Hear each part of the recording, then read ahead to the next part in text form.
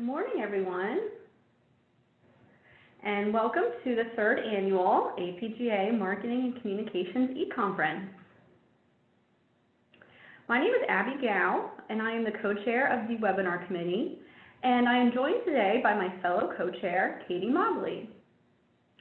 Throughout the day, we will focus on the importance of brand and culture alignment. In this all-day conference, we'll explore how your brand shapes your culture and how your culture brings your brand to life.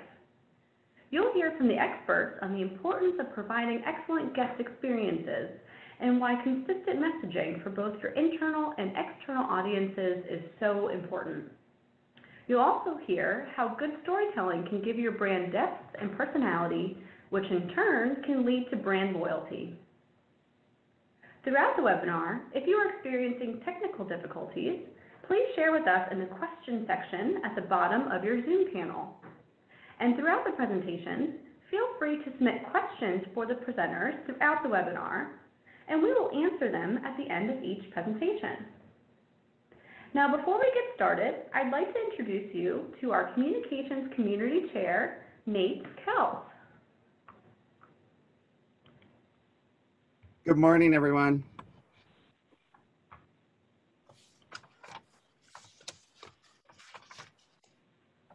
Um, thank you so much for joining us today. The Marketing Communications Committee looks forward to bringing you this conference every year. Um, this year's lineup is spectacular. Um, I would like to give a special shout out to Abby and Katie for all their hard work in chairing this e-conference this year. Um, on the next slide, you'll see your hardworking leadership team. Um, this is the team that works behind the scenes all year long, um, ensuring that we get out the educational information, putting on this conference, and then also working on the um, Marketing Communications Committee session at the APGA conference. Um, and the, we did recently have a couple of openings, so I will be sending out an email in a little bit um, to see if anyone would like to participate on the committee. Um, and on this slide, we have the um, American Public Garden Association conference in Portland this year, hoping that you can make it, um, June 22nd through the 26th. Um, a little note for those who are on the call or on the webinar today. The Marketing Communications Committee meeting will be on June 25th at 8 a.m.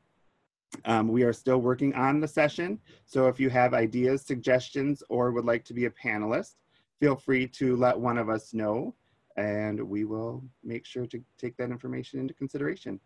So again, thank you, Abby, Katie, and all the presenters today. And a special shout out to Richard too. Richard, we couldn't do it without you. And take it away, Katie and Abby.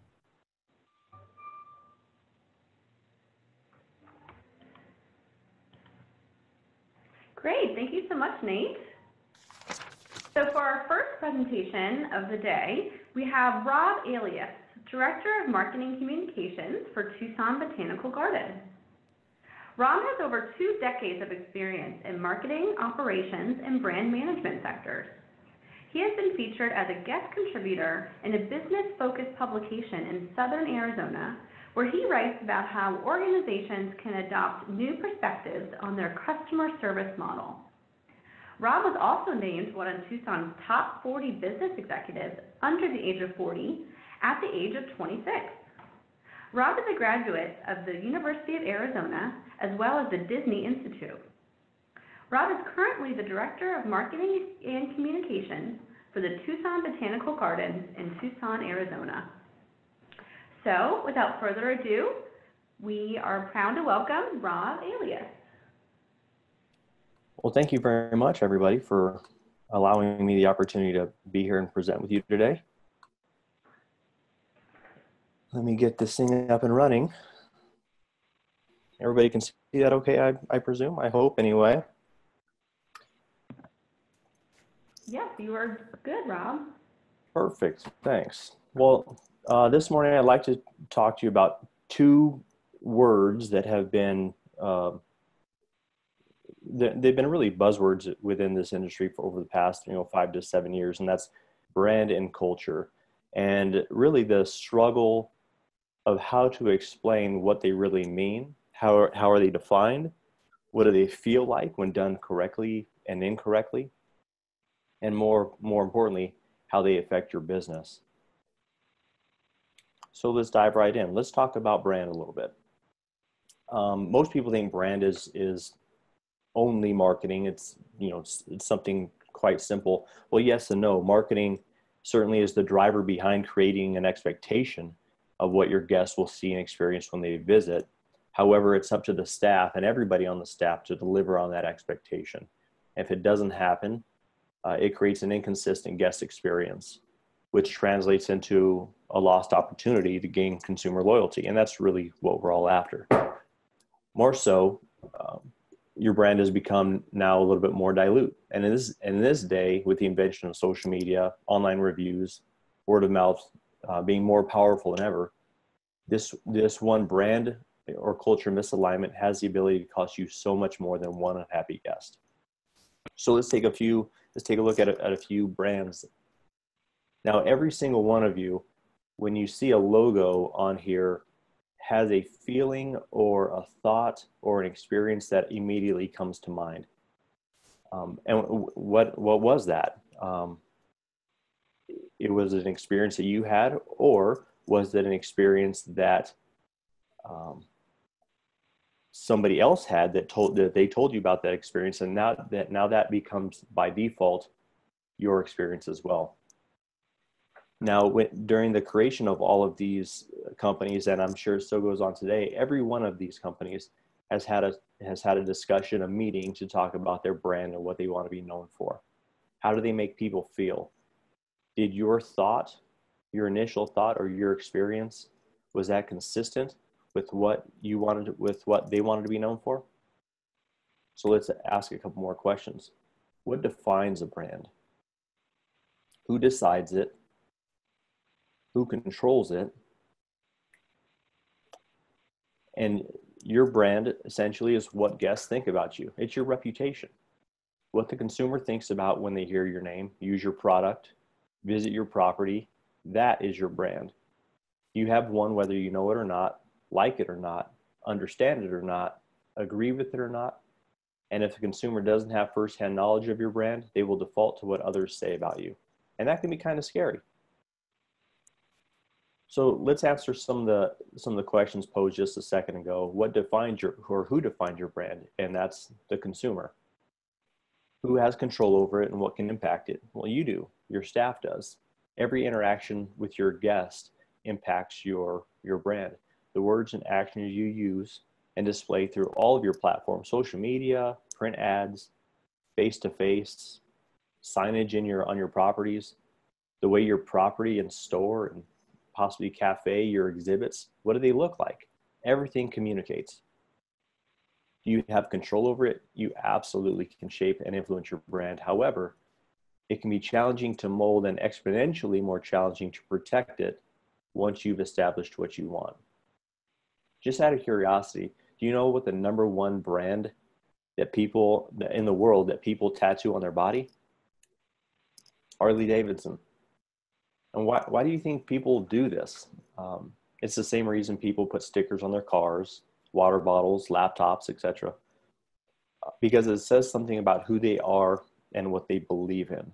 People that do these things are saying that this company and I share values. We believe in the same things. So much so that I'm willing to promote their brand, be an advocate for their brand, and, and give this brand my full and very permanent endorsement and that's loyalty. So, why is that important?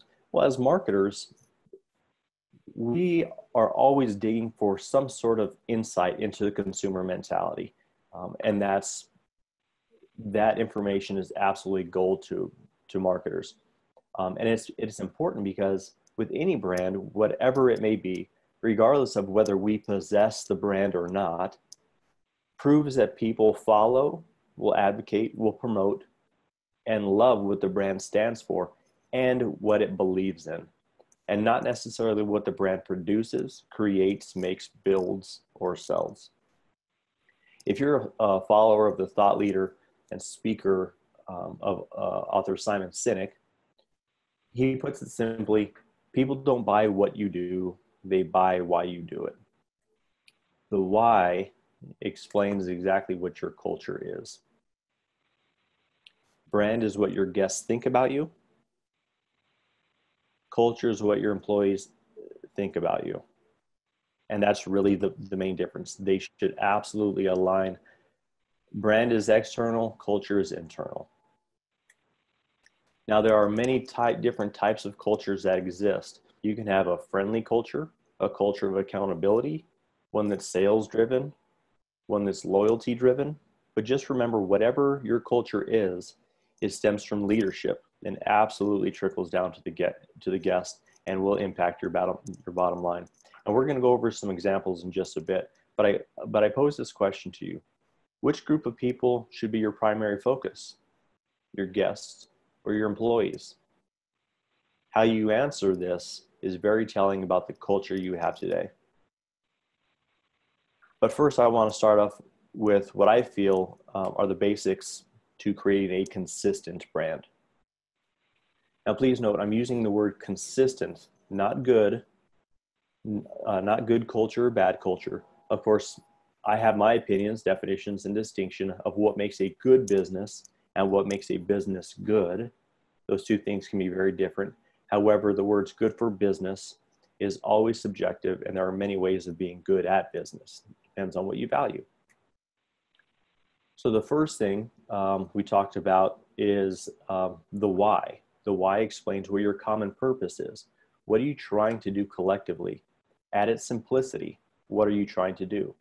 And you should keep this absolutely simple. Number two, shared values. These are the values that everyone within the organization should live by. This spans across every staff member in every position, regardless of the department. And three, the most important one of all, uh, is a commitment to using these things as a filter to ensure the culture is protected. Now, this intersection is really where the magic happens. These aspects should be so well defined that the decisions, challenges, opportunities, new programming, whatever you do within your organization, can be tested through the lens of your shared values and common purpose to create a place where brand and culture align.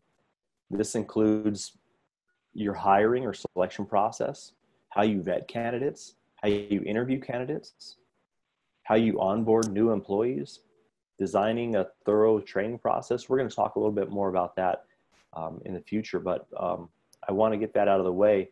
And the words that you use with your guests, and not just external, but internal as well. Everything should pass through that lens of shared values and common purpose. What does it look like? So let's look at a couple of examples from some companies that I think do a fairly decent job.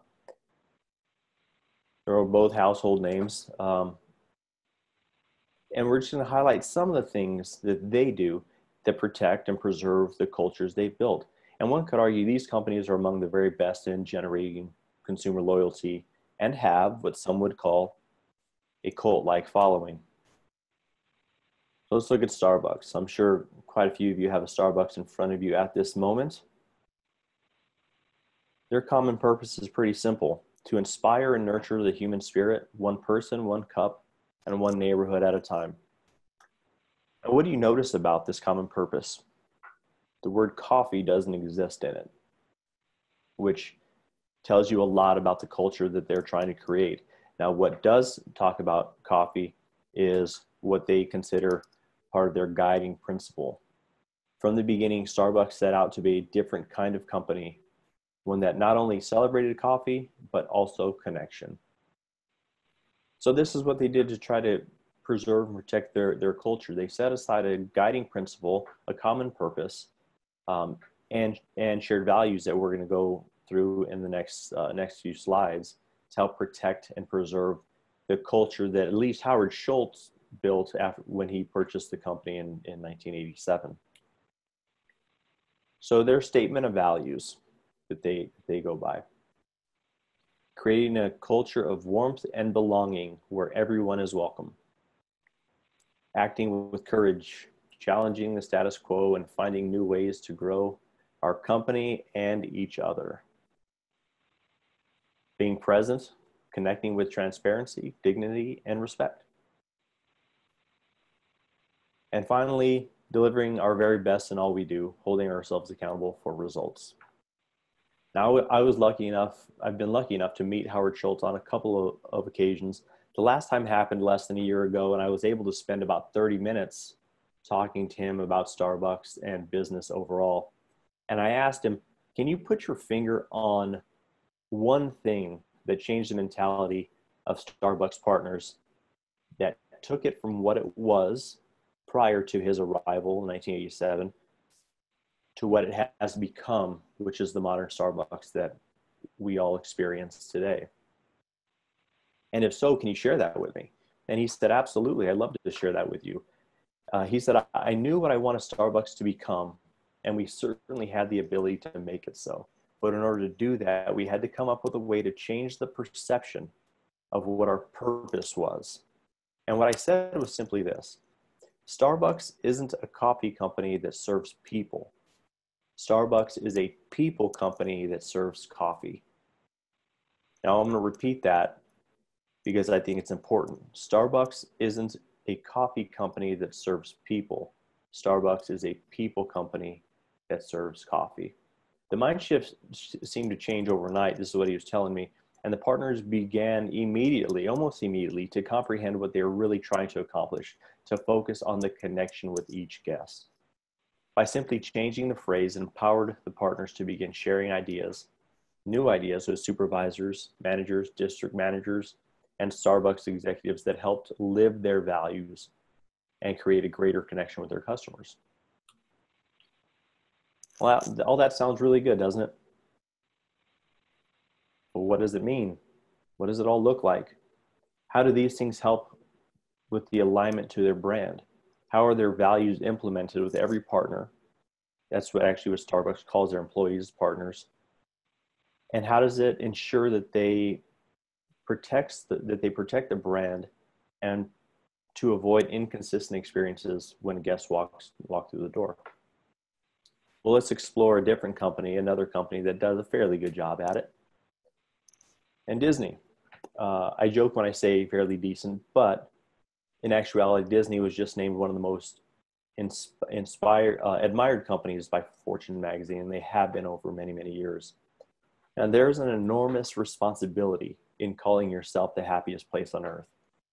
And many of us would cringe at the very thought of being held to that standard. But Disney enthusiastically welcomes it.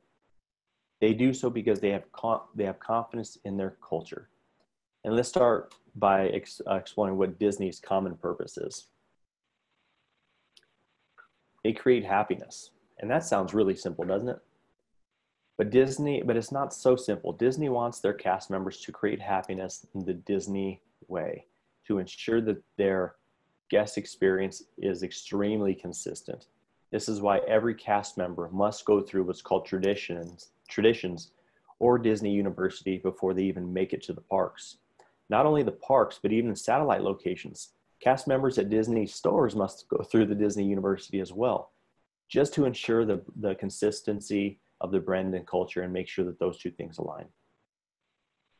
It's the lessons taught at traditions that reinforce the culture and what Disney Disney often calls their culture pixie dust or Disney magic. And that is what makes Disney the happiest place on earth. Now, for those of you that have been to the parks and maybe you've seen this bench or not, this bench is actually sitting inside Great Moments with Mr. Lincoln just at, just at the entrance. And if you don't know the story about the bench, um, the story is told that Walt Disney had a daddy daughter day, uh, which was a typical Saturday for them um, at Griffith Park in California. And um, Walt Disney's daughters had a favorite carousel that they liked to, to ride. And Walt Disney was sitting on this bench as his daughters were riding the carousel when he, when he had the idea of creating, creating Disneyland. And so he went back and he told um, his wife about it and she and she said why would you want to create an amusement park the only thing that was somewhat similar were like circuses and things of that nature and they all had a reputation of being just absolutely filthy. The the the people that worked there were rude and um, just not nice people to deal with. Um, and I say it again, the place was filthy. So, and she said, "Why would you want to do that?" He says, "My parks are not going to be dirty." So, from that point on, Walt had to develop a culture once he decided to build this theme park to develop a culture that made this possible. And one of the first things that Walt and then the creator of Disney University, his name was Van, uh, Van France, came up with a curriculum and it all stemmed from leadership. So culture stems from leadership. Um, your staff will model what your leadership does, and if your leaders pick up trash, everyone will pick up trash. In the early years, Walt Disney used to speak with every cast member and would tell them, You have two jobs here at Disneyland. Number one, pick up trash. Always make sure the park is clean. And number two, do whatever else you were hired to do. If leadership shows courtesy to their employees, your employees will be friendlier to, your customers. If your leaders take time, take time to have a little fun, your employees will uh, make it fun for others as well. Just a, a funny side, another uh, side story. In an effort to maintain cleanliness of the park, Walt conducted a study to see how many steps a, a typical guest would carry a piece of garbage before getting tired of carrying it and throwing it on the ground. After months of observation, um, Walt determined that the guests would only carry trash about 35 feet before throwing it on the ground. And that is why, to this day, garbage cans at Disneyland are no further than 30 feet apart. Walt said, We're going to make it so clean that people are going to be embarrassed to throw anything on the ground. And he actually took that a step further. Back in the day, the garbage cans were all you're pretty much one manufacturer. So what Walt did is he created a garbage can, designed a garbage can that where you couldn't see the garbage and you couldn't smell the garbage. So the, the garbage cans that are still used at Disneyland were designed by Walt Disney himself. And this is what happens when culture and brand align. Disney focuses on four main aspects to protect the Disney magic. Number one is selection. If you're wondering how they preserve the culture, the first thing they do is test every potential cast member for culture compatibility versus aptitude of the subject or task. Disney views the recruiting process differently than most. They believe that the basic purpose in recruiting is to find a mutually agreed cultural fit. Now that's very different how than, than how most of us hire. But think about it this way. When people come to you for a job, they come to you with a pre-existing with pre-existing characteristics and they may not match your required or desired behaviors. If you take the time to select the right people, you will get an accelerated performance without diluting your culture. So please pay attention to your job descriptions, how they're worded, your recruiting verbiage, your first contact with a candidate, it all communicates. Treating people like guests during the hiring process is an effective way of demonstrating desired behaviors. Now, remember desired behaviors because that's going to be a recurring theme that we're going to be talking about uh, here in the next few slides. A great example um, lies with the characters, uh, with, the, with the character cast members at Disneyland. Would you ever see Cinderella smoking a cigarette in front of the castle? Absolutely not. If their behavior did change based on outside influences, how do you feel that would impact guest satisfaction? This is why selection is so important. Disney hires for attitude and they train for aptitude. Just another side note, that little girl on the on the right is actually my daughter, so I had to I had to give her a shout out. She was excited as when she saw this slide. The next thing that Disney does, number two, is they focus on training. And here's where most companies get it wrong. Companies select and hire people, but then underinvest in the required development that leads to desired behaviors on the job. Again, desired behaviors. Companies simply hope employees will exhibit the desired behaviors once on the job, but hope is not a business strategy. What if you invested time and resources to developing an onboarding process that immersed your new employees in your culture? What if every detail was designed to reinforce the Disney culture? Disney calls this traditions. um, and where every detail is absolutely intentional. The picture on this slide are the actual door handles to the building. Going a step further, the building itself is, is painted in an Argyle pattern because Walt Disney was known to wear Argyle socks. And in case this needed to be reinforced further, there's a picture of Walt Disney just inside the building where you can clearly see his Argyle socks. And why does Disney do this? Because they obsess over details. It sets the standard for what's expected from their cast members once they enter the parks and care for their guests.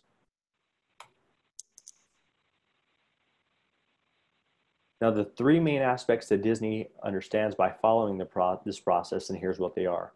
It recognizes the proper training leads to desired behaviors. They understand that investing in training an gives provides an outstanding return on investment. And they know that training creates cast member engagement and commitment, which increases confidence and, and competence.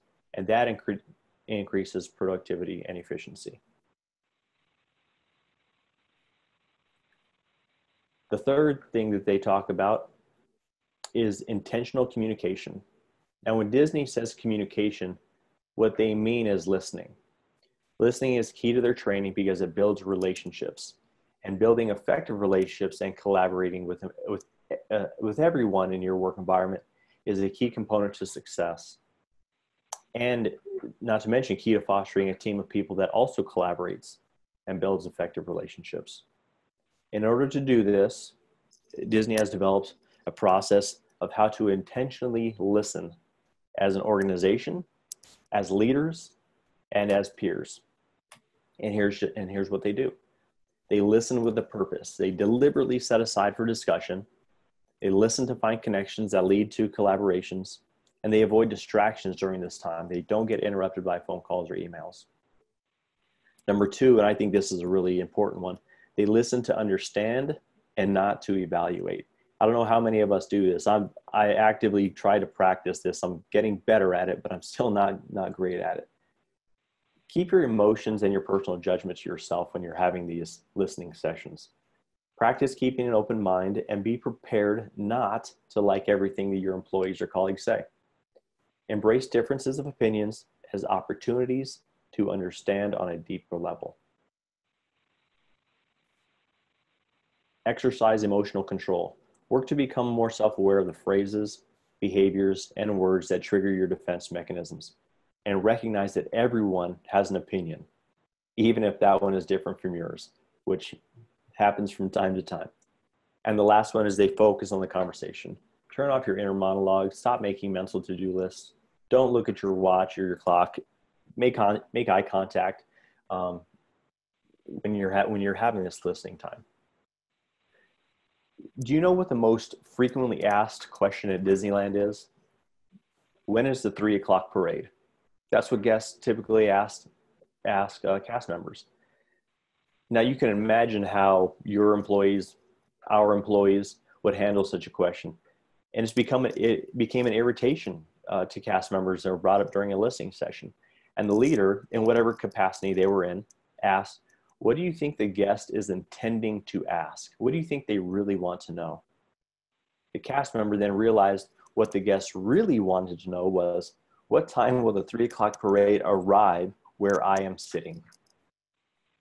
Realizing this changed the mentality of the response as well as the response itself. So with that said, this was, this was the response going forward. The parade will arrive approximately 3.30 if you stay in this location. So you have a little bit more time to enjoy the park between now and then. Just think about how your, how your uh, staff would answer a question like that. And the last thing they focus on is intentional care. And please focus on uh, genuine care. Genuine care must be a strategy that you overmanage. And what does genuine care mean? The kind of care that Disney talks about goes far beyond health, dental, vision, maybe gym memberships, maternity or paternity leave, whatever. Genuine care pretends to be intentional care for the well being of each person in your organization. It's about paying serious attention to employees as human beings. Because caring for your people creates an emotional connection that drives a commitment to goals and overall uh, engagement in your organization. Think about your organization and how it serves its guests and each other. There is a cause and effect relationship here in terms of how care affects behaviors. And please remember the ultimate goal is to achieve desired behaviors. Providing genuine care to your people is another way to create a nurtured, desired behavior. This is why care needs to be a strategy. When much is required, much should be given. One of my favorite uh, Disneyland stories that speaks to intentional care when it pertains to a guest interaction was told to me many, many years ago by, uh, by a lady. She was a grandmother uh, that I used to work with. Her name was Kathy Lou. At the time, Kathy Lou was the grandmother of four, uh, four beautiful little girls, and her favorite Disney character is Tinkerbell. Her granddaughters had never been to Disneyland, let alone met Tinkerbell. So it was time to take the family to Disneyland so her granddaughters could meet Tinkerbell. They enter the park and they make their way to Pixie Hollow. For those of you that haven't been there, um, you're standing along uh, among these large leaves. You can see them there in the background. Um, and you kind of winding your way around to, pro- to provide a type of drama, is dr- just dramatic anxiousness to seeing Tinkerbell. They wait in line for about 10 minutes before they turn the corner, and there she is. Her granddaughters go up to Tinkerbell uh, and they give her a big hug because they've heard so much about her.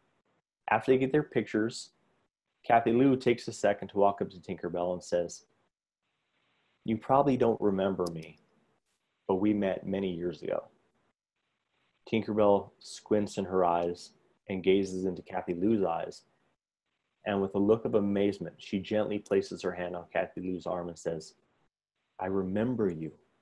It's so lovely to see you again after all these years. Do you think Tinkerbell's interaction with Kathy Lou would have been different if she didn't feel cared for or if she was a disengaged employee? How can we build care into a strategy? How can we operationalize it? You can do so when you practice intentional listening. Ask your employees what frustrates them most. What's a hassle in their day to day routine? People feel cared for and behave differently when you make their life easier, when you remove workplace irritations. This does two things. It engages it engages your people to delivering extraordinary performance, and two, it enables your people to focus more on performing in their role no matter what capacity they're working in. This is applicable to everyone. It affects behavior and performance. What are the hassles and irritations in your organization today? How many of them could you repair immediately if you wanted to? How would you view the cost benefit ratio when viewed through the business lens? Remember, you are making investments in your customer service as well as in your people. The, bo- the bottom line is people who are cared for act differently. Now, I made the statement at the beginning of the, of the Disney segment that referred, that, that referenced the weight that comes with being known as the happiest place on earth. All I have referenced in this presentation, and a lot I didn't mention, is why Disney enthusiastically welcomes the challenge. Every opportunity to reinforce the culture is taken into consideration. Even at the graduation ceremony for cast members, it's no different. At the end of traditions, Disney does a couple important things that solidifies the importance of preserving the culture. Mickey Mouse himself presents each new cast member with their cast member badge. And number two, the final statement is made before the new cast members enter the park the following day. Tonight, there will be thousands of little boys and girls that won't be able to sleep because tomorrow they get to come to Disneyland. Are you ready for that? Let's talk about one more company very briefly that is it is known um, to have their brand and culture aligned the Ritz Carlton. They've adopted a number of tools that help them stay true to who they are and, more importantly, to protect the brands they've worked so hard, the brand they've worked so hard to create. They've developed gold standards, which encompasses the following. They have a credo, the Ritz-Carlton, the place where the genuine, where the genuine care and comfort of our guests is, is our highest mission. They developed a motto, we are ladies and gentlemen, serving ladies and gentlemen. They developed three steps of service, a warm, sincere greeting. Number two is use the guest's name, anticipation and fulfillment of, of each guest's needs. Number three is a fond farewell, give a warm goodbye and use the guest name. They developed service of values. I'm proud to be Ritz Carlton and on and on and on. I won't read them all to you because you can look them up for yourself. But the most incredible thing the Ritz Carlton does on how they take care of their of their employees, which in turn helps them take care of their guests. They empower and encourage employees, and they have a $2,000 a day budget to use for guests at their discretion. It's a tool to empower and encourage employees to use their time, effort, and when needed, the company's money to enhance the experience of any guest, even a guest who is already having a great time. It's an approach that is not just about solving problems, but finding opportunities. And there's a great there's a great uh, story that will help drive this home. So a mom uh, realized that her two-year-old son had lost his favorite Thomas the toy when they were packing up to, to head to the airport. She mentioned this to a Ritz Carlton employee that the loss, the loss of the toy would be heartbreaking for him. After searching for the toy, the employees, knowing how important the train was, they drove to a toy store and bought another Thomas, uh, Thomas the Train for him. They then took the train around the property, around the, the resort, taking pictures of Thomas by the pool. You'll see him here by the entrance of the resort, um, at, at the restaurant. And they put a little note um, with the with the pictures and the toy and then they sent it back to the little boy and they said Thomas had such a great time here he wanted to he, he wanted to extend his vacation just just a few days the new Thomas uh, train arrived in the mail 4 days later and the family was blown away and they shared the story at every chance they got proclaiming that Ritz-Carlton has, has earned their business for years to come. How what can you do in your business that would there's something similar to this? Why does it matter? Why should you spend time money and other resources making sure that the brand and culture align because when your brand and culture align it creates something magical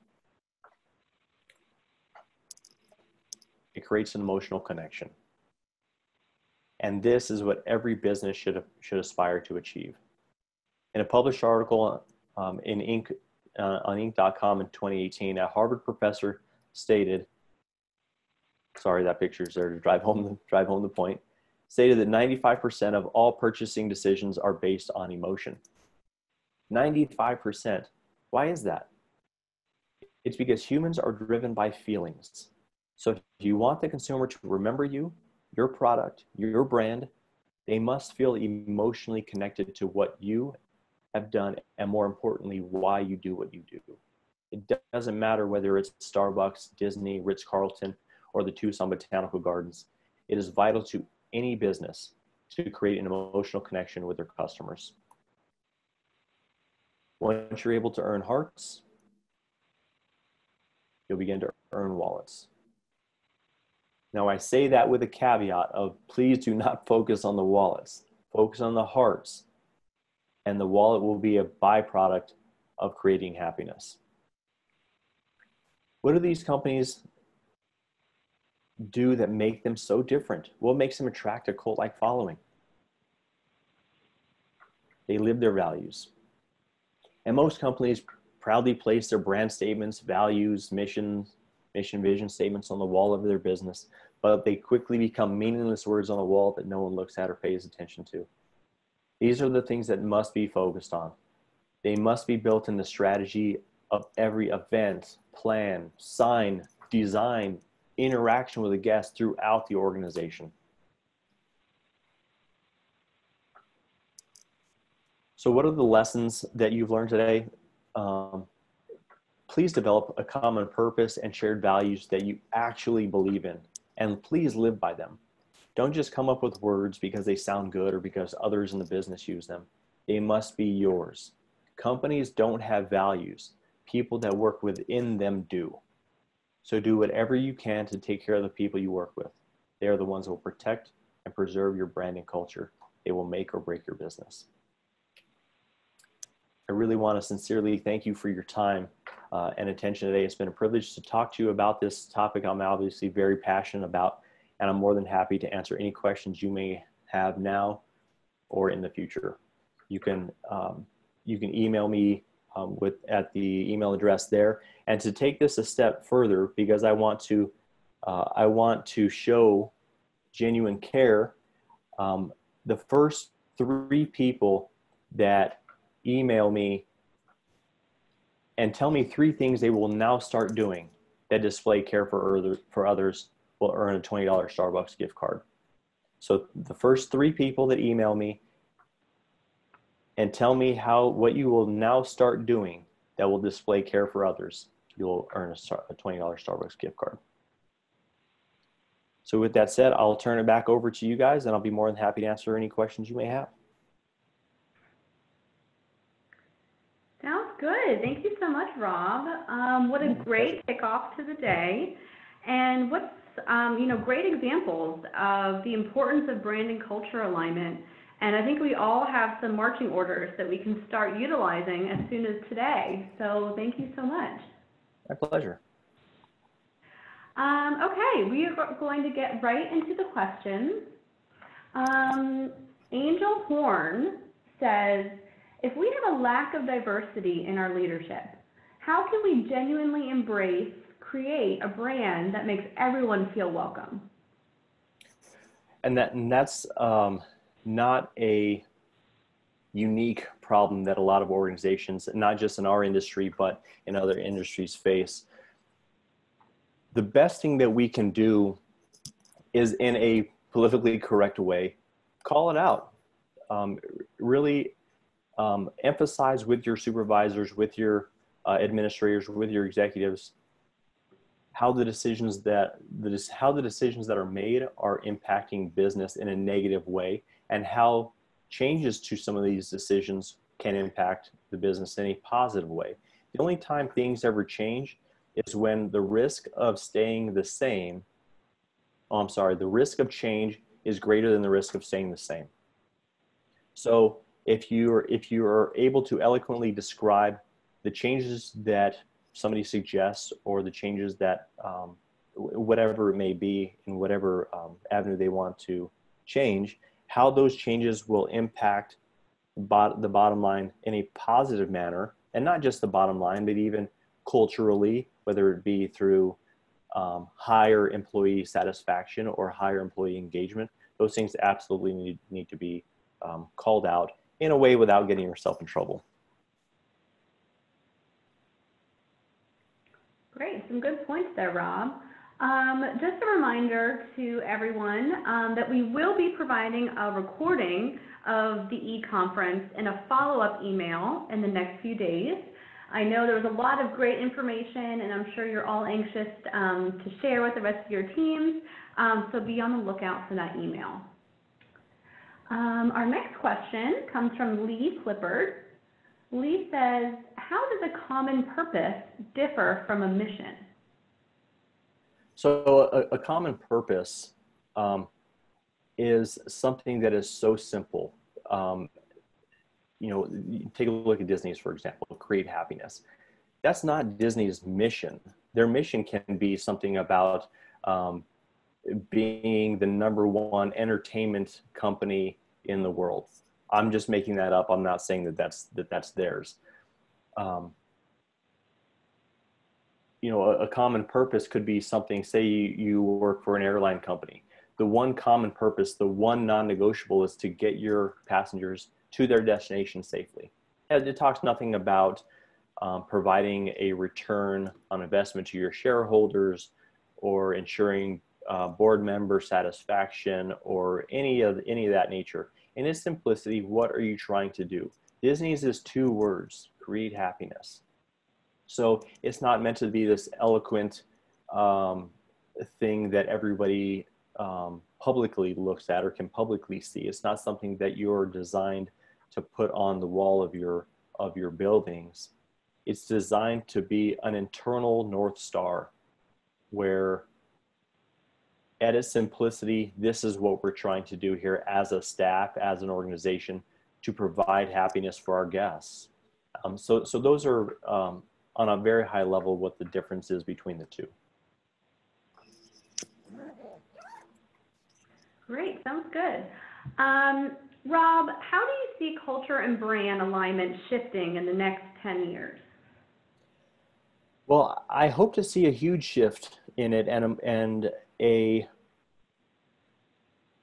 much more apparent um, designed structure around making sure the two align. You know, we, I mentioned earlier that that brand and culture have been two buzzwords that have been used in the industry, but nobody really knows what that means or what they can do about it or how they can change it, how they can alter it. Um, and so there's like people think that, oh, we have a fantastic culture because we allow our employees to wear jeans on Fridays or we have potlucks every quarter. And I'm not saying those things are bad, those things are fantastic. But there's so much more that goes into creating the culture that you want and and again i, I want to use the word consistent culture not good culture bad culture because some companies value things differently others will just rely um, only on profit. What does our bottom line look like? Um, what does our bonus structure look like? And that's not a bad thing. It's just a different thing. Um, the, the focuses are different. So i think that over the next 10 years I hope that there will be a an effort to really pay attention to what the culture is within a within an organization. And it seems to me that a younger demographic, a, younger workforce, seem to really understand more, in my experience, what a true culture should be. I, I, I just think that the perceptions are different. Um, it's you know gone are the days where people kind of stay in a job for 35 years or 40 years and end up retiring there. You see a lot of movements uh, within a younger generation uh, because they want to see their efforts work quicker. So um, I think as the younger generation moves up in in greater management positions, I think the changes within cultures will inherently change because it seems like there's more attention paid to it. Great. It sounds like you have a positive outlook for our generation, so that's really good. Um, Patty Wales says, what is the common purpose at Tucson Botanic? You know, that's something that we are actively working on now. Um, that's it's uh, we have a very good mission statement, and, I, and and I've only been here at the Gardens for a little bit less than two years, and we have a phenomenal executive director that really understands um, what we're trying to do here, and she has a great um, relationship with with every with with every um, employee that we have here. So what we're trying to determine, and is, is through her listening sessions, where we're trying to determine what is our what is our common purpose, what are our shared values, and the things I talk about are things that we're actually in the middle of right now. We're trying to talk about things like you know what how do we describe the the the company culture? How do we describe what our common purpose is what our shared values are? And start thinking about um, start talking more about the things that we believe in rather than what we do. And when we start to do those things we'll start to attract people and people that believe in the same things that we do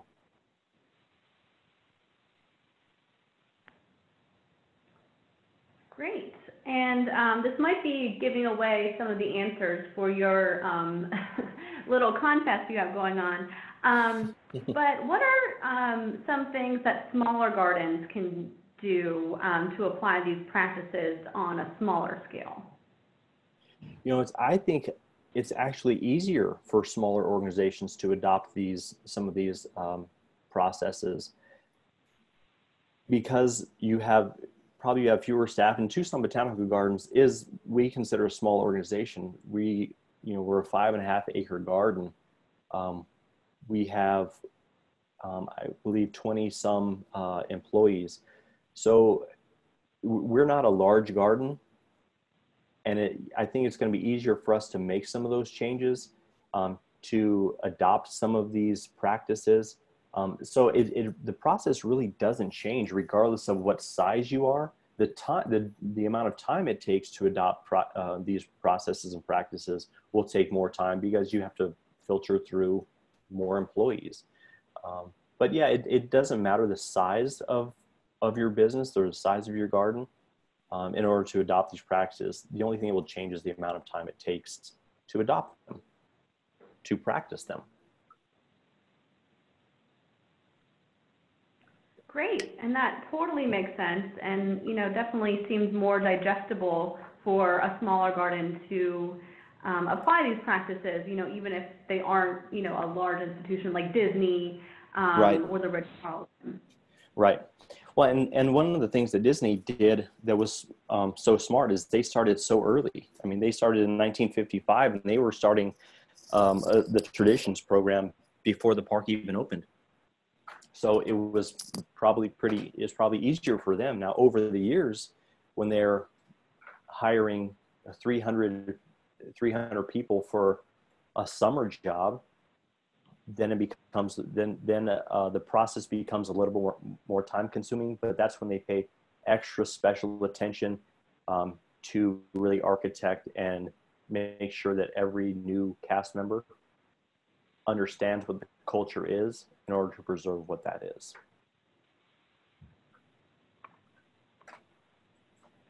Great, and thank you again, Rob, um, for kicking us off today. Um, pleasure, thank and. I also want to thank you for, um, you know, bringing this topic to us. Um, you are very well informed, so um, thank you for bringing this topic to us and for kicking us off. And um, everyone, be sure to jot down um, Rob's email there and be sure to um, submit um, your ideas for how to implement some of these practices. And we will be taking a short break. And when we come back, we will um, hear from uh, Mindy Bianca, uh, principal at MBPR.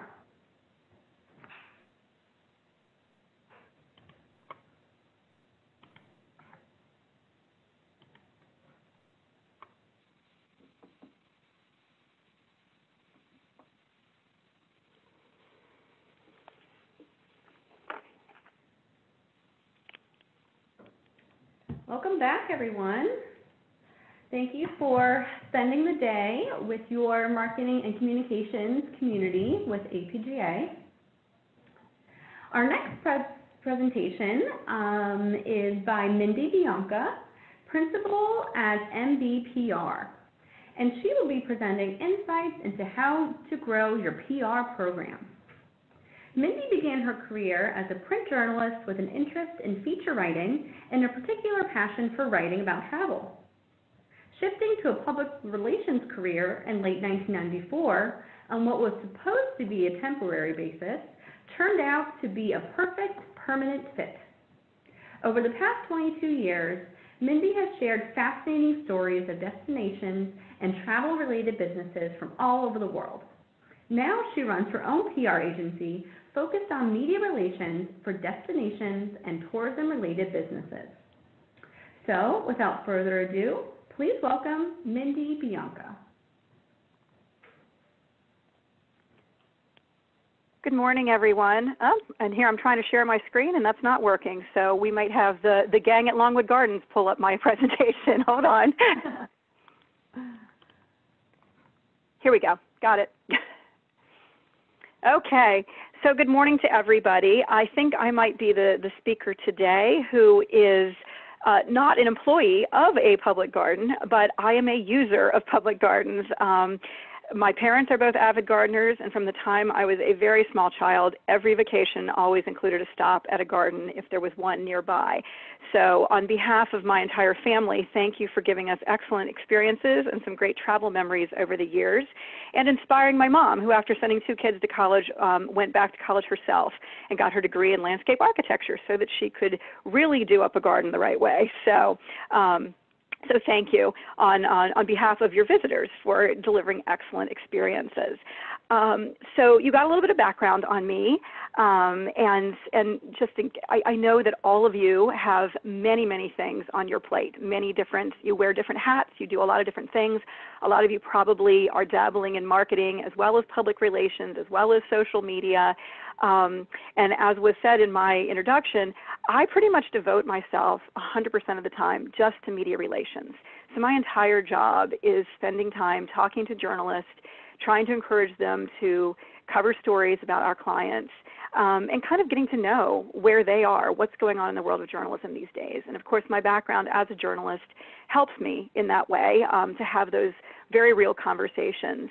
Um, so I'm hoping that I'm going to be able to give you guys some insight. You certainly know the basics of public relations, but I hope that I'm able to give you some insight into in 2020 how can we be making those media relationships work the very best advantage um, to all of us. So if I had to boil it down to everything that I know about public relations and share it in just one sentence, it would be this. Your mom was right about absolutely everything. And I say this sort of in jest, but it's also incredibly true. If you take the basics of public relations and boil them down, it's really the rules that your parents taught you when you were a kid how to behave. Um, you know, mind your manners and be polite. Sometimes the media can be really annoying, and sometimes they can be brutal sometimes they can be very negative and the, you, you just have to kind of smile and nod and be as polite as you can be and muddle through um, say please and thank you um, if somebody does a great story for you say thank you if you want someone to come out and, and cover something in your garden make sure you're, you're saying please extend a polite invitation um, play nicely with others be a good partner to other attractions in your community. Be a good partner to your local Convention and Visitors Bureau or your state tourism office. Um, reach out to the new kid in class and say hello. If you see that there's a new journalist working at the local TV station, or a new person joins the morning show at a local radio station, or maybe there's a new reporter who's covering the, the calendar section of your newspaper or local magazine, reach out, say hello, introduce yourself, be friendly. Uh, if someone asks you for something, fulfill your promise. If you say you're going to do something, do it.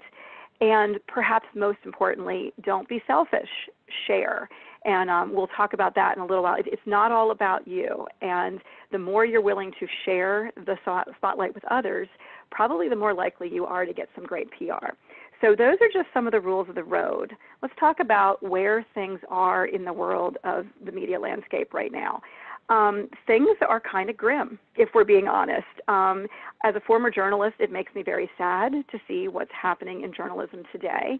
I'm very old school. I'm a person who loves to hear the funk of a newspaper hit my front doorstep in the morning. I'm a person who enjoys carrying around magazines and reading them. Um, I am a very like I, I just I, I like to hold on to things as I'm as I'm reading them and digesting them. I know that that's not how modern people do things. Everybody does everything online and digitally now. And that's being reflected in the way that magazines and newspapers are being run. So it's harder and harder to find outlets to share your story because a lot of the outlets have just changed dramatically in the past few years. Every form of media is going through significant changes right now, and those changes impact all of us as as marketing and public relations professionals. So we have to know how to adapt and change with the times and work with and engage the, the media as it's working today. In the last 18 months, a lot of titles of publications that I really love to work with, all these guys pictured on the right side of the screen, those folks have either gone out of business or they've gone to online only outlets. And if you look at the left side of your screen, that's how people are digesting their media information these days. Um, and, and it's a different kind of way that you have to pitch these folks. Uh, the speed at which you have to get to them is very different. So, what do we need to do? Um, my, my general theory is you have to pay attention to the seasons and know that different kinds of media work in different kinds of seasons. So you've got television, you've got radio, you've got newspapers, you've got magazines, you've got digital media, you have social media. Um, honestly, as the the way that we all work, we have to kind of speak all those different languages. It's almost like we have to be multilingual and communicate with each type of media the way they need to be communicated with. And that can be really hard and a little overwhelming because we only have so many hours in the day. And each and every journalist wants you to, to approach them as if they're the only journalist that you're ever approaching. In my case, we approach thousands and thousands of journalists every year. And so we really try very hard to figure out what is everyone's particular need, how do they need to be communicated with, um, how do we treat them as individuals while also doing our jobs and eventually, you know, shutting down shop for the night and going home. So for print publications, for magazines, and even to some degree newspapers, but particularly let's think about magazines like your local lifestyle magazine, your local city magazine, or you know if you have your sets uh, your site set on something really big, like you know a, a monthly periodical like Better Homes and Gardens or something like that. For that kind of publication, stories these days have a longer shelf life. They have to be what we call evergreen. They have to be a story that lasts over and over and over again, that doesn't really have um, a, an end date to it. So when you're pitching those kinds of outlets, you have to be thinking long term. And you have to maybe give up on the idea of having perhaps you have a special event um, and you really aspire to have that event that maybe takes place for a month or three weeks in one of these these long lead outlets they may not be very interested anymore simply because they're going much more toward these evergreen long lasting stories if you do have an event if you do have something short term the place where that can go is the digital side of things and you know, a lot of those publications, a lot of those long lead glossy magazines that probably were the perfect place for your gardens a few years ago, mainly because you had great photography and they really, really took advantage of great photography. Um, a lot of those publications now have a digital side, and that is probably where you should be pitching things like events and anything with kind of a shorter lead. Um, and and often you you might think that it's the same staff doing the print edition and the digital. It's actually in most cases two different staffs. You might think, well, they're under the same banner. Clearly, they're talking to each other. Actually, they're often not. So just because you went to one side, the, you know, like the print side of a publication with a story idea, doesn't mean that the digital side knows about it. So in some cases, you may have to be pitching to two different people at an outlet with the same name because they may not even be in the same office building. They may not even be in an office. These days, virtually, you know, tons of media just work remotely. They work from their homes, and so they're not even in the same office space as people to just over lunch or passing through the office share an idea. Digital stories are going to be quicker to produce, but journalists don't spend a lot of time on them. It is like a never ending cycle for them. As soon as they file one story, their editor is throwing another story at them. So a couple things happen with these short lead public, uh, publications or, or websites. One thing is, unfortunately, there's not always as much accuracy as you would like. And that's really challenging for us as public relations and marketing professionals because we, we are so concerned about making sure that anything that is consumer facing is accurate. We want to make sure people know what the ticket price is. We want to make sure we, people know which hours things are happening. And a lot of times those things get mixed up or messed up in a digital story. The good news is that they're pretty easy to fix digitally. And so if you can go to the journalist or the editor in a very polite way and just basically without kind of being persnickety to them. Obviously you want the information to be correct but if you remind them they also want the information to be correct. Usually they'll change those things for you. But what i'm finding is increasingly the more work you can do for a journalist the better off everyone's going to be. And I'm not suggesting that journalists have become lazy or incompetent, anything but. They are overwhelmed and overworked and constantly being, you know, just things are being thrown at them left and right. So I really try to formulate as specific as information as I can give them so that they have all the details they need. I also respond to a lot of leads and queries all day, every day. My team is just looking out there for who's looking for what kind of story. And so uh, a lot of times we'll give them, you know, you, it's this fine line. You want to give them comprehensive information, but you don't want to give them so so much information that you bore them or that you they just they they just disconnect. They're like, you know, I, I don't have time. You know, think about your attention span when you're online. Think about the average attention span. It's not very long, so you don't want to inundate people with a lot of information, but you do want to give them enough information and more than your competition so that if they're choosing between you and something else, that they don't have to go back to you to ask for more details. They don't have to go to you to ask for, for photos, that you've kind of given that to them all in one place, and that you've provided the information so that you know it's accurate. Um, so just remember, no one has an attention span anymore. So you've got to make your pitches very snappy, very creative, quick, and fun. Um, I discovered, I mean, I'm a, I'm a very verbose person. I love a paragraph. Paragraphs don't work for the media. Bullet points work. So if you're trying to get a point across and you're sending an email, rather than doing it in, in, you know, in sentences and paragraphs, consider just doing a quick introduction sentence. Here's who I am. Here's who I represent. This is what I wanted to tell you about. Bullet point, bullet point, bullet point. Here's a link to photos. Please let me know if you have questions. Um, you know, the quicker someone can get through your email and decide whether it's helpful to them or not, the more likely they are to use it if it is indeed helpful so, you know, our worlds as, as public relations practitioners, as marketers, as people who are working with the media and hoping that the media will help us share our stories, they become really, really difficult. Um, you can just see from these headlines, I mean, what is happening? Who is left to pitch? Who is left to share your stories with? Well, there are plenty of people. Um, probably a lot of them are former editors, people who were let go from all of these magazines that have closed. And I say that sort of in jest, but it's very true. I mean, I am, of course, friends with a lot of editors that I have known for more than two decades who, in the past couple of years, their their magazines have been shut down or they've gone strictly digital those people have now become freelancers and they're very desirable freelancers because they know how to write they know how to edit their work comes across pretty clean to whoever it is they're writing for. So a lot of what used to be editors or editorial staff have torn, turned into freelancers. And so my suggestion would be a freelancer could be your best bet. These are folks who have a lot more flexibility than somebody who's on staff. Somebody who's on staff at a newspaper, magazine, or even a TV station may not be able to leave the office and get to you, but a freelancer probably can. Um, so you can actually have personal interaction with a freelancer. And many of them will will figure out a way to tell your story. You know, freelancers are, are hungry. They need to eat. They need to be paid. So they're going to come out and they're going to spend time and they're going to try to get to a really great story with you because it's in their best interest as well because they want to sell that story to an outlet. So I'm I'm just going to suggest that maybe you do a Google search on freelance journalists in your town or your city and see who's out there and see if maybe they have an interest in coming out and seeing you and, and if some of the outlets that they write for could be appropriate outlets for you all to be approaching. Uh, you know, it's it's also not unheard of that there could be a freelancer in your backyard who writes stories for a national outlet.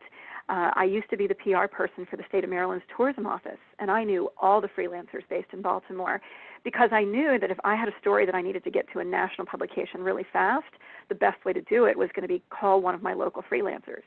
And they were close, so I didn't have to put them up overnight. I, there was not a whole lot I had to do for them except for show them where the story was and make sure that they they had what they needed to tell it. So I would really recommend trying to see if you can find freelancers in your local area who might have an interest in you. Um, I'll also say a lot of people, both freelancers and editorial staff, are going to write a story without ever visiting.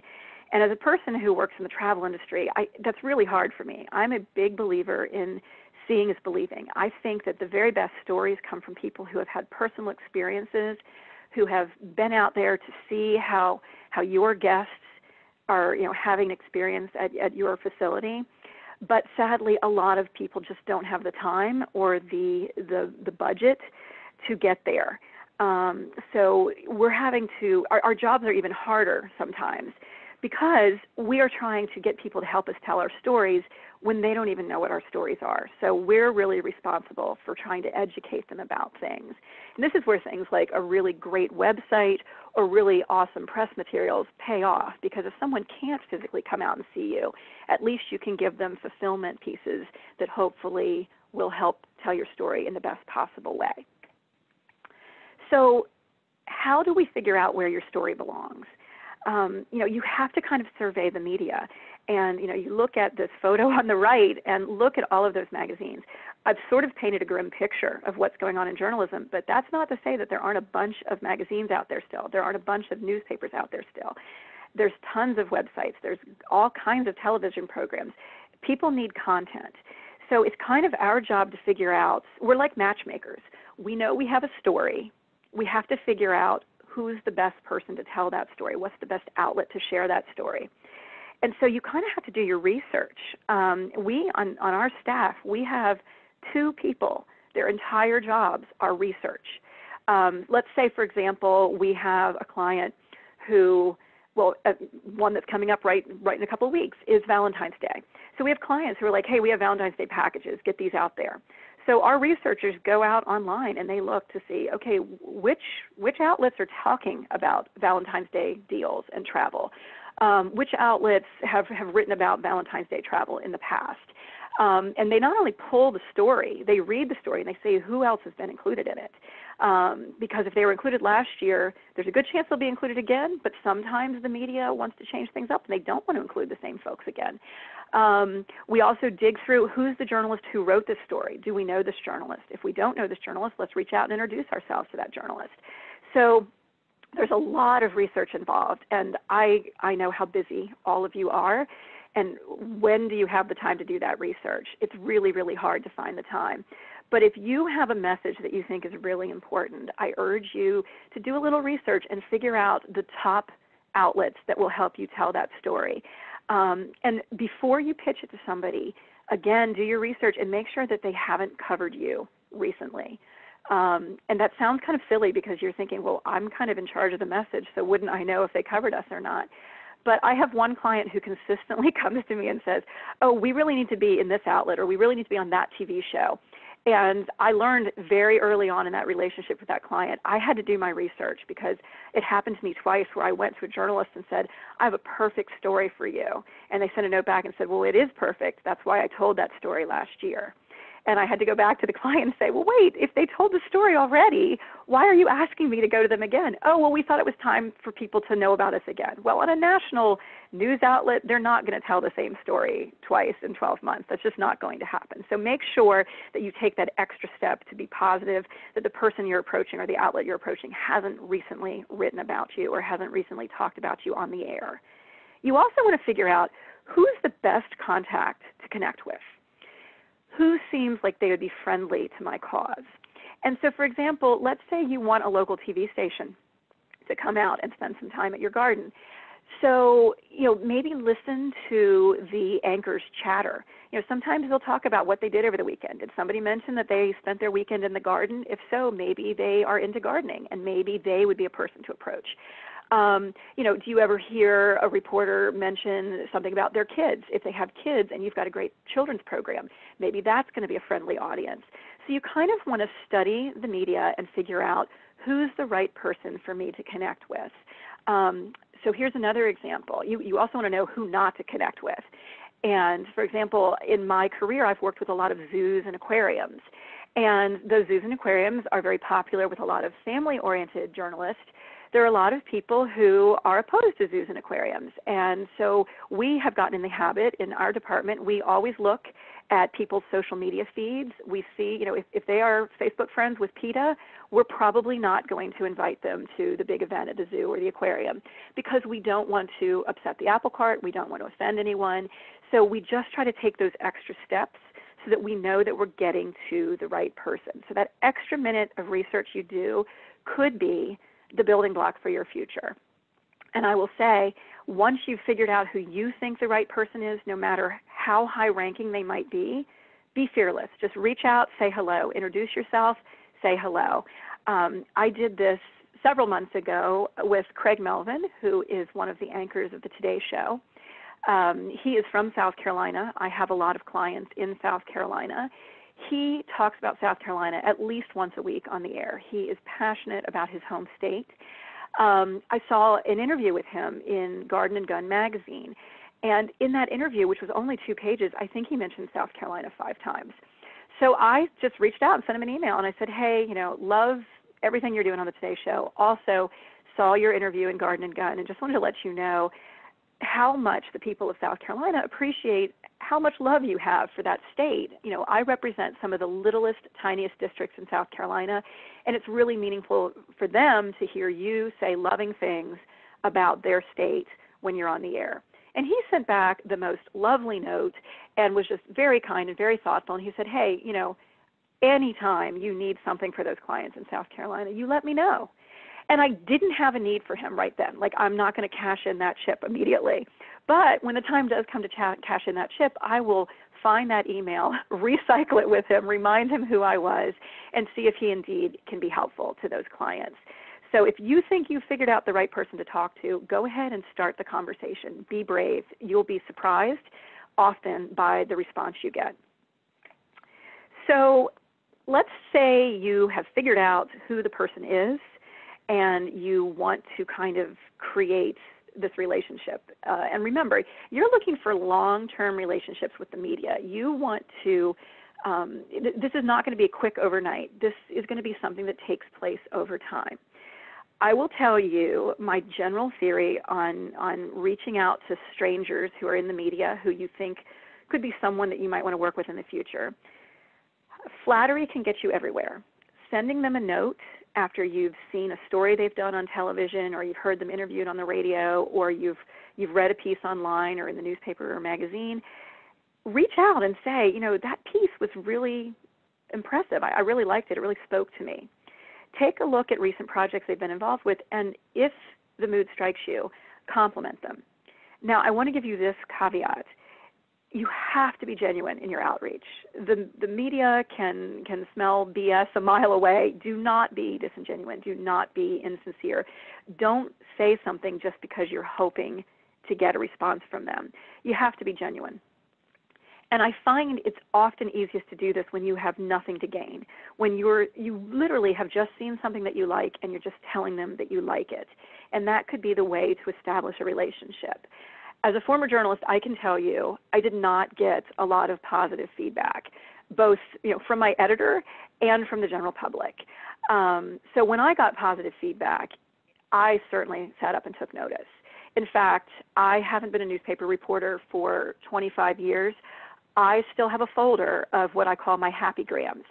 Um, notes and letters that people sent me when a story really, really impacted them. When I told a story and it made them cry, or I told a story and it made them sit up and take notice and do something.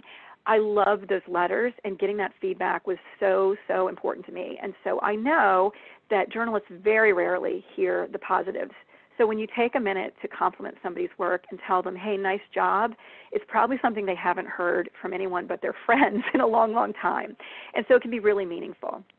So I'm going to give you an example of how this really paid off for me. Um, I, up until a couple months ago, subscribed to National Geographic Traveler. I can no longer subscribe because it's no longer a print edition. Now I get it online. But um, I used to get the print copy of the magazine, and I would carry it around with me, and I'd read it on airplanes and wherever I was. I just loved reading the magazine. And several years ago, I saw a story about um, a special kind of brownie that they have in British Columbia, Canada. And the story, I mean, I had had a brownie like that when I had been in Canada and I loved it. But this little blurb in National Geographic Traveler, it was written with humor and it was written with passion. And I was like, oh my gosh, this is simultaneously funny and also I think I'm going to talk to my husband tonight about booking flights to British Columbia so we can have an experience there and make sure we eat one of these brownies. And so I reached out to the journalist and I said, you know, your story just really struck a chord with me. It was funny, it was passionate, it was I, you wrote a love letter to a brownie, and I you're my people. And there was I, I had no reason to reach out to her other than to say I loved your story. And she sent a note back, and we started to talk. And she was like, "Oh, you know, I see in your email address you run a public relations company." So we got to know each other. She asked me who clients were. Uh, we talked about the funny things you eat when you're traveling. And a few months later, I had the opportunity to coordinate a press trip to Norway. And I sent her a note and I said, So I remember you say you like to eat local cuisine and interesting, weird things. How do you feel about reindeer stew? And she sent a note back and she was like, I'm in. When are we going? And so then we started to travel together. And over the course of time, we've forged a really lovely partnership and a great friendship. And it has led to her coming to some client destinations of mine that I don't think she ever would have considered going to. But she trusts me now. She knows I'm not going to steer her in the wrong direction. And she has great experiences in our destinations. She has won one of the biggest travel journalist awards ever for writing about one of our destinations, which certainly made our destination happy, but also, you know, made us happy for her. So we've created this bond, and it all started over a story about a dessert in British Columbia. And, you know, there was nothing for me to gain in that conversation that day, but think about all the things I've gained over the years. So I will say, you know, when you've established a relationship, once you have their ear, check in with them occasionally.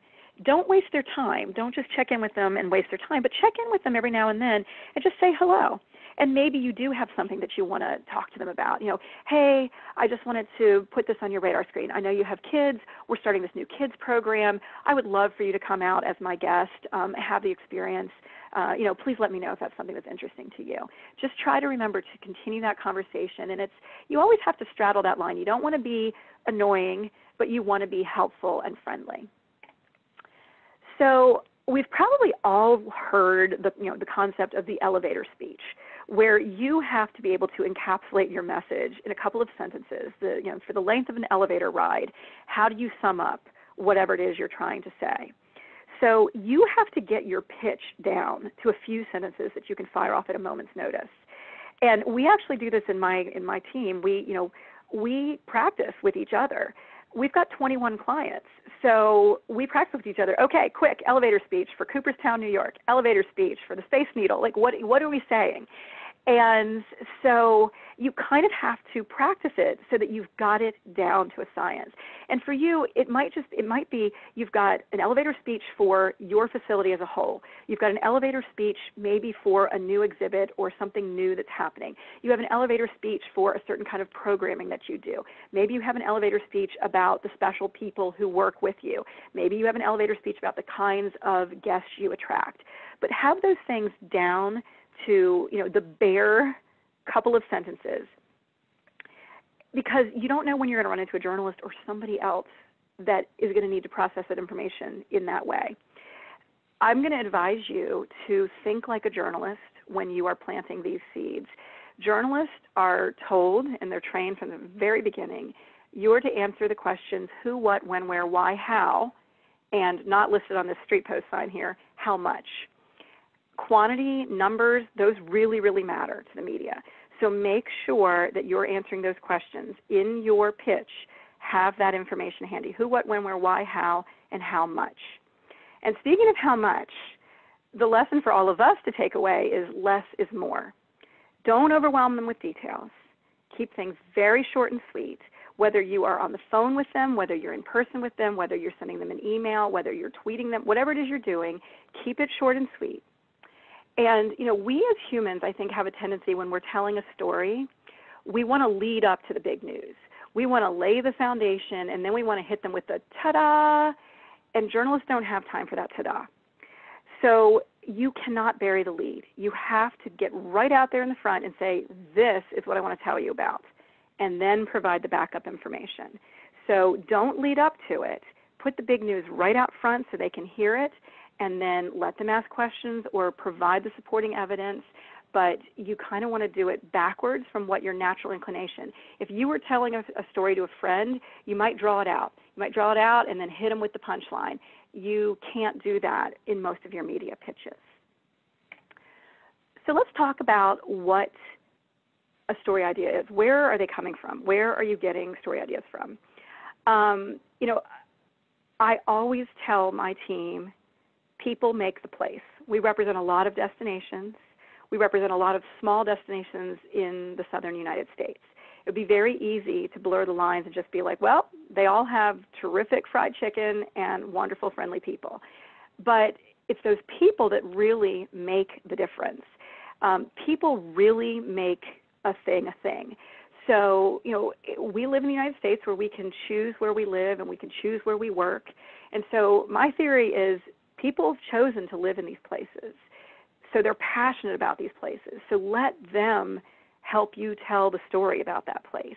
In your case, people can choose to work at your facility. So, there's something that draws them there, there's something that they love about it. So, rely on your people to help tell your story figure out who your colorful characters are. You know, is there somebody who is a docent who maybe this is their second or third career? Maybe they were a school teacher who used to bring kids to your garden as part of a field trip and they loved it and they were inspired and so they wanted to come back and give of their time. Um, maybe there's somebody who started working there when they were 16 years old and now they're 66 and they've spent their entire career there um, because they're just passionate about something there. Um, you know, the the journalists that you're working with are going to find the people who are not you and me far more interesting to talk to than the marketing representative or even the CEO. They want to talk to the people who are there doing the work, doing the stuff. Um, the second thing I'm going to tell you is quirk works. The weirder you've got, the happier the media is going to be. So if you have something unusual or offbeat, or the largest collection of something, or the tallest sunflower, or the the oldest, the newest, the rarest, whatever qualifier you have, that's going to be interesting to them. I will tell you, um, probably our most successful public relations campaign in my 25 years of doing public relations revolves around a goat named Betty, who is at one of our resorts in Jamaica. And how she got to the resort is, I mean, if you think about Jamaica and you think about goats, often goats are on your plate. They are often curried and served as a lunch or dinner. Um, so in Jamaica, it's an island, so they try very hard not to be wasteful, and so they have a lot of green initiatives. And so the resorts often have partnerships with farmers where the resorts take their excess food and give them to the farmers to feed animals and then that's kind of an, an, economic relationship. So the resort we work with has a partnership with a pig farmer, and they take their kitchen scraps and they give it to the pig farmer, and he gives it to the pigs. But there is still a, a monetary value, and so I guess at one point they gave the the scraps to the farmer, and he didn't have he didn't have enough to to to make it an even exchange. So he gave the chef at our resort a goat, and I think he probably figured the goat would end up in a stew well, the goat turned out to be more like a dog than a goat. She's incredibly friendly, very lovable, likes to get on her back and have her tummy scratched. She is a very dog like goat.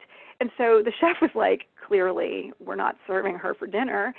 She is she's a she's great like we have to we have to hang out with her what are we going to do with her well what do you do with a goat goats tend to brambles and brush, and this resort is in a jungle. So they gave the goat to the groundskeeping crew. And so the groundskeeping crew kind of kept her with them while they were working all day. She would take care of part of the field, they would take care of part of the field. And anytime guests would walk by, she would stand in the field and scream until they would come and visit her. And she loved to be petted. So then guests were like, well, you know, we're going to the wedding of our friend. Can we take Betty as our plus one? So then this goat starts showing up at all the wedding ceremonies that are taking place at this resort. So it becomes one of these things where suddenly everybody wants an audience with Betty. And so the resort said, well, if everyone wants an audience with Betty, maybe we do lunches with Betty. Maybe we, you know, we do other interactions with Betty.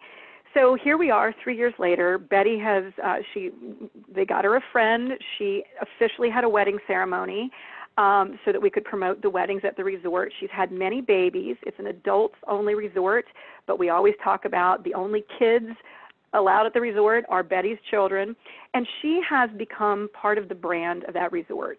If you Google search Jamaican resort with goat, you're going to find Betty, and you're going to find plenty of pictures of her.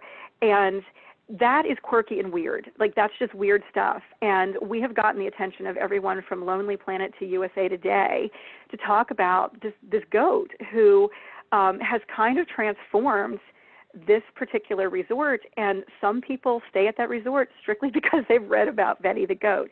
That's a, an example of a quirky thing that really, really paid off. And it was so funny because when they first told me, I was actually at the resort when they said, you know, so do you want to see our goat? Like it's the weirdest story. This the, the pig farmer gave us a goat. We didn't know what to do with her. We gave her to the groundskeeping crew. She loves us. And I went out and I saw her and I looked at them. I'm like, you guys, this is your story. Like, this is it. I know we've been trying to figure out what sets you apart from all your competition.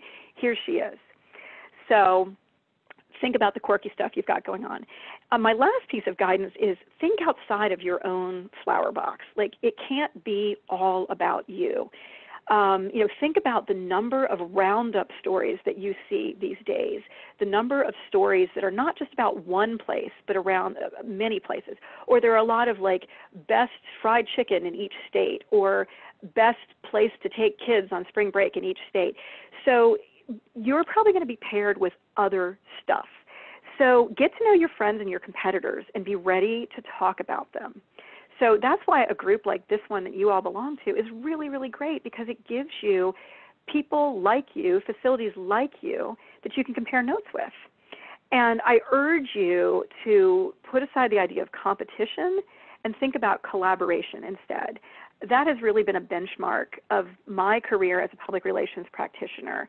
Um, I, you know, I knew who my competitors were. When I worked for the state of Maryland, my competitors were Washington D.C and Philadelphia and the state of Delaware and Virginia, and I got to know all of their PR people and figured out ways that we could work together and share the media. Um, so try to do that. If you can prove that what you've got going on is part of a trend, you're going to stand a better chance at getting your story told. At USA Today, they had this this this theory that you know one was interesting, two is a coincidence, three is a trend. And when you have three, when you can prove three, then you've got a story. And I will tell you this as well if you're the person who pitches the story, more than likely you get the lead paragraph of the story and you get the photo. So you want to be the person who comes up with the idea, but you might need to turn to your friends to to prove the trend, but then you pitch it. Because if you pitch it, nine times out of ten, the media is going to remember that you're the one who pitched it, and they're going to give you the photo and they're going to give you the lead. Um, so, as an example, what if your garden just started doing like nighttime tours or moonlight walks? Find out who else is doing that and then pitch that story to some outlets that you think would find that interesting. Also, while you're trying to find partners and collaborators, try to be what I call geographically correct. You want to represent a cross section. So, for example, I write, I, I, I pitch a lot of national stories. So, for me, if I'm pitching a national story about one of my clients, and say my client is in the Midwest, then when I'm looking for people to collaborate with, I'm looking for somebody on the East Coast, I'm looking for somebody in the Northwest, somebody in California, someone in Texas. I'm trying to to spread out the, the, the story because that's what national media is doing. National media isn't going to want a story strictly about everything in the southern quadrant of the United States. They're going to want uh, geographical diversity. So I try to provide that for them. So let's say you have captured the attention of the media, and let's pretend for all intents and purposes, this photo, it's, it, this is of two people strolling through a garden. Let's pretend this lady on the left is a reporter and this lady on the right is you. This is you walking a reporter through the garden. Um, you want to cultivate the relationship with the media and make yourself invaluable to them. So, how do you do that? For starters, you anticipate their needs. Um, my team knows rule number one think like a journalist. Now, most of them have never been a journalist, so I have to kind of explain to them what that means. Um, but think about if you were a journalist visiting your facility, what kinds of things would would make you take interest? What would be interesting to you? What kinds of questions would you ask? And then you need to have those answers ready to go. So again, this is where your who, what, when, where, why, how, how much comes in. If you haven't had the opportunity to walk a lot of journalists through your property, I urge you to find a friend or family member who doesn't spend a lot of time at your facility to do a walkthrough with you and see what strikes their fancy, see what captures their interest. Because sometimes we're so close to the story, we can't see it. Sometimes we're so used to something that it doesn't seem special to us. So it helps sometimes to have an extra set of outside eyes look at things before the journalists come so that you can in turn, anticipate the journalist's needs. Fill them with facts. Um, you know, there's if you are old enough to know what the TV show Dragnet is, you know, just the facts. They always want just the facts. Facts are really important, and as we discussed earlier, a lot of times the media gets the facts wrong. So we want to do everything in our power to help them get the facts right. So I find it very helpful to have information written down and ready to share, especially when you're going to deal with numbers and technical things that the average person isn't going to know. And I think that your kinds of facilities fall into that category. I mean, everyone has seen a flower or a tree, but not everyone knows the name of that flower, that plant that they really love. They certainly don't know the Latin name. Um, they don't necessarily know all the sciency stuff that goes on behind the scenes at your facilities. So write it down, spell it out for them. And you're not dumbing it down for them you just can't expect everyone to have the same level of knowledge about these things that you and the rest of the team at your facility have. So writing it down is really helpful. It also helps the journalist save face. If they don't know how to spell something or if they don't really understand what you're talking about, having it written down means that they don't have to actually ask the question so much as they just have to look at the information you've given them. And you can send them some information via email. You can hand it to them when they come to visit you. You know, I know that we are supposed to be green and you know maybe we don't want to use paper as much but i will tell you this in all of my experience all the years that i've been doing this when journalists come on site i always have a piece of paper for them because it's something that they can easily reference it's something they can scribble their own notes on even if a journalist takes notes on their iphone i find that often they're scribbling notes on the piece of paper I give them, um, it, it, they'll use it. They will use it.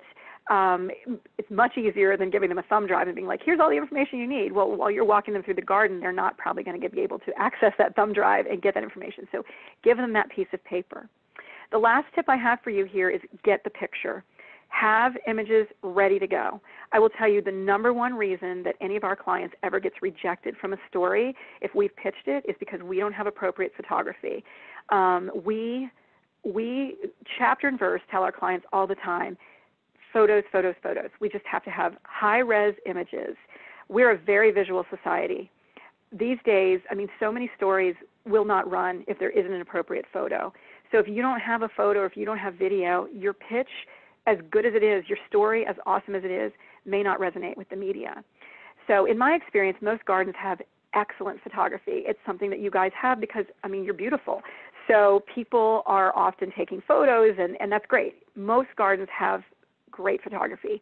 If you do not, and if you're in a situation where you are really constrained with budget and you maybe don't have the budget necessary to bring in a professional photographer, I encourage you to do a guest contest. This works a lot. Um, we have a lot of clients who have very low budgets. They do photo contests, um, and the you know the arrangement is that they get all rights to the photos, whatever wins the contest. It's a great way to build your image library. It's a great way to make your guest feel like they are a part of your success. Um, it, it can really work beautifully. So I do suggest that if you don't have a great photo collection. Um, we probably all remember the story of the tortoise and the hare, the whole idea of slow and steady wins the race. Um, so I'm going to tell you, slow is not going to help you. steady will. So I want you to be the fastest tortoise. I want you to be very deliberate. I want you to be very accurate. Get your information together and be right the first time, and then try to be as quick as you can.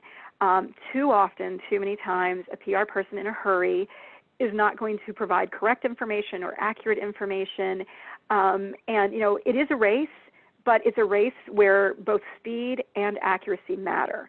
So I really, really encourage you to be as quick as you can when you're talking to the media and, and helping them, but also be accurate. You don't want to go back later and say, oh, I'm sorry, the information I gave you was in fact wrong. That makes you look silly. Um, and if you, let, us say a journalist, you're on the phone with them or they're at your facility and you're walking through with them and they ask for something, either a piece of information or an image that you don't have on hand, say, you know, that's fantastic. I'm happy to get that to you right away.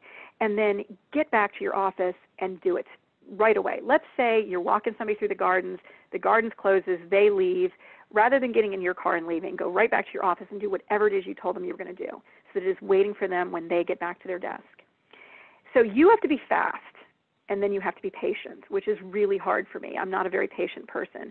But you have to wait while a story or a project is coming to fruition. You have to give it some time. I'm not lying when I tell you I have a story about the island of St. Croix that I've been waiting for for two years. And I know it's going to be amazing. It's in a great publication and it just keeps getting pushed because there isn't really a timeliness to it. And remember, we talked about evergreens. The story is an evergreen, which means every month, if they have something that seems a little more newsy, they're going to push our evergreen story. It's okay to check in. I have on, on my calendar, like I check in about that story maybe every three months just to see where it is. And I know it's still on the editor's radar screen. I know it's still going to be published. It's just a question of when. So it's okay to check in and to stay in touch. You just don't want to be a pest. Um, so I also, you know, I've just spent 40 minutes telling you how to get to know the media and how to befriend them. But I want to warn you not to get too cozy with them and to never let your guard down. I have great relationships with the media. I count the media among my friends. However, I also know where there is a line. Uh, and it's not so much in what we do now. I mean, I work in the travel industry. You guys work with public gardens. Uh, it's not like we've got like inner secrets that we really can't share. But be very cautious about what you say and not only the words you use, but your tone and your body language. Um, you know, I, for years, have worked with the amusement industry. I work in theme parks. And you know, a lot of times a story, a happy story about something great in a theme park, a new ride or whatever, suddenly takes a turn and they want to get into safety.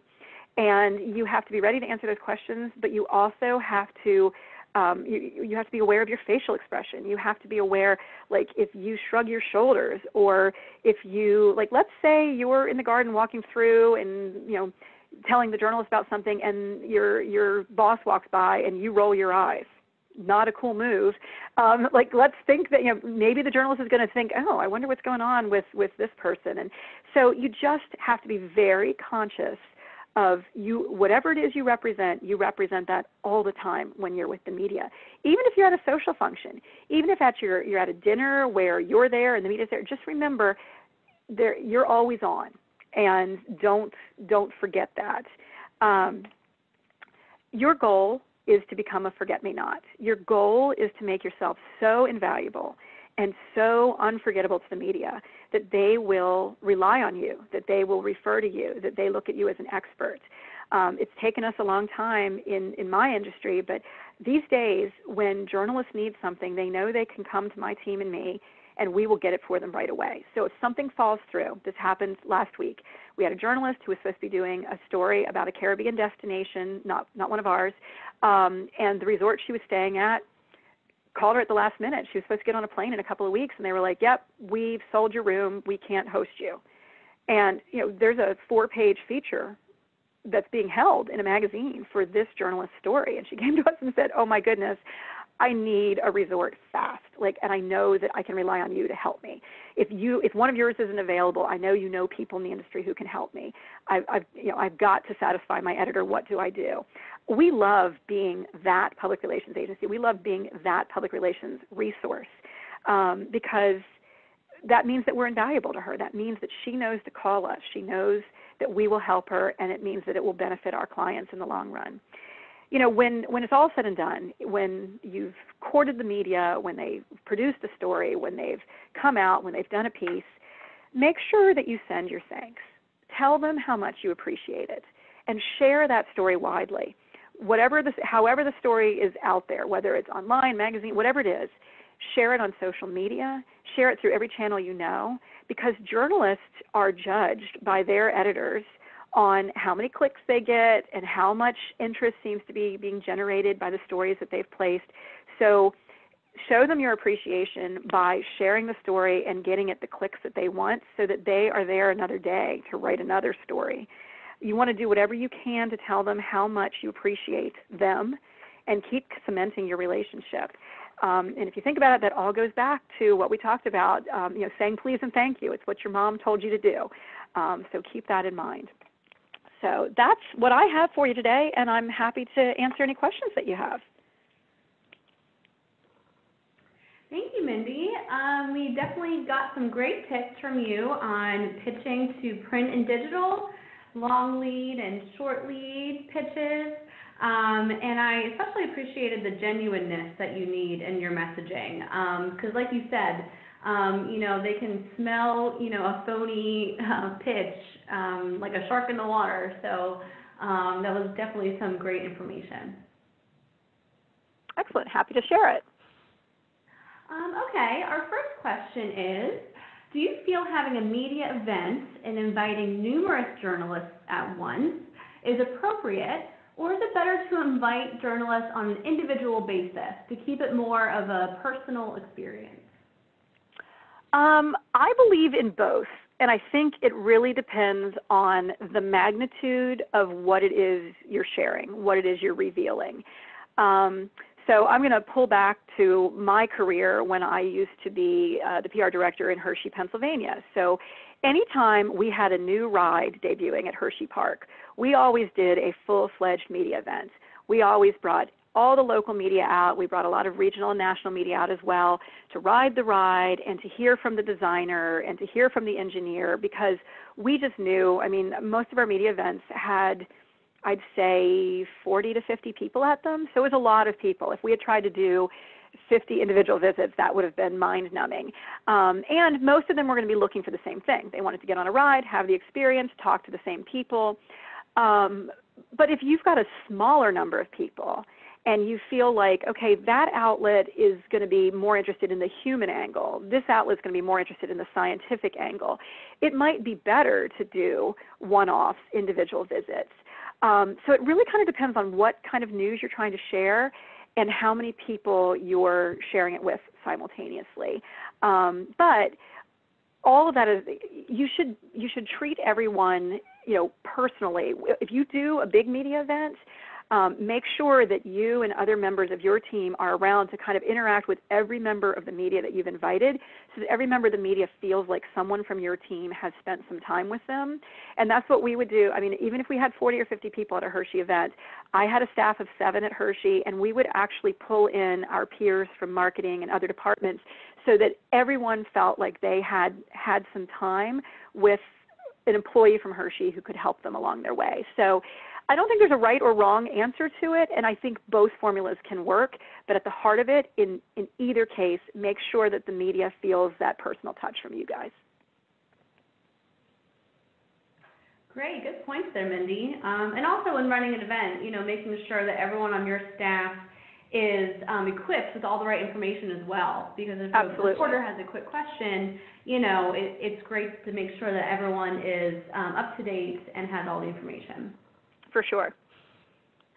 Um, okay, what are some tools that you would recommend to use for PR? Whether it's searching for media, sending releases, um, any tools that you can recommend? Yeah, you know, it's very funny. Um, nothing I can recommend heartily. I will tell you what tools we use, but I will also tell you that that when I go to public relations conferences, one of the number one topics of conversation is how much we hate the media tools that are available to us because none of them really does the job as much as we want them to do or as well as we want them to do.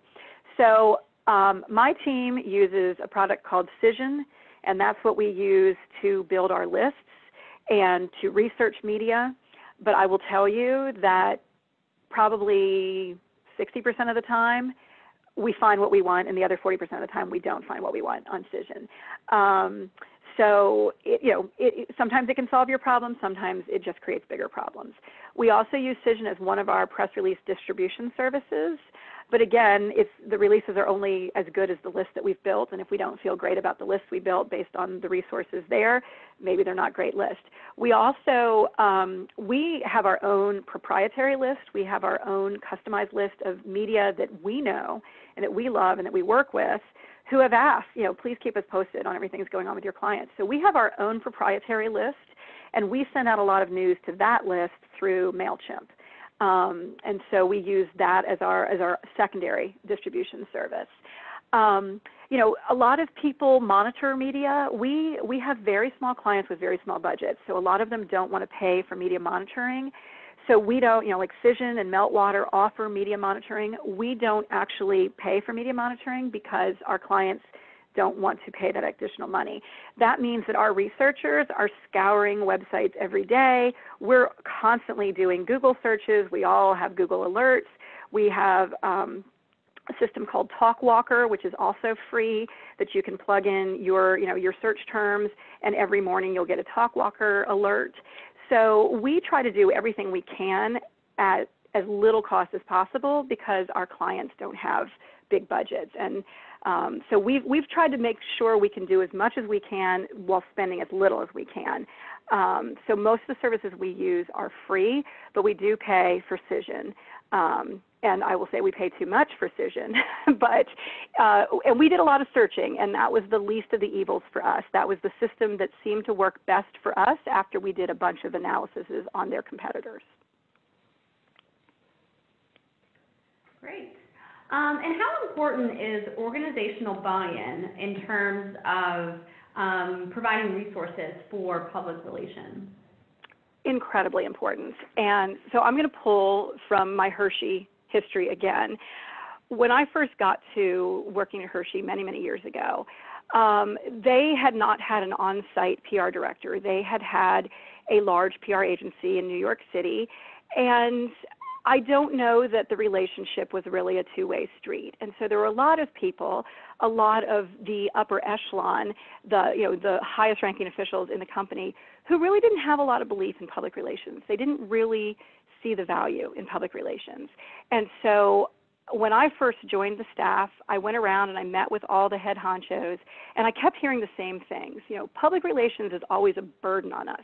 They need us to open up the park early because some TV station needs to be here at five o'clock in the morning, or you know, they always want us. You know, our chef needs to make a meal at a certain time, and and so they looked at public relations as a burden, and they never saw the results.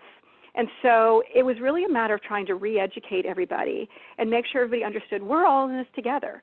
I can't tell these stories without your help, but you should see the resulting stories and you should feel appreciated for helping me with them. And so over the course of time I was there, I think we did a 180 degree change in people's perception of public relations. And I used to say to my team, you know, each of you guys is here. One of you represents the park, one of you represents the chocolate spa, one of you represents the garden, and one of you represents golf. I am the public relations person for public relations. It's my job to be your cheerleader. It's my job to educate the people that we report to about the value of public relations. And that meant I had to change the way I speak. I, I work in words. I love words. Words are my currency. But that's not how the big wigs, the CEOs and the treasurers speak. They spoke in, in, in numbers. And so, and they spoke in money. So what I had to do was take our PR efforts and convert them over to numbers. I had to show them, here's how many journalists we brought into the destination this month. Here are the number of stories we placed. Here is the value of those stories. If we had bought, if we had bought ads in the same places that these stories ran. This is how much our marketing department would have had to spend. And so I, we took it and we made everything into numbers. And suddenly, the guys sitting around the board table took a very active interest in public relations. I also made sure that we were very good friends with our accountant, and I made sure we educated our accountant about who we were and what we did. And I brought the accounting department to our media events so they could see why we were spending thousands of dollars on, you know, hot dogs for people. Um, you know, they got to see the interaction and they started to, they worked the media events with us and we had their buy-in so that when it came to budget time, I had our accounting guy sitting next to me saying, I have seen what this has done. I see the positive results. I think we should just give her the money. Um, so it, it took a long time, but it was an educational process. But the more buy-in we had, the more C-suite people who believed in what we were doing, the easier it was for us to get what we needed to, to do the job right. Great, yeah, and it's so important to be able to showcase, um, you know, the results that um, PR for your company is bringing in. And like you said, you know, it, it can be hard to show that, but a great way to do that is through numbers. So, some great advice there. Um, how important is social media um, in the PR world today? I think that depends on who you're talking to. So I will outwardly admit I am not a big fan of social media. It's not how I, as a person, prefer to communicate. So it's not how I, as a professional, communicate. And we are a very old school public relations agency where we don't actually do public relations for our clients. Part of that is because I'm a big believer that your social media relationships should be, um, they should be as close to you as possible. Like I feel like they need to be real and live and authentic. There are a lot of agencies that will do your social media post for you, but I don't think that a social media post I do about our resort in Jamaica is going to be nearly as authentic as something that someone at the resort in Jamaica does. So we don't provide social media services. However, we have a lot of clients who really, really rely on social media. So we work in partnership with social media experts, either on staff or um, at another agency, and we make sure that all of our messages are aligned. Um, you know, I would say for, for gardens, social media is probably absolutely one of the best ways for you to share your information because you've always got great visuals.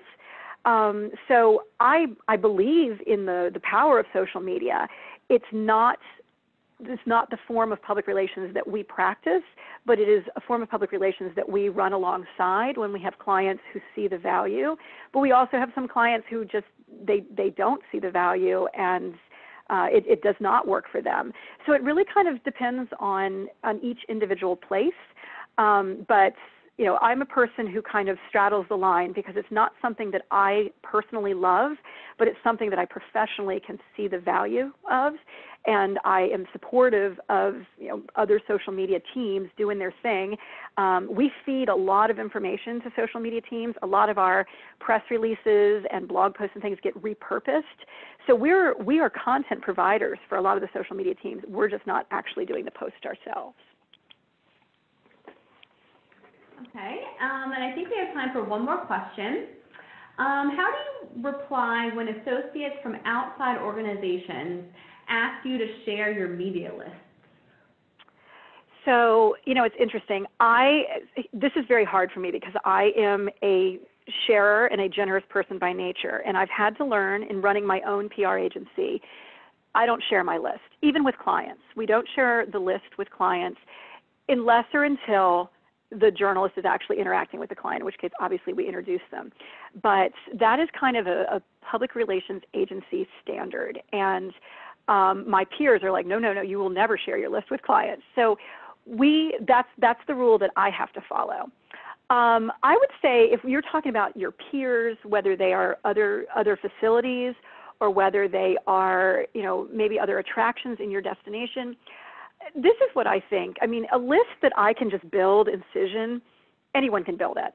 And I sometimes will do that for a client. Like if they're like, hey, I need to know every blogger in the Midwest, we'll just quickly plug in Cision, run a list, and give it to them. Because we don't have necessarily relationships with everybody on that list. That uh, the proprietary list I referred to, I would not share that with a soul because those are people that we have relationships with. And honestly, probably if somebody else reached out to those people, they wouldn't even respond because they're like, why do you know me and why are you reaching out to me? So um, I am pretty protective of relationships, but I'm not necessarily protective of a generic list that I don't really have a strong connection to anyone on it. So I that's a that's a tough call and it really kind of depends on the circumstances of the person who's asking the question if it's somebody that you know and trust and, and you want to help them out and you have a list of maybe 25 media that are really key, maybe maybe you you do your friend a favor. But broadly in general, I, I don't really believe in sharing the list because they are your contacts and you've worked really hard to develop those relationships and that's not something you necessarily just want to give away.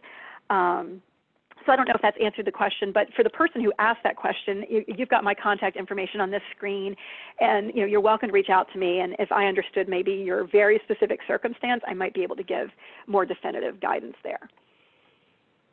Yeah, and I think that could also open an opportunity to maybe send, you know, a joint pitch. You know, if it is um, you know, a, a partner organization, a sister garden, you know, that is interested in sending something, you know, maybe you team up and kind of send that information together to kind of build a meteor story.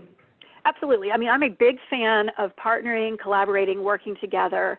Um, but even then, you know, I, there have been some occasions where I've worked on a project with a friend that the friend has just said, you know, just send it to your list. Don't like, I don't, I don't even need to see your list. Just send it to your list. Um, so I think there, there are positives and negatives to it. I am a, a person who really wants to help others. I really want to try to help others be as successful as they can be.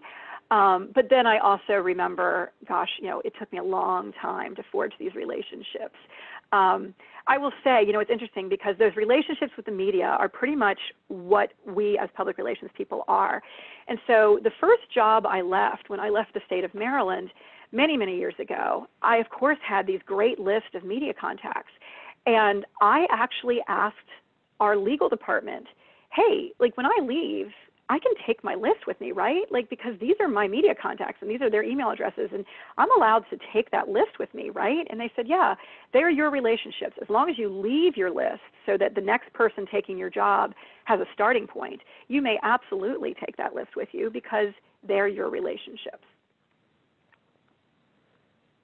Great. Well, thank you so much, Mindy. Um, I think this was a great segue into, um, you know, kind of promoting your brand and how that can in turn create um, a great culture for your organization. So thank you so much.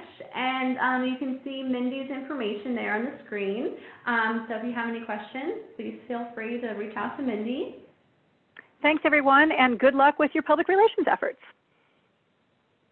And um, we will be taking um, a short break, and we will be back at uh, 1 o'clock. So thanks, everyone, and we will see you soon.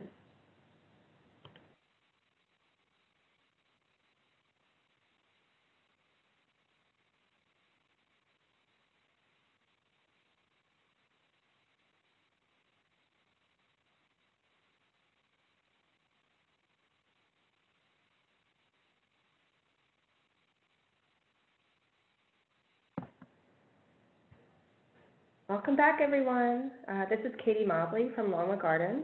I serve as the webinar committee co-chair along with Abby, and I'll be leading us through the remainder of today's webinar. We enjoyed a fantastic morning thanks to Rob and Mindy. Rob led us through how to align brand and culture, while Mindy explored how to grow your PR program and fully utilize relationships with the media. Hopefully you're ready and refreshed for this afternoon as we focus on how to provide an extraordinary guest experience at your organization in our final session led by Chuck Ross of Longwood Gardens. Before we hear from Chuck, I'd like to introduce APGA Marketing and Communications Manager Richard Doran, who will be sharing information on the expanded National Public Gardens Week and some of the marketing and fundraising opportunities available to you from the association. Please send any questions you have for Richard through the Q&A feature, and we'll be happy to address them. Richard, the floor is yours. Thank you very much, Katie. Sharing the screen now, terrific.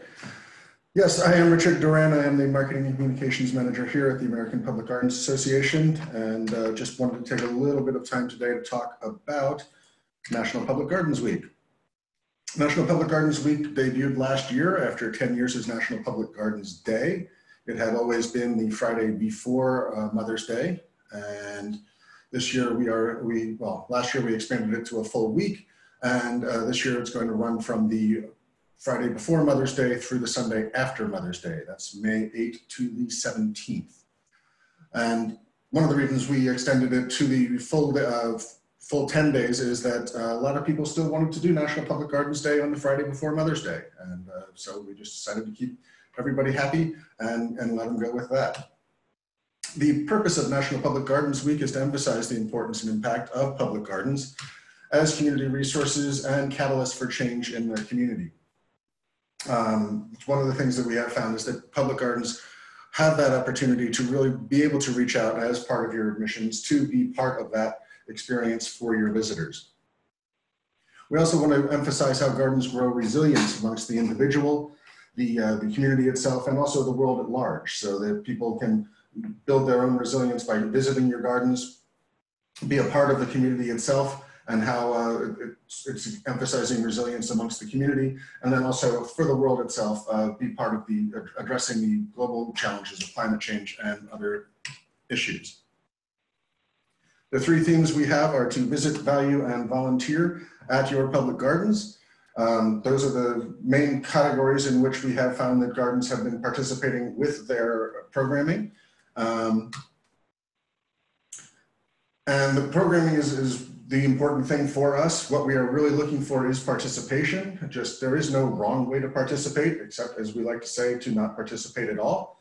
Um, there are all sorts of different events that gardens have offered throughout the years.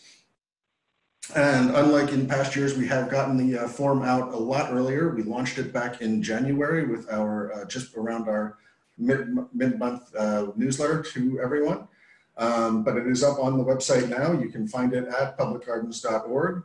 It's under the programs tab and then National Public Gardens Week. And what we've tried to do is really um, address some of the complaints that we had from last year when we did this for the first time. And that was uh, the form was a little bit clunky. Uh, we hope we have streamlined it a little bit and, and made it a lot easier for you to use and made it a lot easier to enter as many events as you'd like to. And there is no requirement to specific, you know, for a specific type of event. Um, I'll show you in a little bit the, the places where you can find some of the examples that gardens have done over the past decade is National Public Gardens Day, but also in National Public Gardens Week. Um, it really can be anything. Um, and a lot of gardens just post things that they're already doing. It's really a way for you to get some, uh, some things, uh, some additional publicity for your garden's activities during the week and uh, up and around Mother's Day. Um, one of the places you can find some ideas is the National Public Gardens Week Toolbox, which is on the website. You can also find that under programs and then National Public Gardens Week. Um, one of the, you'll see ideas under the visit, volunteer and value um, topics, and there is a short video toolbox as well. There's really, again, no wrong way to participate. Um, you'll also see right there, there's an example from last year, Sherman Library and Gardens out in uh, Costa del Mar, California, did an entire uh, themed day each week, or each, each day had a specific theme during the week. And it's really something that I think um, worked out very well for them. Um, again, not a requirement, but it is something for you to think of. And then there's also uh, the My Garden fundraising campaign, which we'll also talk about a little bit. Um, there is a strategy guide on the website and some things of, that's a, a pilot fundraising campaign that we started last year, which um, if you don't have the ability to do things like text to give or uh, online donations, and I know most gardens do have those things and we've integrated those as well, but we do have the opportunity for you to take that Taking a quick look at the event form, um, this is the new form that we have going out this year. Uh, you can submit your event and we do have the ability for you to print out coupons from the website if uh, you want to use our coupons for the events, just so you can track who is coming and, and how they may have got found out about your events. Um, thankfully this year, you're only going to need to put in your contact information once. All of this information, as you can see, is strictly for association use only. It does not appear on the website anywhere. It's a way that we can track and make sure that the person who is entering the events are, is actually with the garden and also that um, we can contact you after and find out how your uh, experience with National Public Gardens Week went. Um, you'll see at the bottom there, it says garden. And as you start typing in your name, it should populate what your garden's name is. Uh, you can then select that. If you are not a fully paid up member of the association, your garden will not appear. Um, and you can certainly contact us at info at publicgardens.org and find out um, what is going on. Uh, we've already had a couple of gardens contact us after we launched the form in January. Then there's a place to enter just a general statement about your garden's plans for the week. This would appear on a banner that will be on the, your garden's page on our website. As you may know, every garden that's a member of the association has a specific page on the website. And during National Public Gardens Week, a banner will appear at the top of that with uh, your statement about what your garden is doing, and also a link to your, um, your the events that are specifically happening at your garden that are listed on our website. Um, and again, here we have the My Garden campaign. There are a couple of different ways that you can uh, be a part of that. One is if you are doing it through our uh, MobileCause uh, affiliate, then you can put in your campaign URL there. If you just want to make sure that you can drive people to your own website where they can make donations, um, you can put in your own fundraising campaign URL there as well. So um, hopefully that we'll find some, um, I think we raised over 12 point or $1,500 last year um, during National Public Gardens Week for the gardens that were participating in the My Garden campaign.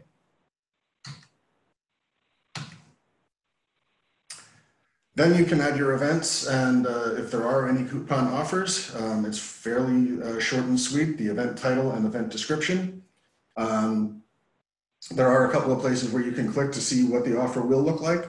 Um, and also, if you want to drive people to your own website to a ticketing opportunity, if you have a paid ticketing or if you have some way that you want to track people through your own website, you can just put a URL into the alternate offer URL there, and that will create it for you. It's down the bottom there. Just enter the website of the page you would like to direct the user to, and uh, they can certainly get more information. Then you can add your date and time. Um, one of the things that we did have a problem with last year was people that had, say, garden tour every day of the week had to enter them in every single time. Uh, this way, if you have the same event that's happening on more than one day, you can just click the add another date button and that will populate multiple dates onto your, um, your the same event. Just makes it a little easier to, to put in uh, as many offers and, and events as you'd like. Um, then you can also choose the type of activity that it is. There's all sorts of different ways that, are, uh, that we can sort. Um, this will appear on the events page itself so that users, if they're just looking for, you know, uh, where is a um, discounted or free admission or where can I find a special tour of the gardens, um, that'll populate for them. Users will also be able to search by the area around their garden or their, I'm sorry, their specific location. Um, Last year it was 150 miles, which as you can imagine showed a whole bunch of different gardens. This year uh, users will be able to enter the radius around their specific location and really drill down and find the gardens in their area a lot easier. Um, one of the things that we have added this year is Earth Day Every Day. As you may know, the uh, Earth Day 50th anniversary is this year, and that will be happening in April. Uh, one of the things that they are doing as a theme this year is to try to make everyday Earth Day. And so if you have something that's specifically related to Earth Day or follows the themes of Earth Day, you can click this button um, and it'll be Earth Day every day. And we are going to be able to give them the, uh, the Earth Day, the Earth Day um, producers the link to that list and uh, they will promote it on their website and to their lists as well. So there's an opportunity there. Once you've entered all that information, you simply click the create event and coupon offer, and that will then create the event and bring you to this screen. You'll be able to see the uh, events that you've added in. If you want to, you can remove or edit them before you finally post them. If you want to add more events, you can click add new event and coupon offer, and that will take you back to put in the information about what your next event would be, date and time, et cetera, et cetera. When you're finished adding in your events for the week, just click the submit all events button. Um, it would be easier for all concerned if you do enter in all of your dates before doing that. You can enter them individually, but um, we'd really uh, appreciate if you would take the time to enter them all in before entering the submit all events page. We are going to list the uh, start the events list uh, in March, um, which will give users a good two, two and a half months before National Public Gardens Week opens so that they'll have an opportunity to find events in their area. Um, users can go to nationalpublicgardensweek.org or .com and that will take them directly to our gardens map, which I'll show you in just a second. We also have secured npgw.info. If you're looking for a smaller URL, it's a lot easier to say to some people and also to fit in uh, some of the places where you might have um, shorter entry boxes and, and a, a list and a uh, limit on the number of um, events that you, or number of characters you can use. This is our um, gardens map. This is showing all the gardens within 150 miles of Philadelphia. And you can see right smack dab in the middle, a nice little orange flower. That indicates that that garden has entered in events for National Public Gardens Week. Um, this was taken yesterday, so there are gardens in the, in the area and also across the country that have already entered in their events. Um, they will not show up on the website until March, but you will be able to identify who's, uh, what gardens are participating in National Public Gardens Week by the little orange flower. If you click on that, it will take you to a box that will take you either to the gardens page itself or directly to the events list of events that are happening at that garden. Um, as we did last year, when we do launch the events list, um, that will go up into our main navigation. Uh, last year it was between About Public Gardens and Members, and it was just National Public Gardens Week. It took users directly to both the events page and to the gardens map, and then also to some of the other pages like our partners. Um, we will be partnering with the uh, United States Forest Service again this year, and we're looking forward to that. They did a lot of good things with us last year. And one of the ways that we've really got some of the, uh, the, the, message out from the association directly to the public, this is our primary public facing uh, opportunity for the year, uh, was social media. Um, the combined reach of all of our social media uh, partners and partner gardens was well over 200 million people. Um, there's also the My Garden fundraising campaign and the Go Green landmarks that we did across the country. Uh, right here, you can see the green Great Wheel in Seattle, um, the downtown Mobile, Alabama, and also we had a ceremonial lighting of uh, Niagara Falls, um, thanks to our partners at the Niagara, uh, Niagara Parks and Recreation Group up in Niagara Falls, Canada. Uh, they are a member of the association, and um, every night the there is an opportunity for a, ceremonial lighting of Niagara Falls, and we're anticipating that that will happen again this year. There is uh, our handles on National Public Gardens Week. We are at, uh, on Facebook, Twitter, and uh, Instagram. We are also on uh, LinkedIn, which I don't have right here, but this is at Public Gardens and at American Public Gardens on Instagram. Um, we also have a National Public Gardens Day page on Facebook, which you may have seen we are using that as our garden a day. We uh, post up every day in member garden to all of our platforms, including National Public Gardens Week. And the hashtag that we are using is National Public Gardens Week. Uh, last year, we reached about 4.7 million people with that hashtag, and we're looking for more this year, and I think we can get it. Um, information about the MobileCause fundraising. It is online and text to give. Uh, we have put together several how-to webinars last year. Joan Thomas, our Director of External Relations, has those up. They are on YouTube and you will be able to find them on the National Public Gardens section of the website. Um, it should be really simple to, to join up. Uh, you can create your own page on MobileCause and direct people to it, or just uh, you'll be able to give them a special number to text to, and then they will get a prompt to go back and fulfill their pledge during the fundraising week. And finally, uh, the important part for us, uh, we'd just love to hear what you guys are all doing with National Public Gardens Week. Um, send us your stories, photos, uh, videos, anything. There's all sorts of fun stuff that goes on at gardens across the country. And uh, we have gotten a lot of good stuff. I have a video that we did debut at uh, the annual conference last year. Um, but I will run again at the end here. Um, but that's pretty much the, the, the, end of my presentation. So do send us your stories. Uh, we are looking forward to it and uh, have, hopefully uh, having another record-breaking year for us. Um, happy to take any questions if anybody has them. Uh, yeah, thank you, Richard, for all that information on what's sure to be a great National Public Gardens Week. Um, we did have a couple questions come in as you were sharing. Uh, the first is from Aaron White, and Aaron asks, is the MobileCause capability available independently of National Public Gardens Week? We, MobileCause is a partner of ours, an affinity partner. On, so if you look on the website, it is um, under members and then affinity programs. You can get information about using MobileCause more often.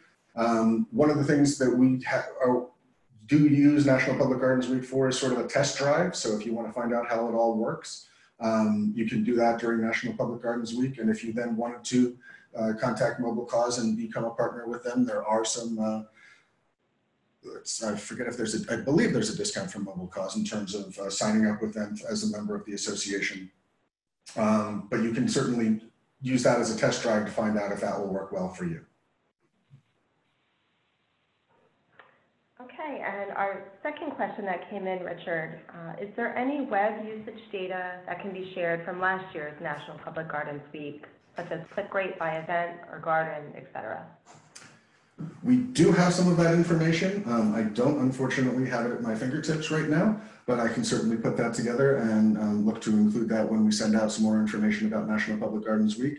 It is really a, the, a big spike in traffic to our website. You can certainly see it in the, in the Google Analytics if you go and if, when we go and look at them. Um, I don't have a specific number that I can think of right now, but again, uh, through uh, we had uh, it was our social media advertising reached over 340,000 people uh, across the country in um, on Facebook. We did a bunch of little videos, including uh, some girls running through a garden, um, which are also included in the video that we have coming up shortly. Um, but really, it was a wonderful uh, opportunity for us. And then, of course, the 4.7 million um, accesses of the National Public Gardens Week hashtag. Um, but I'll see if I can dig up some of the information from National Public Gardens Week and, and make that available in the Marketing and Communications Community Forum. Okay, uh, thank you, Richard. Uh, we're going to take a short, about 10 minute break um, and pick back up at 1.30 uh, with Chuck Ross as he gives us our final session of the day. Terrific. I'm just going to hit play on this, and you guys, we'll see you at 1.30. Good morning, Lauren Hall here from the Buffalo and Erie County Botanical Gardens. I'm standing by with Erin Grayjack, and we came to visit today because A, it's cold and gloomy out. This is a great place to come when the weather is how it's been this last stretch. B, it is the National Public Gardens Week. So this is actually the first National Public Gardens Week. There's normally a National Public Gardens Day, but this mm-hmm. year it's an entire week. It's put on by the American Public Gardens Association. This week is also National Public Gardens Week, where people can learn more about the importance of building vibrant, relevant gardens to enrich the community while sustaining environmental responsibility. Well, switching gears this week is National Public Gardens Week, and the LSU Ag Center is inviting you to join in on this celebration. Two botanical gardens on the Treasure Coast are participating in the National Public Gardens Week.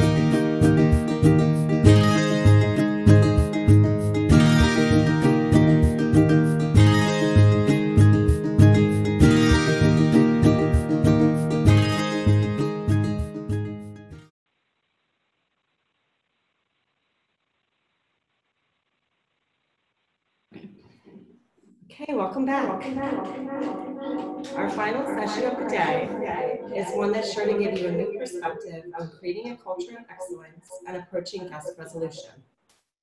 In this session, you'll hear from Longwood Gardens Associate Director of Site Operations, Chuck Ross, as he discusses the journey Longwood has undertaken to create its culture of guest excellence and the importance of institutional buy-in for this culture. You'll also receive an informative and fun crash course in mastering Longwood's steps of service and guest resolution approach. Please note that Chuck's session will be in two parts. The first part, during which Chuck will share background on creating a culture of excellence, will be followed by its own Q&A and then a short break. Following that short break, we'll jump into our guest resolution crash course, so be sure you stay tuned for that. To give you a bit of background on Chuck, his team oversees the guest experience for Longwood Gardens, more than 1.5 million annual visitors. For the last 10 years, he has been involved in the development and delivery of our Guest Experience Academy to all full and part-time staff members to ensure we have one clear message of hospitality.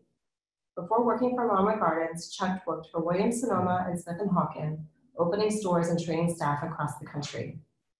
Please send any questions you have for Chuck throughout the session via the Q&A feature, and we'll be happy to address them towards the end of the session. Please join me in welcoming Chuck. Hello, everyone. I'm very glad that reverb went away. I would have sounded like an alien ship the whole time. So uh, I, hopefully it's much better now. Um, again, my name is Chuck Ross. I'm the Associate Director of Site Operations, and that falls under um, guest experience here. Uh, and I have been here for 10 years. I came straight from Smith & Hawken, where I worked for 10 years. Um, and in the last 10 years, I have seen an enormous amount of change uh, especially in our view of guest experience. Uh, we had a huge culture change, going to culture is brand, brand is culture. We had a huge uh, culture change when we began this process. It took a long time. So we're gonna go start with going over kind of the how and the why we started um, creating the guest experience academy, the guest experience uh, culture here at Longwood. Um,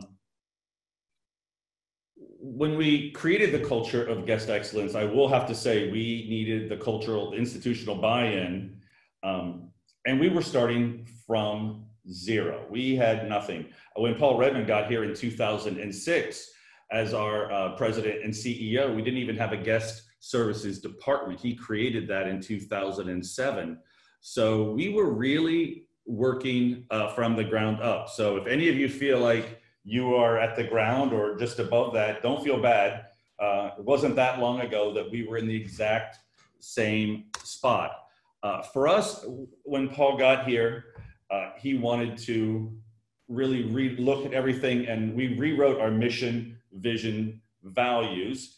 Um, you know, our vision, Longwood Gardens is one of the great gardens of the world, and we strive for innovation, arts in an unparalleled setting, and to contribute to society through uh, excellent and diverse educational programs, but it was really under our core values that this change came, you know, with our core values, uh, excellence, professional leadership, fiscal alignment, stewardship, and community engagement. But this focus really uh, was under the core value of excellence. Um, and when we gathered the entire staff of Longwood for meetings to discuss this, the core values, um, and how to make them a reality and not just a talking. One thing that came up was that Longwood needed to really change how it looks in, in dealing with the with the guest. Um, it wasn't that long ago that the staff here, the Hort staff, facilities, maintenance, they were in a sense to be seen uh, to be not seen and not heard. It was almost like it was a magic kingdom and things just happened overnight and you weren't really supposed to talk to the guest. Um, and the staff was fine with that. With this change, um, one of the institutional goals, a five year master plan that we came up with uh, in 2010 was, was to achieve an extraordinary guest experience. Um, and this came directly from Paul, from our leadership. And he let everyone know this was the direction we were going. This was going to be the new Longwood. And it was going to take a long time because now we were saying to the Hort staff, the facilities, the painters, the engineers, as well as the guest services staff, um, you're going to interact with the guest. You, we want you to interact with the guest the same way that someone trained in guest services would. And that's not just something you can say, okay, everybody go out and be nice.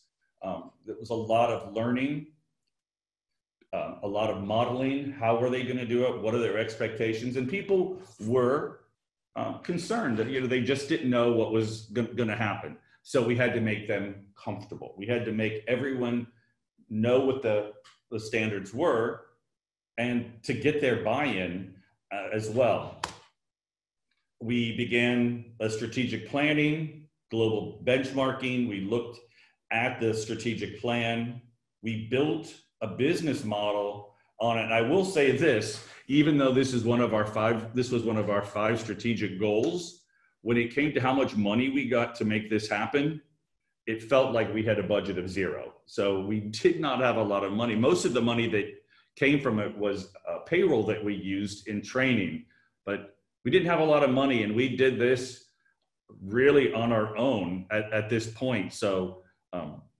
if you don't have a lot of money for this, I know what it's like because we did this on a shoestring. We really did it, I have to say, well, we do it much better now, but starting from nothing, uh, it's really, it's really come a long way and it was very successful uh, for us um, in the end. Not that we're at the end, we're, it's a never ending process. Uh, benchmarking, what we did was um, our, our director of um, what would now be our vice president of guest services did is she gathered people from every single department of Longwood, uh, even from the shop and the restaurant, which are outsourced for us, but every single department. There had to be a representative from education, facilities, maintenance, anything that you can think of, there was a representative. And at that time, really the only requirement of what she was looking for were those people that really interacted with the guest well. What did they do?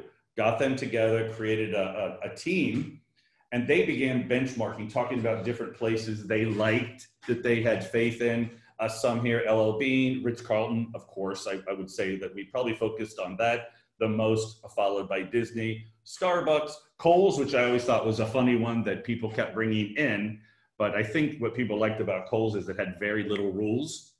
Um, they have less rules than we do. But uh, I think people really liked that. So we benchmarked. We talked about what we liked about these places and what we didn't like. Uh, as that process grew, we created this, um, our guest experience model. And we honestly use this today. So we've used this going on seven, probably about seven years now, um, with very little change in the in the model. What's what we do inside of each of these has been a little different, but um, it, it pretty much still looks just like this. That base is all staff, volunteers, students, and management. Really, two different things. Part of it is that's who created this model. These were the people that were involved with it. But then also, as we move forward, it's all of us that are involved with really interacting with the guest and making this a reality. This team created, or we didn't create, I'm not going to say that, but we did choose the steps of service that we found most useful here at Longwood. And when we go over the next part, we will run through that um, as well. Professional development, for us, it means classes. It means actually talking about it every day. Um, we have lineups 365 days a year. We're open 365 days. We open at 9 a.m. 365 days a year. So at 8:30 every day, we start with a lineup and we go over everything that's happening in the garden today. But then also one person, usually from the guest services team, but it doesn't have to be, will talk about one of the steps of service uh, that and what they're going to do this day to make it continue. That is taken from the Ritz Carlton. Uh, we stole that right out. It's something they do. They start every day with a lineup, talk about what's going to happen in the day, and then they talk about one of their uh, core values or steps, whatever they actually call it. But we really felt that there were there were companies out there that came up with great game plans and brands and visions for their company but their teams didn't know about it. They really, it really wasn't disseminated down to the people that actually um, have FaceTime with the guest. And ultimately, those organizations fail.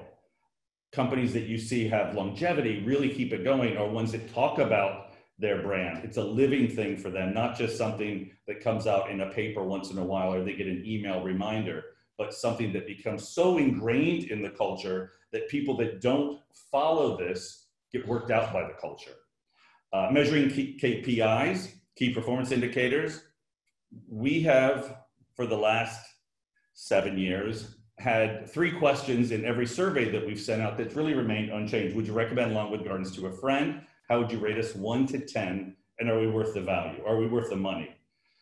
And we can measure that by the five seasons of Longwood, or by a special day, or by the year. Um, this really keeps us legal, keeps us honest, because we can say to ourselves, we're doing a great job, but this gives us some data on where we are doing a great job, and it also gives us some data where we're falling short. Uh, we spend a little more time looking at the data on where we fall short, but um, it, it gives us a place to grow. And then we communicate those results to the staff, again through the lineup, and then we also have a quarterly staff meeting where all our staff gathers in our ballroom um, and they get uh, uh, a state of the nation from people here at Longwood. And our goal here is to have 100% satisfaction, and that number we would want from our surveys. When we finished with what we wanted the academy to look like, those people on the, the on the lowest level or the base, I should say, uh, that created this went to one of these quarterly staff meetings and they presented in front of everyone. So instead of it coming from the president or the directors or the VPs or upper management, this was presented to the staff from their peers, people that worked with, that really had face time and were in the trenches daily, because we didn't want this to look overly managed, something, you know, from the Crystal Tower that came from above, but really from the trenches. Here are the people you work with every day. This is what we want to do. And this came out as the new Longwood, where we were going, how many years it would take to put everyone through the, the classes and um, the professional development that we had planned for them.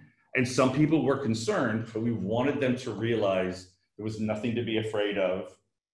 It's really just about being nice to the guests. It's not rocket science. It certainly isn't, but it's about messaging. It's about talking about it every day and making it part of the culture.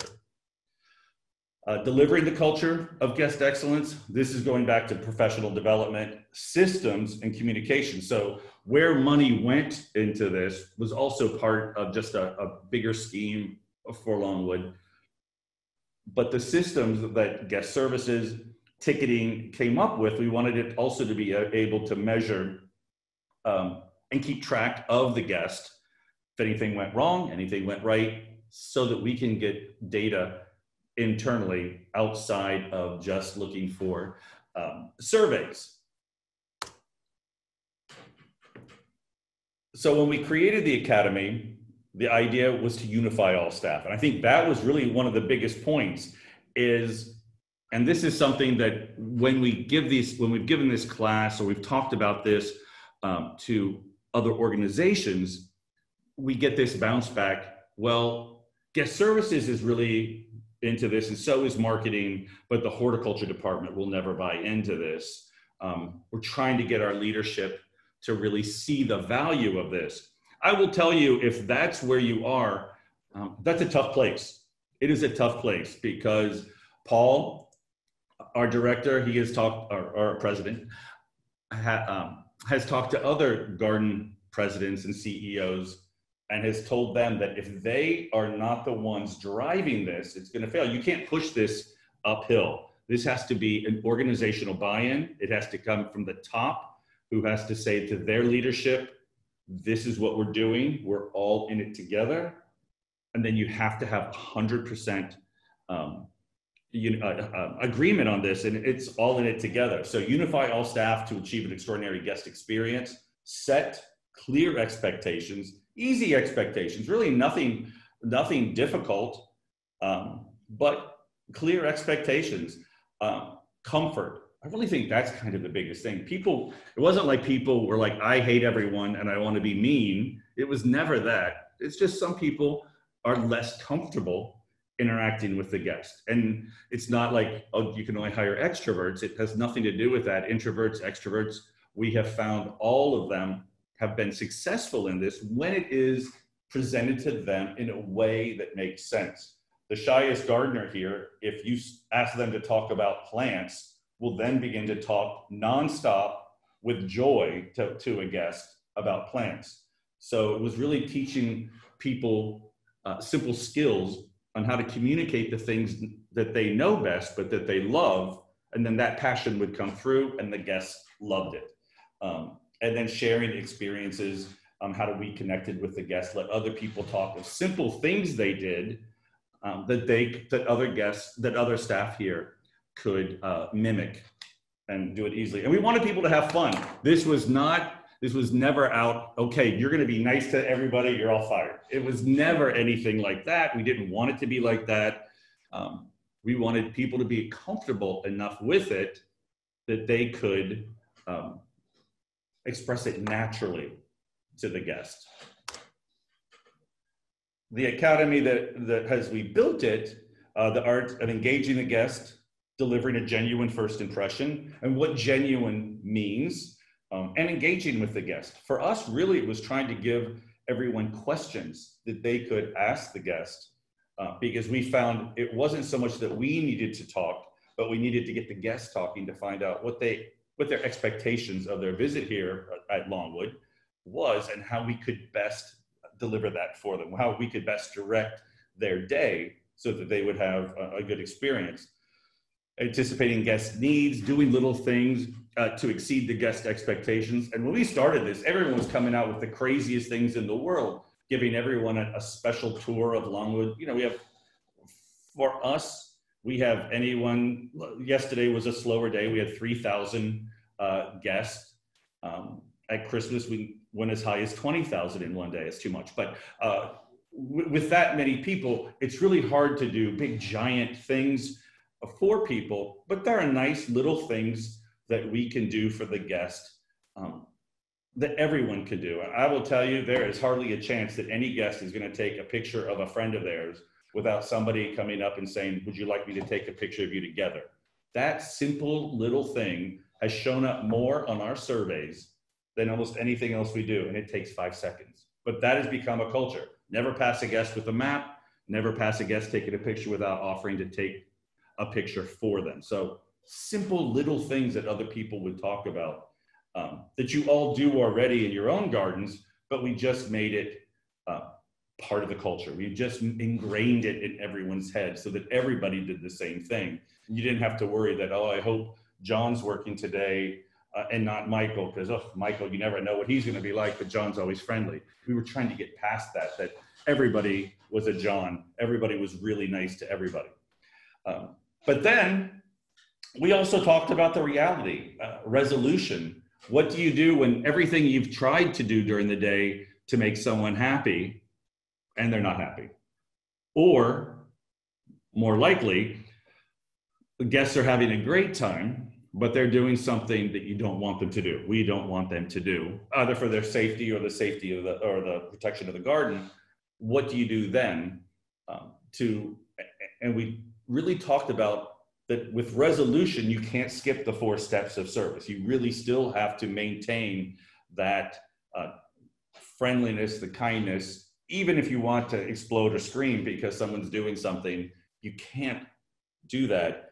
And part of the, the, the thought was even if somebody's mad at us when, when we begin the conversation, we would so want to turn it around that at the end, we've cultivated loyalty in, in them. Doesn't work every time, but there are many a time here that I can remember when a guest is mad and then before they left, they bought a membership from us because they were so happy with the way we took care of their issue. Here you can just see that uh, we use a system called SharePoint, certainly uh, very available. Um, and what it does is everyone pulls up their computer every day to log in, to boot up. This comes up on their screen first. It tells them everything that's happening in the garden during the day. Um, SharePoint will go over everything that's happening in the garden upcoming. So if you have a big project coming, if you're going to close a section of the garden, is there anything that could, there's anything that could um, impede the guest visit or change things, it's there, so we know it's coming. But the biggest thing is here's today. And so we would take that, start our lineup, go over everything that is available to the guest that day, because we want to make sure a guest doesn't come here and miss a free organ concert or a talk about the water lilies or anything that's happening. So it's really important that we all start our day knowing what is actually happening um, in the garden. Um, here's a guest record. We can go into a, a guest record, and it doesn't have to be a member, though it's a lot easier if they are. If a guest has an issue, we can take their name and phone number, something like that, and just from that, even if they're not a member, and have a record of them. And we can see if they've had an issue with us, how we uh, took care of it, the options to taking care of it. Um, it's on us idea is what we first started. We don't say that as much anymore. We just say comp tickets. Um, we have found comp tickets, free visits to come back are like magic and people can be furious. You mentioned comp tickets and everything is fine again. And if a guest is mad because something is closed or not working here today and they thought it was going to be, and I, I have a talk with them, I will say, I honestly say, I completely understand why you're upset. I'm going to give you comp tickets to come back another day, and then I'll discuss the issue with them.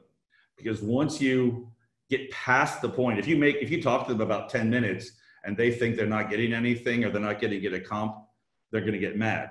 But with that said, I don't give out that many comp tickets. You would think we just run around throwing them in the air all day, and we're allowed to. We are absolutely allowed to.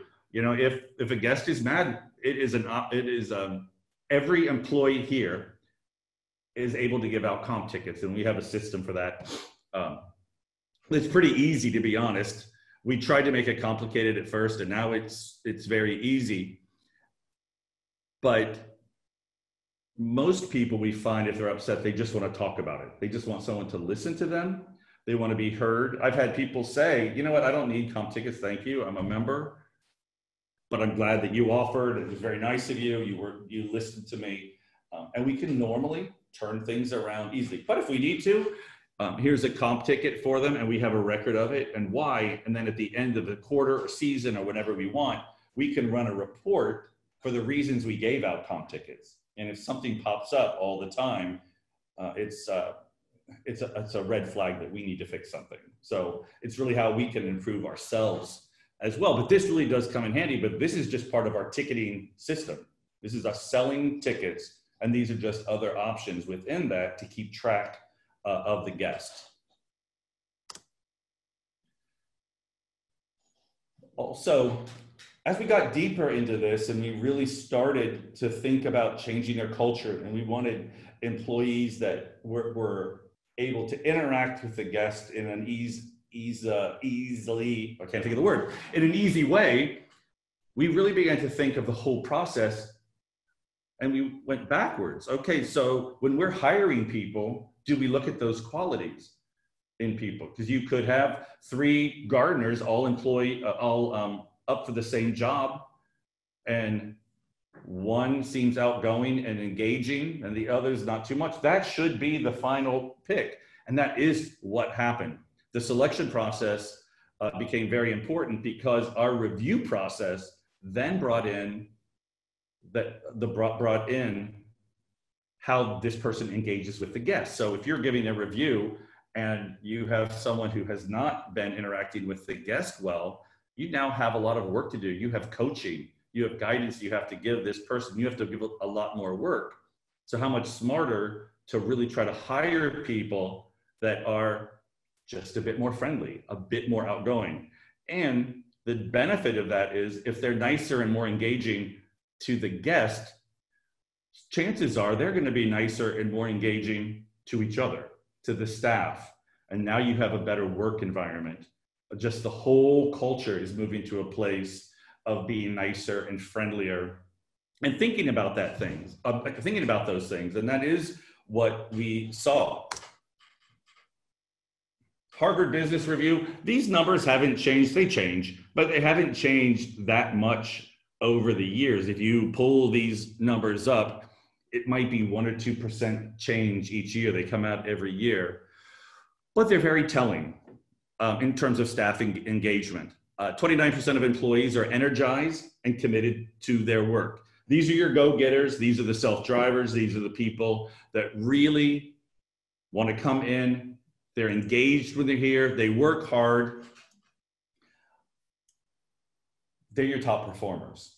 54% of employees are neutral. They come in, they do their job, uh, not a lot more. Um, and there's nothing really wrong with this group. These are the people that come in and do uh, the bulk work of the day. So they can be very, very um, important.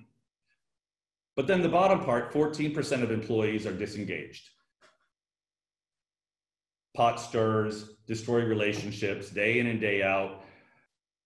And the reality of, of what this Harvard Business Review really is trying to say is that 14%, and if you really think about your organization, you, your history um, working with people, that 14%, that's where you put most of your energy and your work. You're always watching to see what they do. You might have to give um, coaching lessons to them. You might be writing them up. You might always be hearing about problems that come up, and always that person seems to be involved they also are the ones that can take that 54%, which in a way might even be considered um, fence sitters, right? You know, right on the, they're sitting right on the fence, right in the middle, and they can pull people down to their side. In a strong culture, in a strong organization that is a strong culture of guest engagement, of trying to have people that are engaged and positive and friendly, a culture should push those 14% out. A culture that doesn't have that really just continues to work with them and put all their energy there. Now, look at the top, that 29% of employees that are energized and committed to their work. You're so busy with your job and then working with that lower percent that's always always causing problems, always something wrong, you're always trying to get them better, that the 29%, oh, they're a joy to you because you don't have to worry about them which means you're not doing anything with them. You see them and you're like, hey, how are you doing? Oh, you got everything done? Great. That's fantastic. And then you go put your fires out. Well, those 14%, they're probably not going anywhere unless you kick them out, unless the culture really moves them out. They don't have that many options. That top percent, that those top performers, your gold stars, they have other options. And if you don't put your time, your money, and your training and just coaching, really just coaching them, you'll lose them. You'll eventually lose them. And when they go, you're like, oh my gosh, I don't have anyone to really do this job. I guess I'll do it. And now you take on more work and you're still working with that 14% that's pulling you down. And eventually you're in a quagmire. So we really need to rethink, and we have. Um, we're not 100%. I'm not going to say, you know, we have beaten it, but I will say it is something that we actively work on and have really changed our percentages here. Though I'm just saying that I wish I knew exactly. I don't have numbers to do that, but I have seen such a change in the staffing here that that this has really worked for us.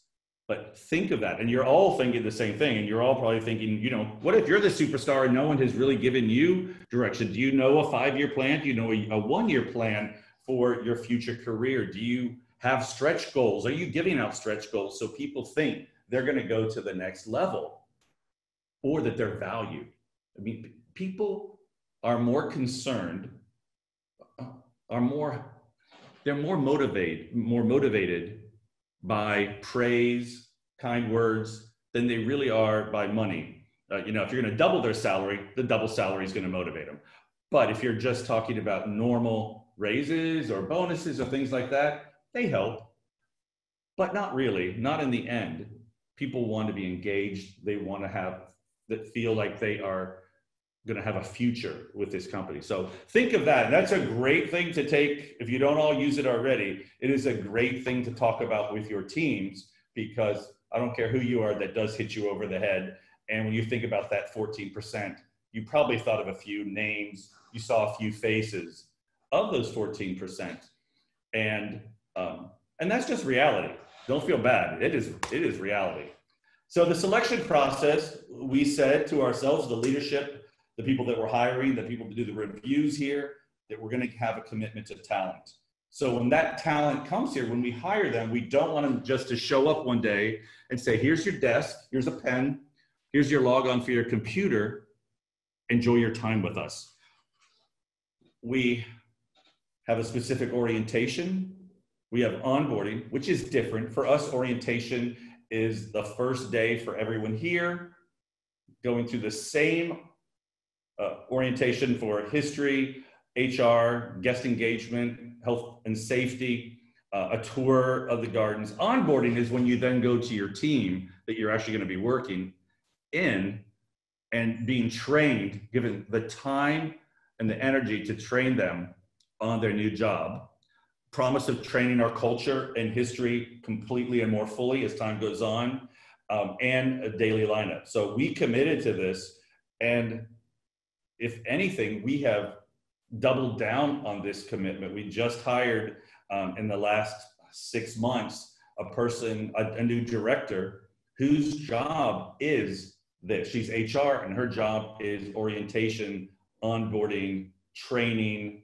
Uh, I just started a, with 36 other uh, managers here a two year Harvard online training program that we're going to be doing together that is mapped out for the next 24 months. Um, it's a big commitment, but uh, we believe that the talent here is worth that commitment. So the Guest Experience Academy goals, again, train all Longwood staff, students, and volunteers on our service goals and standards. And also after that, to maintain regular refresher courses for Longwood staff um, and create onboarding staff within the different departments relating to service and to share our intellectual uh, capital with public gardens. So uh, just to give you an idea how orientation is looking in 2020 for us. So we have all our orientation, so brand new hires, orientation date set for all of 2020. We have the rooms booked, everything's done. For everyone hired new coming in, their first day, they will be meted, meted. They will be met by a team member, hopefully their supervisor or one of their supervisors going to meet them with a box of everything they need in it they need any shirts, that will be in there. Name badge, everything they are going to need to do their job is going to be in that box. The only thing they won't be able to do their first day, for some reason I don't understand, is have a login. We will create a login with them once they're here. That will go through IT, and then they'll be able to log in. That's the only thing we don't have down to first day. Then that first day, they will go through an all day orientation, beginning with HR, then they get me, guest services. I, I have a, a, presentation on our, a, a brief um, presentation on what our expectations are for FaceTime with the guest. They have a safety and health history, and then they are going to go out with our our best tour guides that we would say all our tour guides are great. A to, tour of the garden, so they really will be able to speak to the guest about what is out here in Longwood. Then there's a whole program where they go and they are uh, going through onboarding with their own teams to learn their job. About two weeks, approximately two weeks after that, all of those new hires are then going to go through uh, the academy that I'll show you at the end briefly, but it's an all day guest experience academy where we go over uh, our four steps of service, resolution, guests that may come here with different needs, and starting in April, we're going to end that with uh, a presentation on for which this is part of us, part of our uh, new five-year strategic goal, but um, the best ways to interact with people from different cultures that speak different languages and the systems we have at this time. So that's what it's going to look like. So our goal is within your first month here, you'll not only have orientation and internal staff onboarding. But two weeks later, you will have the full all day class on our expectations, um, full expectations of how we interact with the guest here so that we have unification of expectations. So that's a lot. I know I just said a lot in a very short amount of time. So we have 800 employees here. We also have 800 volunteers. Um, I have 200 volunteers that report to me uh, as guest engagement volunteers, and all of those volunteers wear the same name badge as everyone else here. We all wear a name badge. It has our name, and it might say what we do underneath. Theirs does would say volunteer on it, though I don't know how many people actually notice that, but it's the exact same name badge. So 1,600 people wearing the same name badge. We don't want to skip volunteers. So we say volunteers are staff in that regard. So we train and onboard volunteers in the four steps of service in a resolution model. They have a two hour class to teach the basic guest service skills and standards to all volunteers. And because they are volunteers, we don't want to put the pressure on them to, to have the full expectations of resolution uh, as, a, as a staff would do. So really we teach them who to contact. And we'll only give them two options. We really pare this down uh, to who to contact should they need any help with anything. Um, and we want them to feel like they're part of the team. So they'll go through refreshers too. Um, we are incorporating any refresher that we have into any volunteer training and onboarding. Uh, and they get a weekly update of everything that's happening in the garden. Um, I write it for my 200, but we, the few of us that have masses amount of volunteers, we really take um, a core piece of information that comes out and then we disseminate it to our teams in a softer way uh, we don't want to overwhelm them with too much information, but we want to make them feel comfortable while they are here. Um, refresher courses. We have a refresher course in March.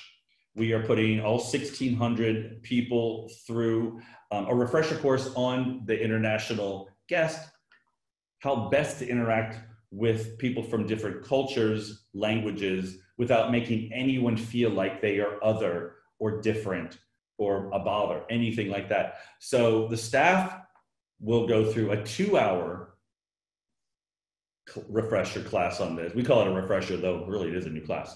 Um, and the volunteers are going to go through a 45 minute version of that because we want it's really how we speak to the guest. Are we thoughtful in what we say? And are we mindful of the differences of the people that come here? We strive to be one of the great gardens of the world. We want visitorship from everywhere. So we won't have to be prepared for visitors from everywhere that may have different needs. And most of them truly are uh, language based, but other things as well. And then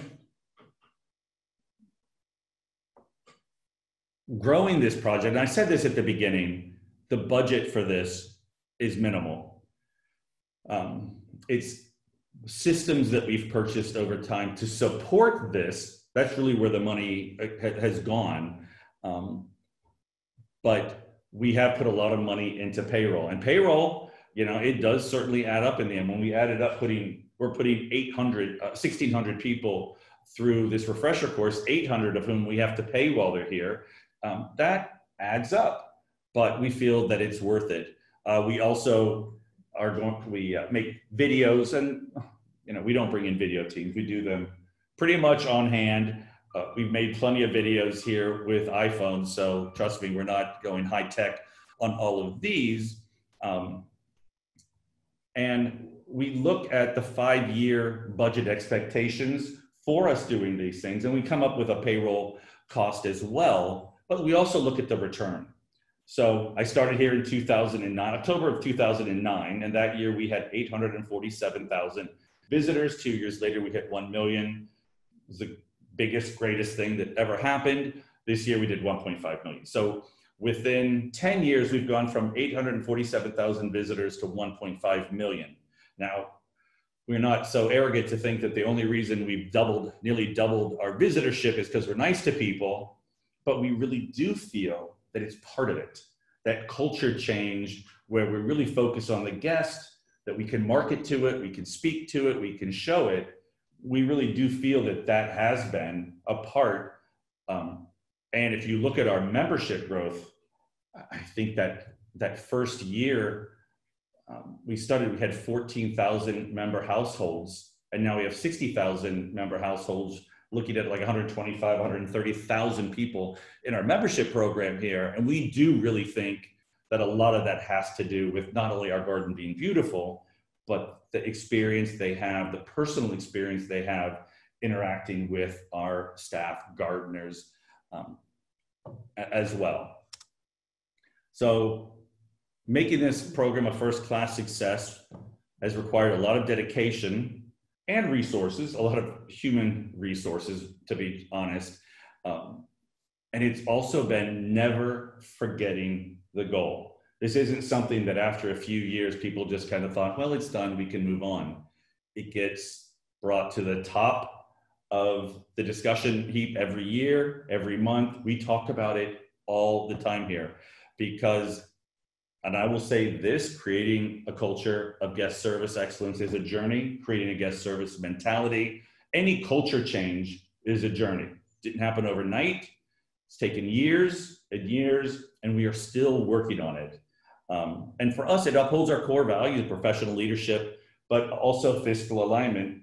Because if we were really pushing this, if you're pushing this in your own garden, I would really say that we believe building this culture of excellence and interaction will have fiscal a positive fiscal effect on your garden. All right.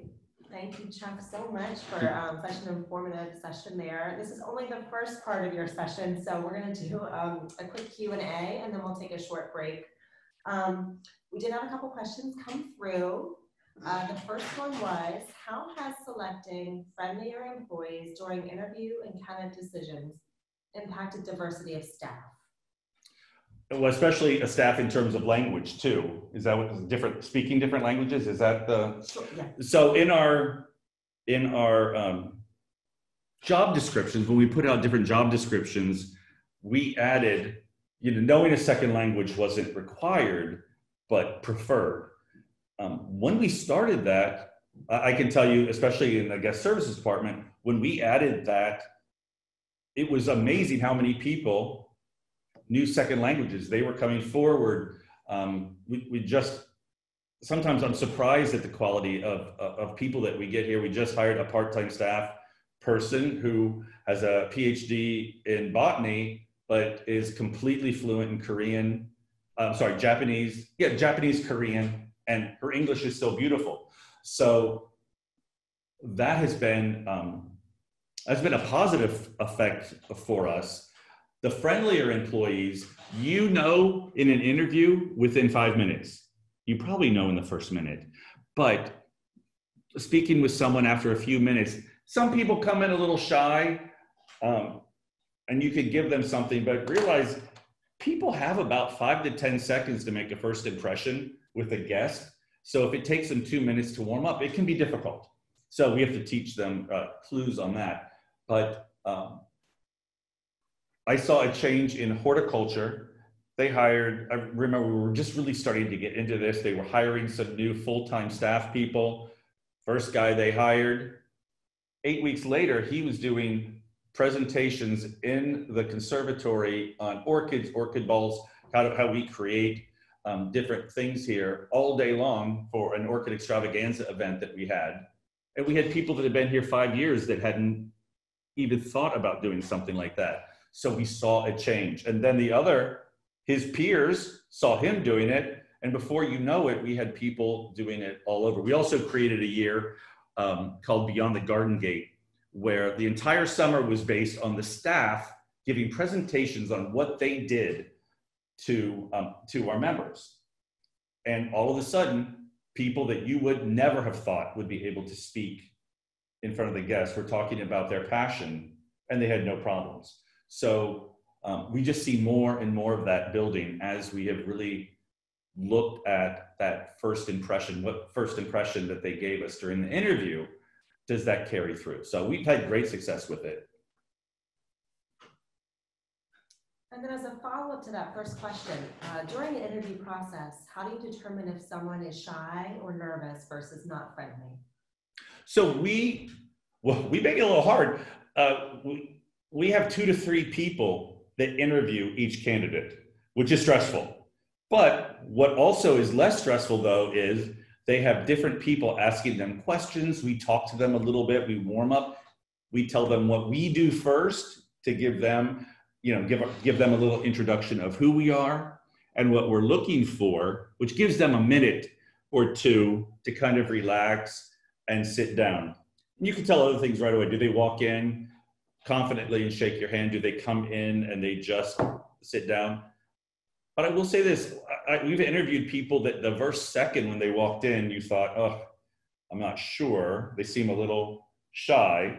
But then they started talking and you realize they were fine. Maybe a little different. Maybe they're a little quirky. Maybe they're um, not the typical 101 star candidate that just walked in. But as soon as you got them talking quickly, you realize they were very interesting, that they were engaging, and that they had a great personality. Not everybody's the same. We don't want that kind of unity or conformity. Um, but I, I, think that just takes a lot of time. We're getting ready, uh, you know, for a hiring ramp. So we'll probably, my team will probably have about 50 interviews that we'll put in a couple in a, a in about a two week time period. And when you do a lot of interviews, when you do more interviews, you do get a better read on this. I will also say that with the best laid plans and you thought you've hired a great one, no one can hold that for more than three weeks or four weeks at a job. So we've all been fooled. We've all had someone that we thought was going to be fantastic. And after a few weeks, their guard drops and they may not be who you thought. Um, we do have 90 day, you know, you have 45 days and 90 days uh, to decide that, that this person might not be the right one for you. You might need to use that. But I will say we, we have a really good um, rate here of, uh, of being on. Um, and I think there's a different energy from someone that's a bit shy and someone that's not friendly. But that's, I don't know how you quantify that, but um, I, I just feel that the energy is a little bit different. They try harder. People that are just shy, I feel, try a little bit harder than the people that are just not friendly. The ones that aren't friendly don't care. Uh, a shy one could certainly still care quite a bit. Are there more or less positions for staff that don't speak English as a first language? Hmm. I mean, we don't care if English isn't their first language. If that makes sense, I'm not sure, quite sure if that's the question or not. Um, we have a fair amount of staff that English isn't their first language. Um, really it comes down to their personality and their job skill at that point if if they are right for the job and they speak a second language whether it's first or their second uh, for us that's all a bonus um, i don't know if we specific we do not specifically hire that way but we do want to hire people from different cultures and different languages as much as possible. Do you want me to answer that? Okay. Uh, this one. Uh, for Lauren, is a daily lineup by department? Um, no. So we all meet in the visitor center, which I will say is heavily guest experience. Uh, uh, I guess uh, the guest services staff, security, operational services. The other departments send a representative. So marketing, I think what you do is you have a you have a, a calendar and you put on the calendar and then you have a representative each week that will come to the lineup. That marketing then will tell us everything that they have going. If they're sending out a mail or if something is coming up they will tell us then. And then if there's anything they need to know after lineup they go back to their team. So we'll have a rep from hort from um, facilities performing arts but not the whole team. Again it's just the scope of the scale of Longwood is so big to have hundreds. We don't even have a spot big enough to have everybody come in every day, but we do it. We do it that way. But every, there's just the one lineup. Now, I will say other departments might have their own. I know the restaurant has a lineup every day before they start their day. So that could be a secondary thing, but the one lineup is at 8:30 for everybody, and then people can go back and do something separate later. Okay, well, thank you, Chuck, um, for sharing with us and everyone for your fantastic questions so far. Uh, we're going to take a quick five minute break And just a reminder, we've been getting some questions about um, having access to the recording of this. After the day is over, we are recording the entire webinar and we'll be sending out a link to that recording in the next few days. Um, so you will be able to go back over the entire day um, and revisit these sessions. And we'll talk to you in about five minutes. Okay, welcome back everyone for the final portion of today's webinar as Chuck steps us through Longwood's Guest Experience Academy. All right, so this academy lasts about all day. So um, it does have a lunch, a half hour lunch. We don't give them a lot of break, uh, but it runs really about seven hours to do the whole thing. I do almost every academy, but I will say this it is not just my voice. Uh, we have a couple of different people that will take parts, we interchange it. Um, it's just listening to one person talk all day. I don't, I don't care how good a speaker you are, uh, you're going to bore them. Your voice will bore them. So we do try to mix it up. And to be a presenter, you we want them to be dynamic, interesting, but really also know uh, know everything uh, about this. Um, and this has changed. We've had different iterations of this over over the years.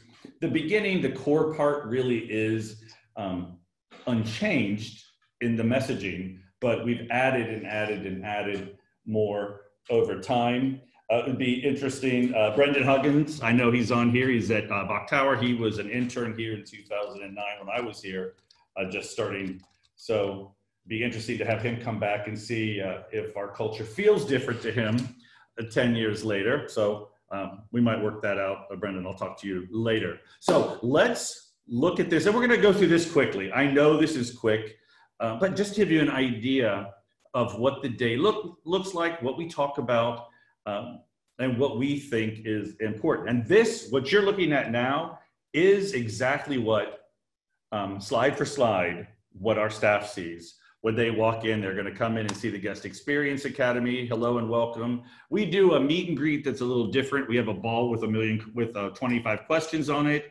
We go outside, and form a circle. Each we each throw the ball underhand gently to each other and they have to answer a question wherever their thumb lands. Just a different way to have a meet and greet, not the let's go around the room and tell me a little about yourself, which most people would consider uh, to be a true torture. Even people that are extroverts, no one really likes that part. So it's kind of a different way to break up the greeting. Uh, when we sit, we have four people at each table. We want the max to be 20 at a time. That's why it's taken us a little while to get through everyone.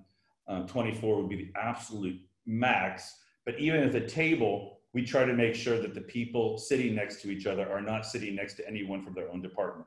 So when they leave here, they'll know someone, if they're guest services, they'll know someone from horticulture, someone from facilities, someone from people that, that are different, the ones they won't see all the time. And that kind of helps um, maintain, hopefully, friendships or ways to interact with other departments, which we think is very important here.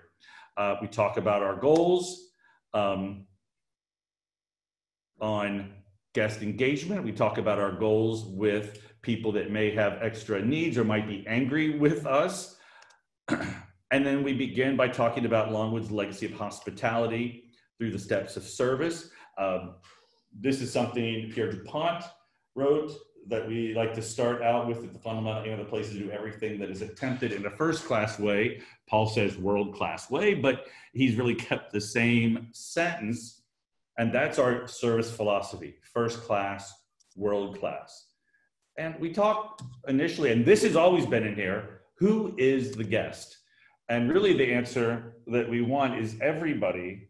Everybody's the guest. And we will talk some about the internal guest, which or with each other, the staff here and the volunteers, um, and also the external guests, those that come either as vendors to us or members or people that pay a ticket, uh, photographers, international guests, people that come to see the gardens in a different way. We have um, people that come to see concerts, performances. Our organ Caroline Steinways, our performers are also our guests We've been doing an enormous amount of construction here lately. So Bancroft Construction, trust me, is uh, a guest, if not an in internal guest as well.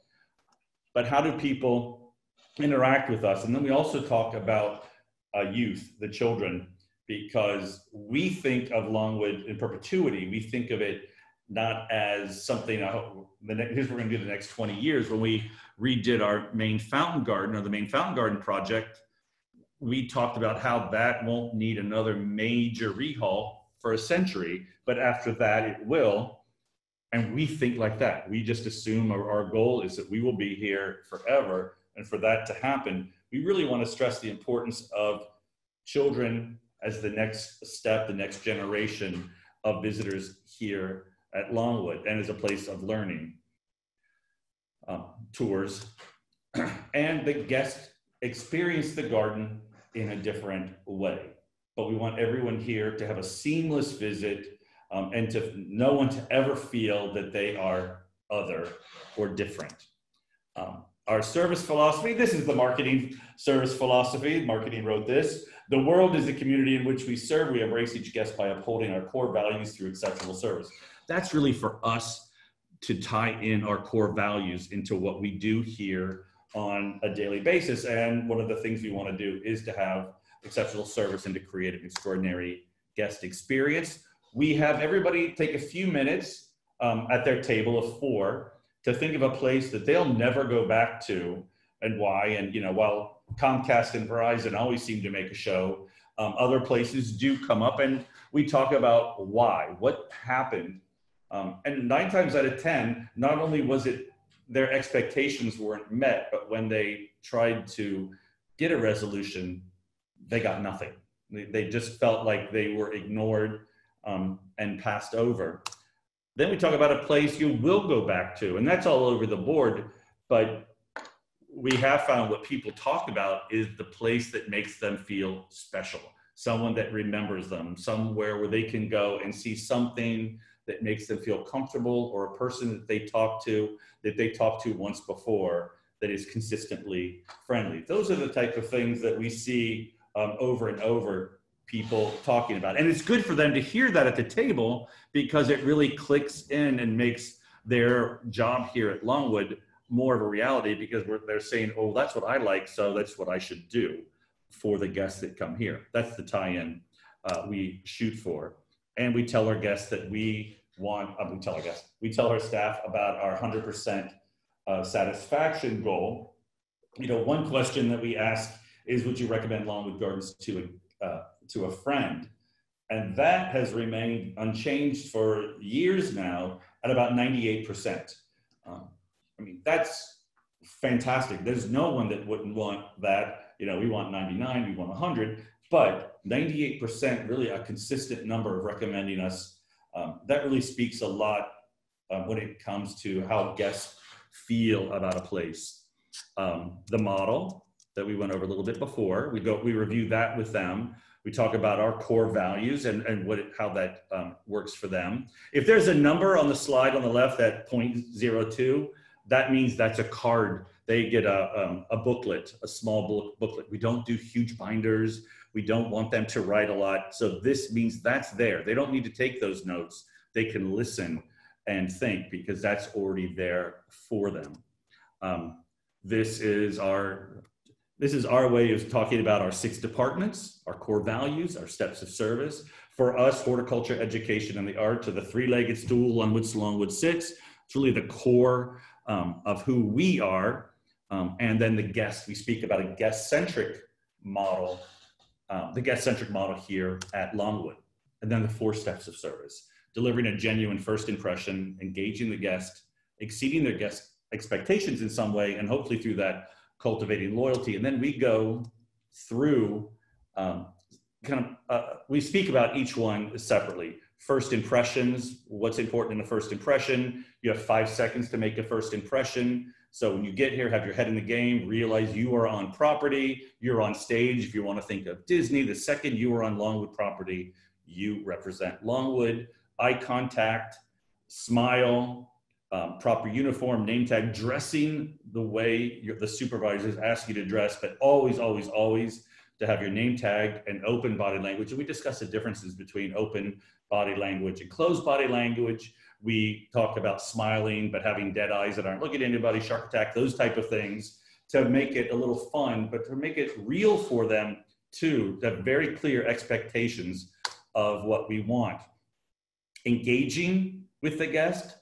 For us, we say it's not so much we want the staff to talk as much as we want to get the, the guest talking. So we could, you know, we have, have Longwood is 1,083 acres, but really only 400 acres uh, is available to get to the guest on a daily basis. But that's still a lot of walking. You know, um, on an average day here, I walk eight to 10 miles going uh, to all the different spots. Um, a guest could easily walk three to five miles here in their visit, depending on how far out they go and how, how much really they explore the meadow.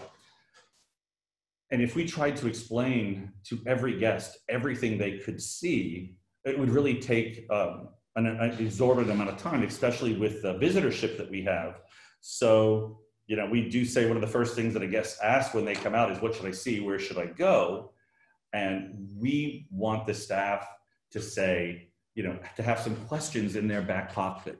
Have you ever been here before? What were your favorite parts? What would you like to see? Um, what brought you here today? And to give the guest an idea um, of what might work best for them. Because we've told guests everything that they could see here. And they're like, can I see that in two hours? I'm on a tour bus. No, I gave you a six hour tour. So a good question. Have you been here before? How much time do you have? What kind of things do you like? Just having some questions that they feel comfortable asking uh, really um, eases takes the pressure off of people that especially might not be used to interacting with a guest every day. We let them know the tools they have, the internet, our website, maps, uh, the daily lineup, and then we always say have a cell phone and a pad of paper. Um, about probably a third of our staff uh, do carry radios all the time, but not everybody does. And if you don't, who can you contact easily? Only two cell phone, uh, two numbers that we recommend the staff to have, guest service um, desk and security desk. Those are the two we would want uh, uh people to know about. We show them the, the lineup here. This is the, the daily events, everything that is going on in the garden today so that they can know what's going to happen. And a lot of people, we will print out an actual lineup for the guests, uh, for the staff uh, during the day. Not everyone, we don't print out 400 a day, but some of the key people will have the lineup, especially the ones that we are placing in the garden. Uh, that we in the garden so that they can pull it out and, and that our volunteer desks throughout have a copy that we pl- place each day so they can see. We also make a lot of videos, and I am not going to play all the videos here. Will it work? Sorry, this is just beautiful.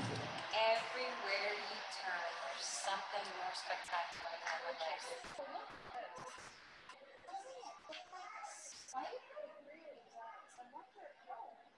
Hi, good morning. Oh, of course. Um, it is a chrysanthemum and you were pretty close because it is a spider chrysanthemum. Oh, I'm, I'm Lauren. If you have any questions at all today, please let me know. I've been working in horticulture here for a few years, so I can come up with some good answers. Oh, wow. Thank you so much.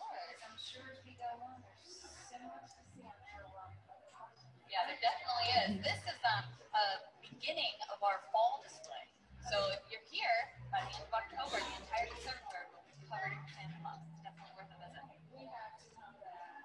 If you need anything else, please let us know. Enjoy your day.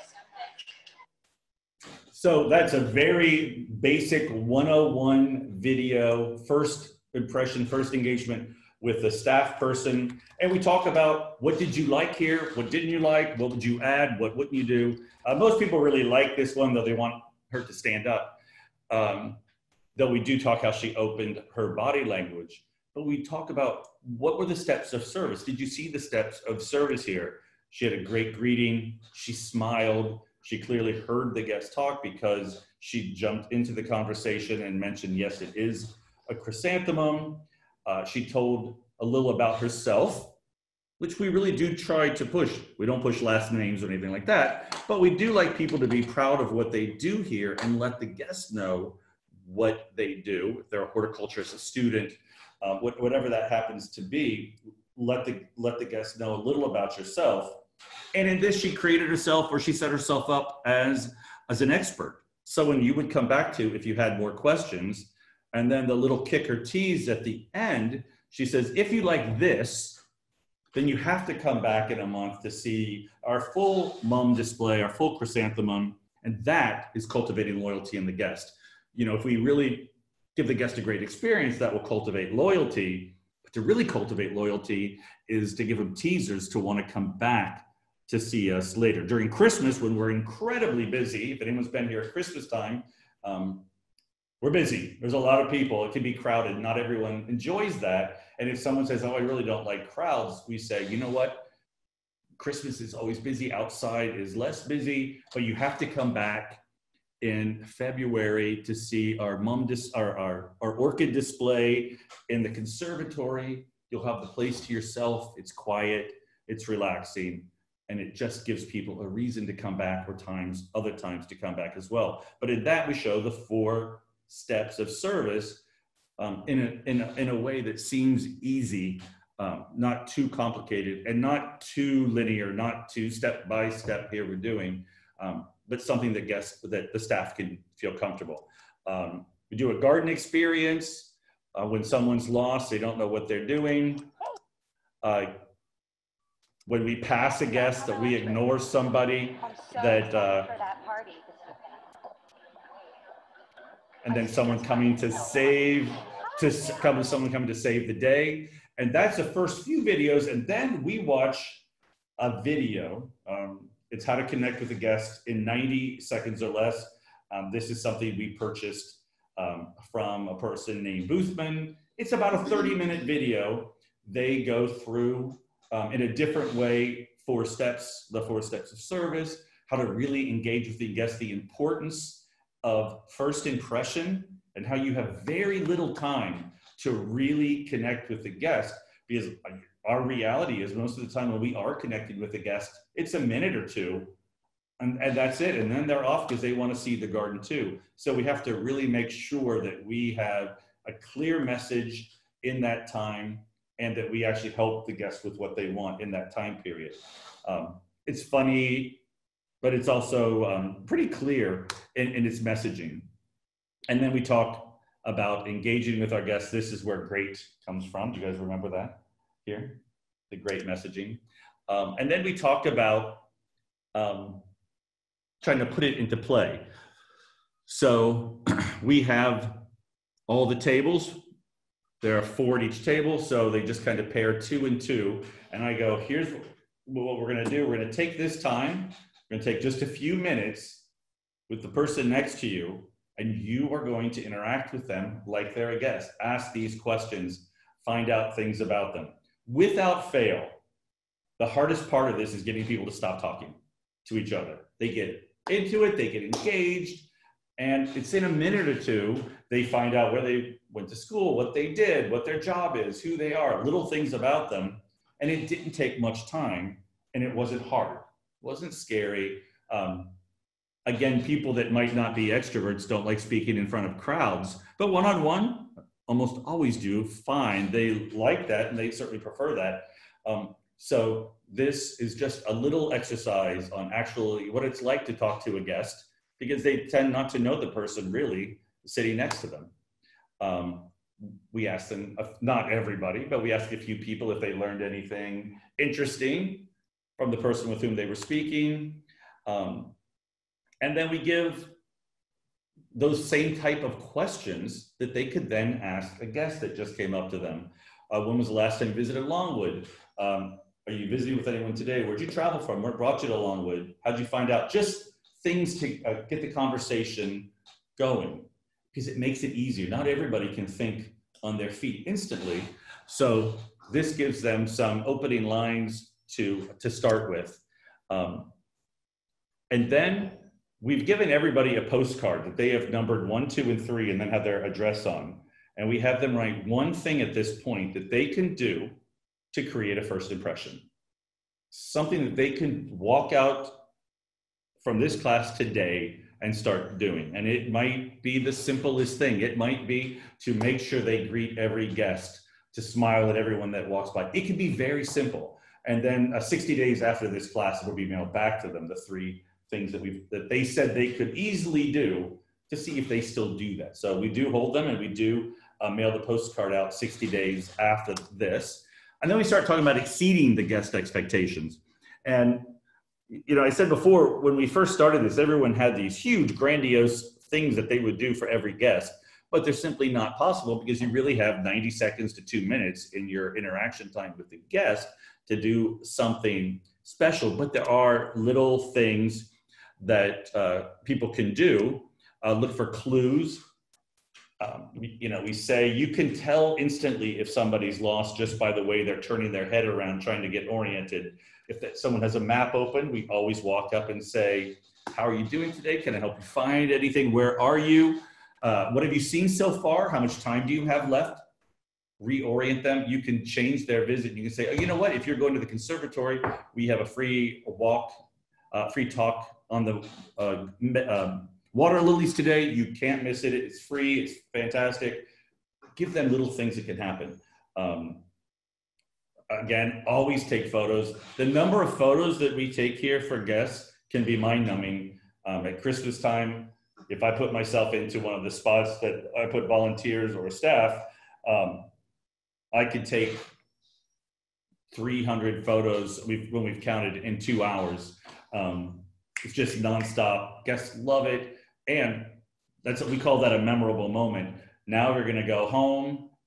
They have a picture of the whole family together in a beautiful spot and we get comments on that all the time on our surveys. It's the only picture we have of the whole family. And invariably, there was something special happening that day. It was our, our parents' 50th wedding anniversary. It was grandma's 75th. It was the first time we've had the family together in five years. So we don't know all of that, but the little things we do really can add up easily and make a memorable moment for the guests. And memorable moments really help to build loyalty. A photo in someone's house of Longwood and the whole family really builds uh, loyalty.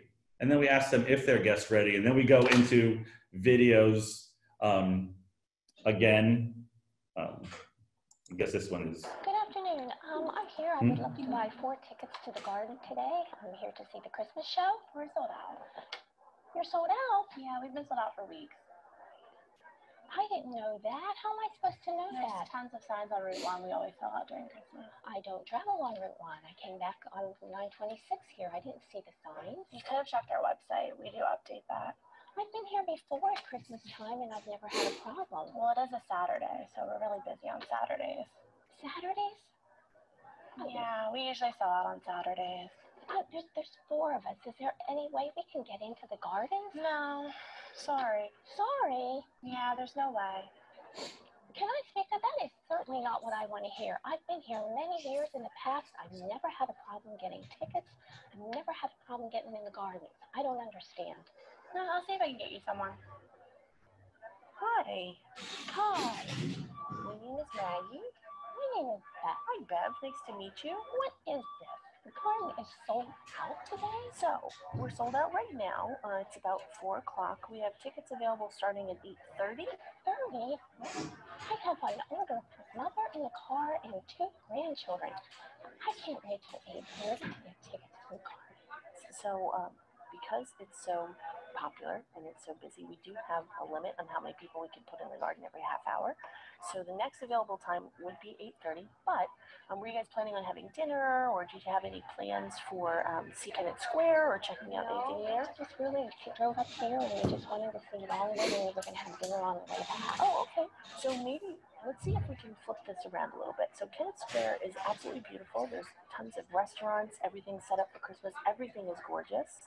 So maybe we can get you set up with reservations at one of the restaurants down in Kennett, and we can sell you the ticket for 8:30. You can do dinner first, and then come back here when the sun is totally down and those lights are gorgeous, and we can get guys in to see the light. That's really not what I wanted to hear. That is unacceptable. I, there must be somebody else that can give me a better idea of what I can do today. I want to get into the gardens. That's all I want to do. And we can get you in at 8:30, um, but that would be the earliest time we'd be able to do that. I'm gonna have to talk to my family. Okay, so um, my name is Maggie. Talk to your family, see what you want to do, and then come back and see me. I'll be right here. Okay, thank you. You're welcome. All right, I love that video. It's uh, kind of our worst case scenario, but we found that if we just do happy, great, here's a great job videos, you really don't see what it's like when someone isn't friendly, when someone isn't hopeful. Uh, that person that kept saying, we're closed, we don't have anything, is actually the nicest person in the world. So it was very hard for her to make that video, but you can really see what does bad service look like? And does it make you uncomfortable? Well, good, it should make you uncomfortable. You're right for the job here if that makes you uncomfortable. Um, and then how we might deal uh, with resolution. And that's not always hard. And that for us is our worst case scenario when we are sold out, we're maxed out. Um, we sell tickets by the half hour here, time tickets by the half hour here. Um, and if we are sold out, that means we're scanning a thousand people every half hour into the gardens and parking them. So uh, worst case scenario for us, but it's really good. It brings up some great conversations with uh, the team, with the, the people going through this class on how can we do this better? Do we need to do it this way? Um, and it can be a learning for us as well. Uh, the good, the guest experience. Then we go through um, issues where someone's like, they're mad at us, so they say they're gonna post on Facebook social media issues, how we handle that here. Um, not going to go through that. That was kind of scary. Uh, guest experience, someone with mobility issues. Here we go over two different things. Um, it's a mobility, people have a mobility issue and they need to get around, and someone really not knowing the answer to something they absolutely should know, and how that just makes the situation more awkward and uncomfortable. Um, and cultivating loyalty. What can we do to cultivate loyalty in our guests. Now, we would say if we did the first three things right, and the garden's beautiful and everything's clean and efficiently run, and they got in quickly, that we uh, will cultivate loyalty that way. But what are the other things that we can do? Why are guests loyal to the gardens? Um, and we ask them as well because uh, many of them have said they've been coming here forever. They were brought here as children.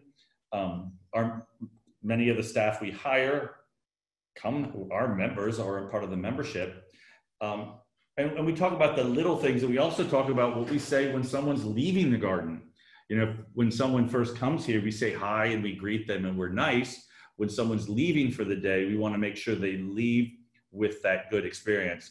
Um, people tend to remember their approach, their start of a visit, and the end of a visit. Those things are, are always in the forefront of someone's memory of a place and you could have a great visit throughout and mess up on the exit. So we're like, how was your visit? Did you have a good time? What was your favorite part?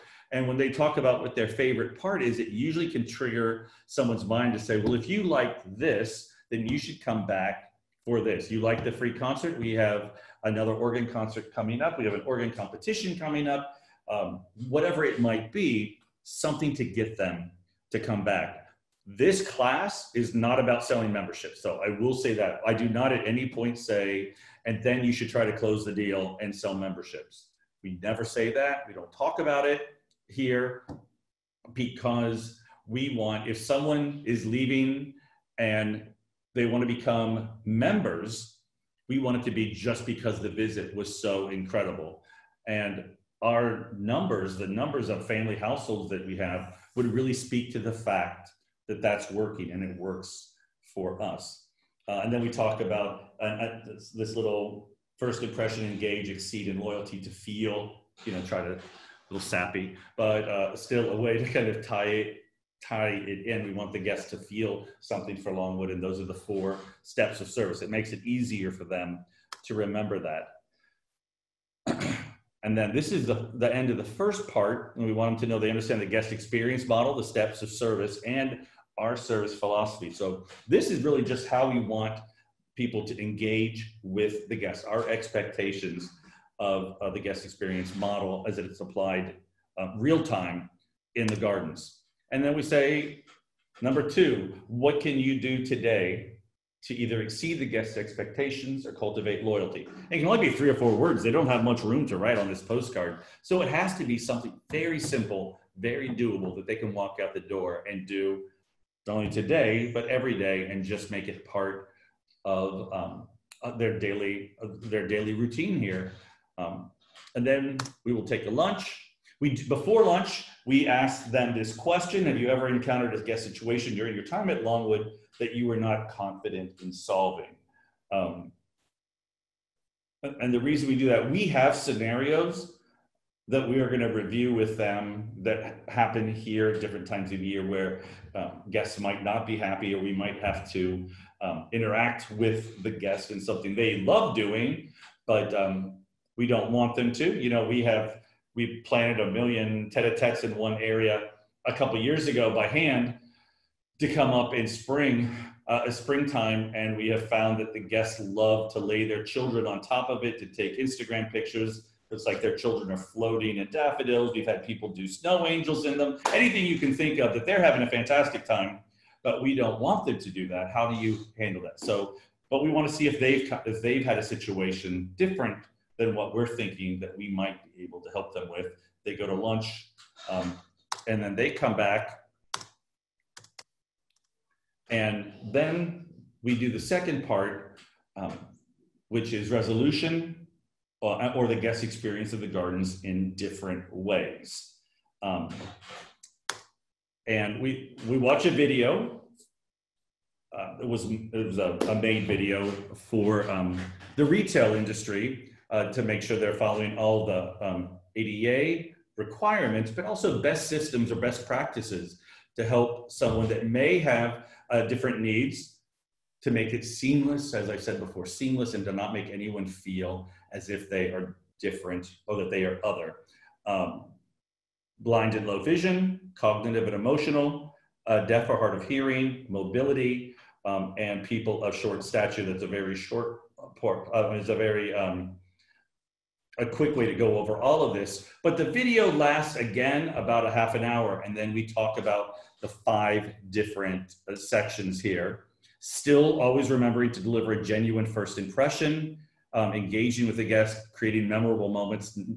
That there's nothing different um, in how our core values of interacting with each guest is. We watch the video, and then we talk about what we learned during that time. And then we break it down into each section, blind and low vision, uh, visual cues, sight devices, the difference between a white cane and a white and red cane. White cane means someone has a visual, um, might have a visual impairment, where white and red means it's both hearing and visual. Service dogs, etiquette with service dogs.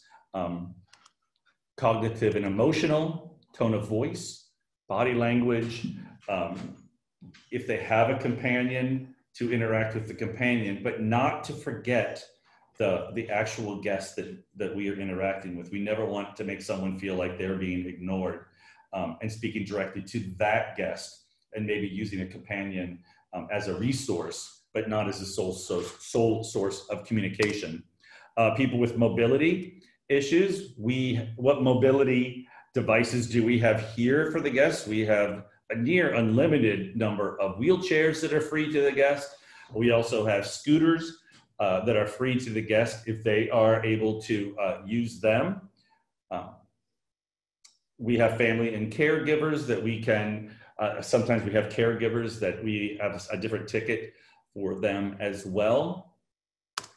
Deaf and hard of hearing, uh, what is acceptable, unacceptable contact, um, touching, trying to get someone's attention that might be hard of hearing, notepads, cell phone tablet, writing on your writing on your cell phone. What are the easy, easy things that anyone can do uh, to interact, uh, to communicate with someone that may have a, be hard of hearing, have a hearing loss? Um, this one is uh, not to. Um, it says you can get on your knees to talk to them, but that seems we've all felt that to be uh, somewhat demeaning, but to sit on a chair, to not get too close and over and um, get too close and like look down to almost seem to overpower, but step back far enough. Very simple things uh, there. And then the international guest. And this is the international guest, that part's not here yet. Um, that's going to be part, uh, that's going to be part of the presentation come April. And that part is going to take at least an hour, if not an hour and a half, uh, to review with the guest at that time. So that's up and coming. That's the newest section. Uh, marketing actually has that now, and they are putting the perfect PowerPoint skin on it right now to match everything else. And then we talk about the toolbox. What does the staff have available to them today and every day here to best interact with the guest should they need anything? Uh, and that can also go to health as well, health and safety. And that, that that's point two.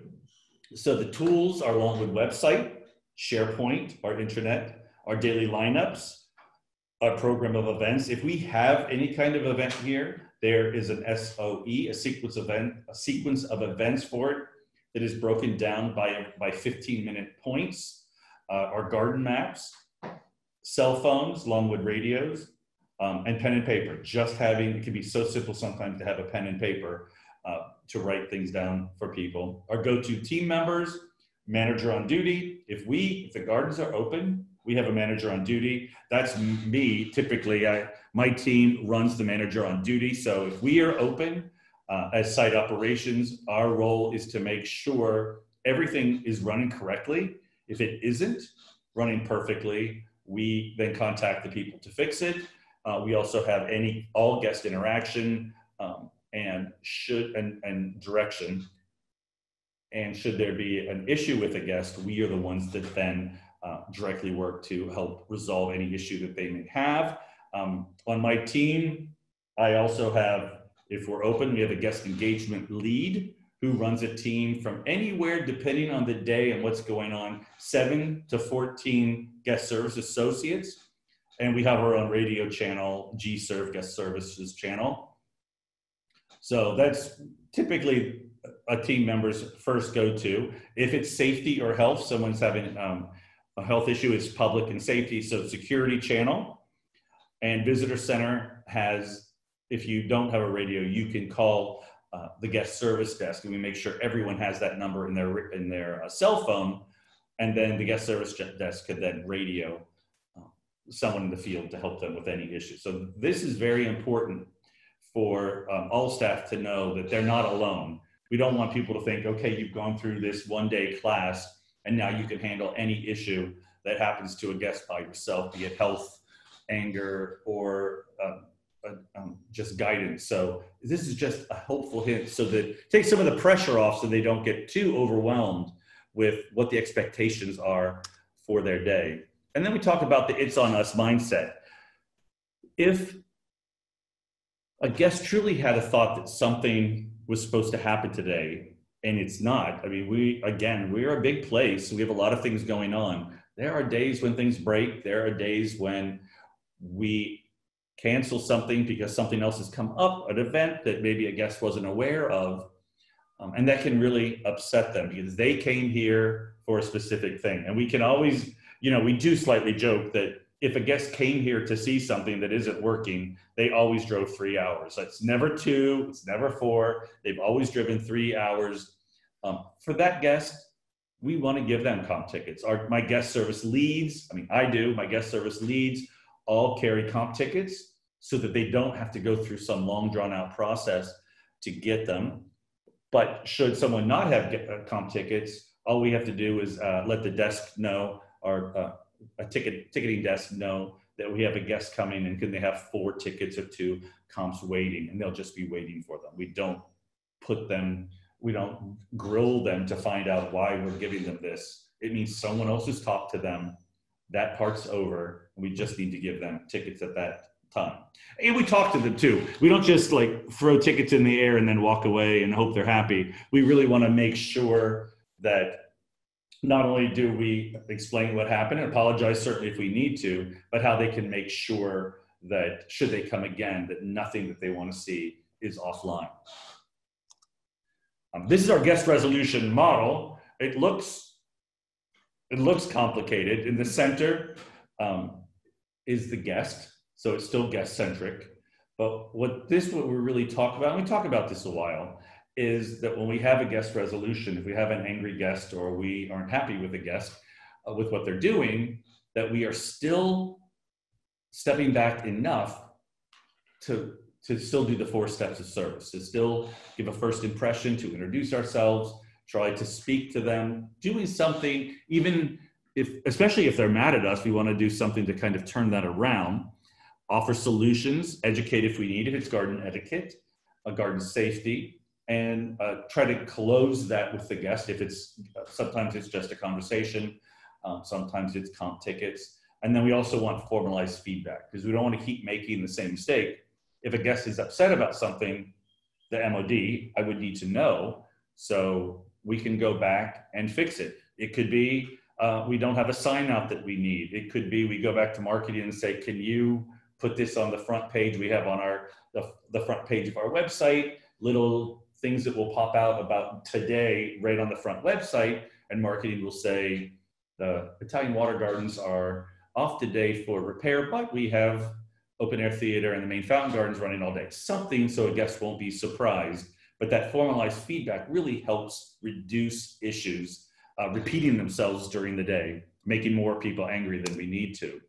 Uh, this is a much nicer video where she actually helps the guest. Um,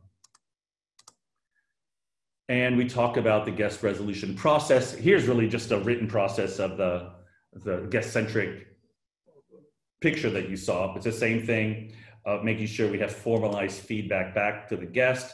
This is a video about a guest having a health emergency and how we handle that. Um, and how does, we talk then about, and Mark Griswold would love this part more, how does Longwood receive guest feedback? And just some interesting little data on feedback. Um, 52% of people that are angry with an organization statistically never let that organization know. They could go certainly on social media um, and probably do, but they don't um, formalize that. They don't make a formal complaint with anyone that works at the organization. 43% communicate to an employee um, who may or may not do a darn thing about it, and they certainly are not in a position to make a difference. It would be like um, yelling at the person who's scanning your groceries at the grocery store at the cost of something. They didn't make the price. They're not going to tell anybody. You really just wasted your time. Only 5% people typically will make um, a registered complaint to management. Um, and that in no means means that management is then going to respond to them. We do say we do respond.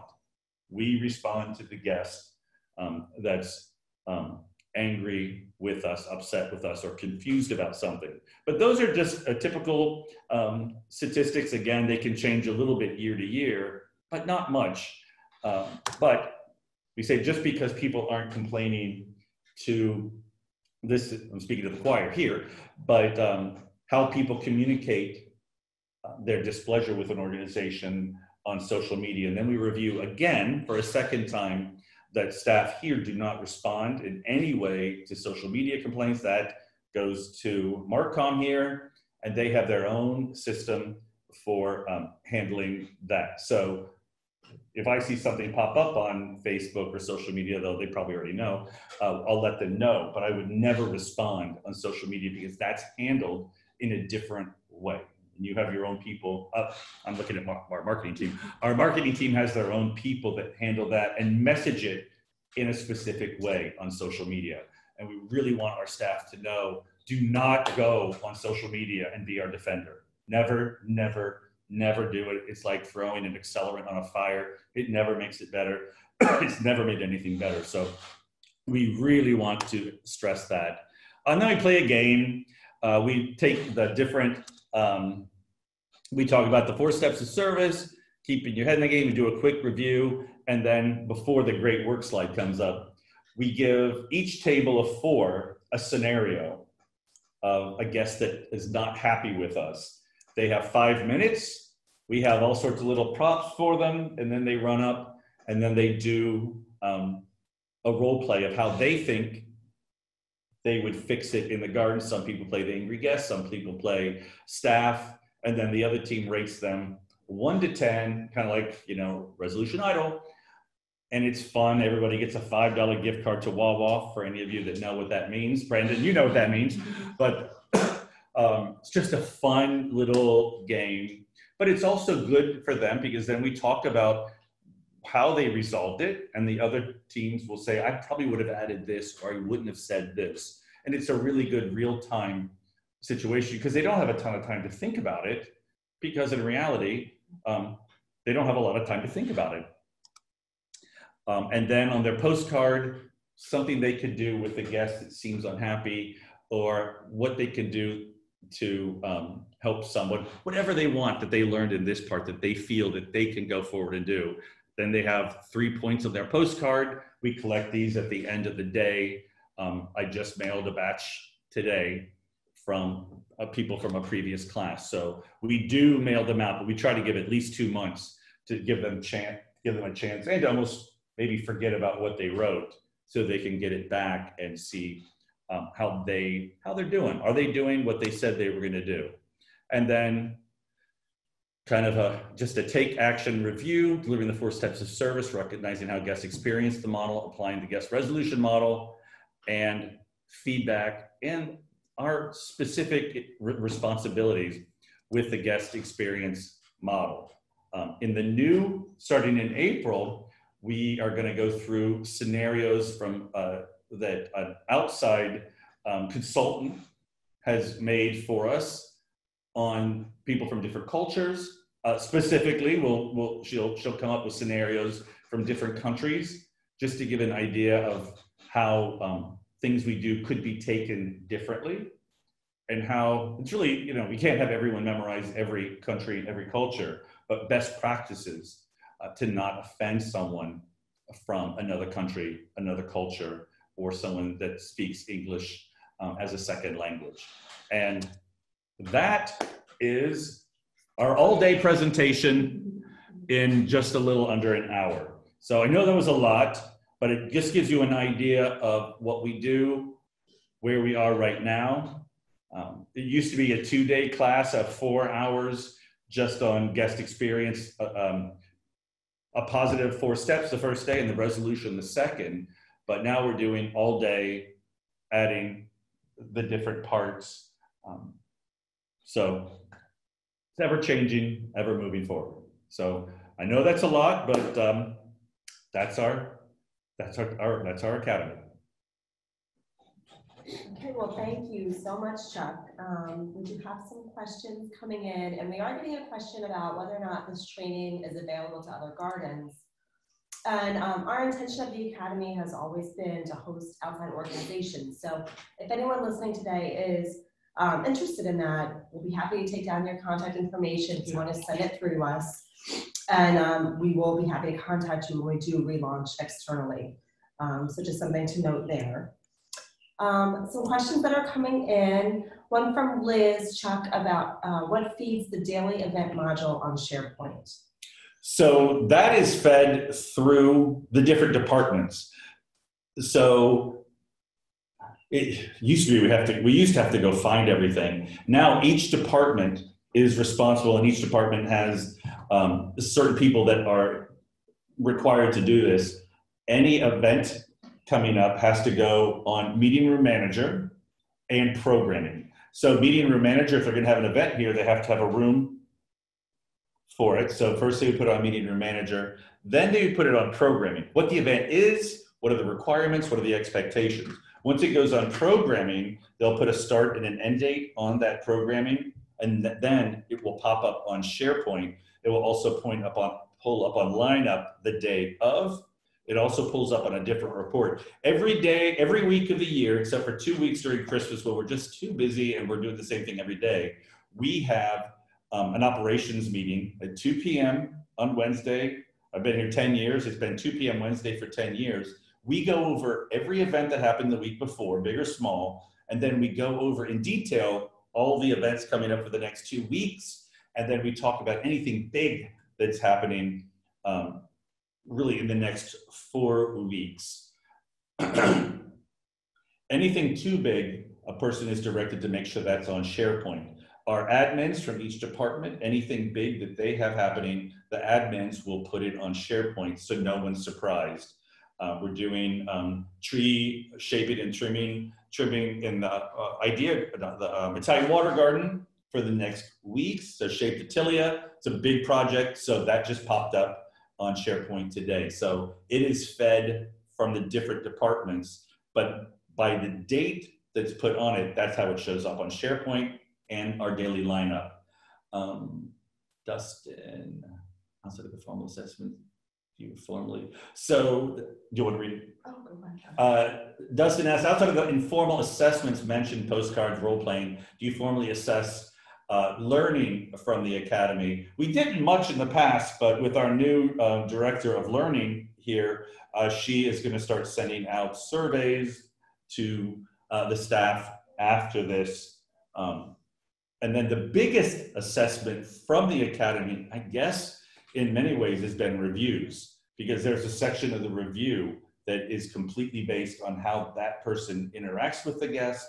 Um, and that's really up to their supervisor to, uh, to bring that forward.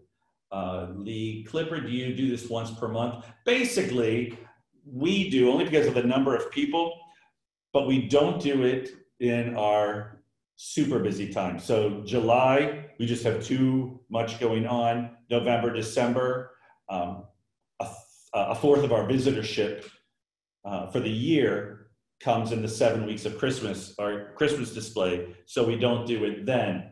Um, at smaller gardens, it depends how many people you have. You know, we do 20 at a time. So for us, it's gonna, it takes forever to get everyone through. It took us forever to get everyone through.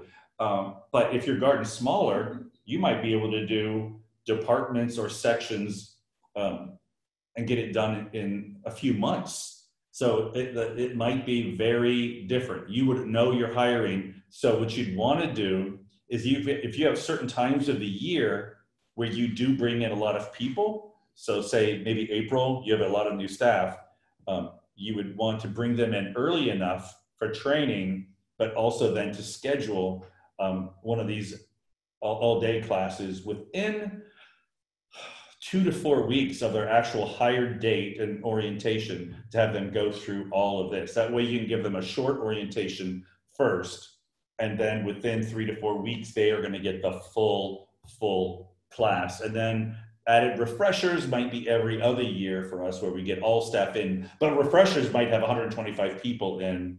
We're not trying to do um, 25 at a time. Again, it's just absolutely impossible for us. Uh, someone anonymous asked, do senior managers, directors, and other executives take the same training throughout the year? Absolutely. The first team to go through the Guest Experience Academy was uh, uh, our president, Paul, his senior team, and their leadership team, which came to right about 2024. So they, uh, they will see the they'll see the class as kind of a beta class first. All refreshers, they get the first run, but then they come to all of these as well because uh, they are now going to manage and review their staff based on these uh, refresher expectations or guest service expectations. So they need to know as well as everyone else. They are all expected to come. And this goes back to buy in. You know, if your senior team doesn't feel they need to go, they haven't bought in because they would want to at least be seen by their team to know that they are part of it.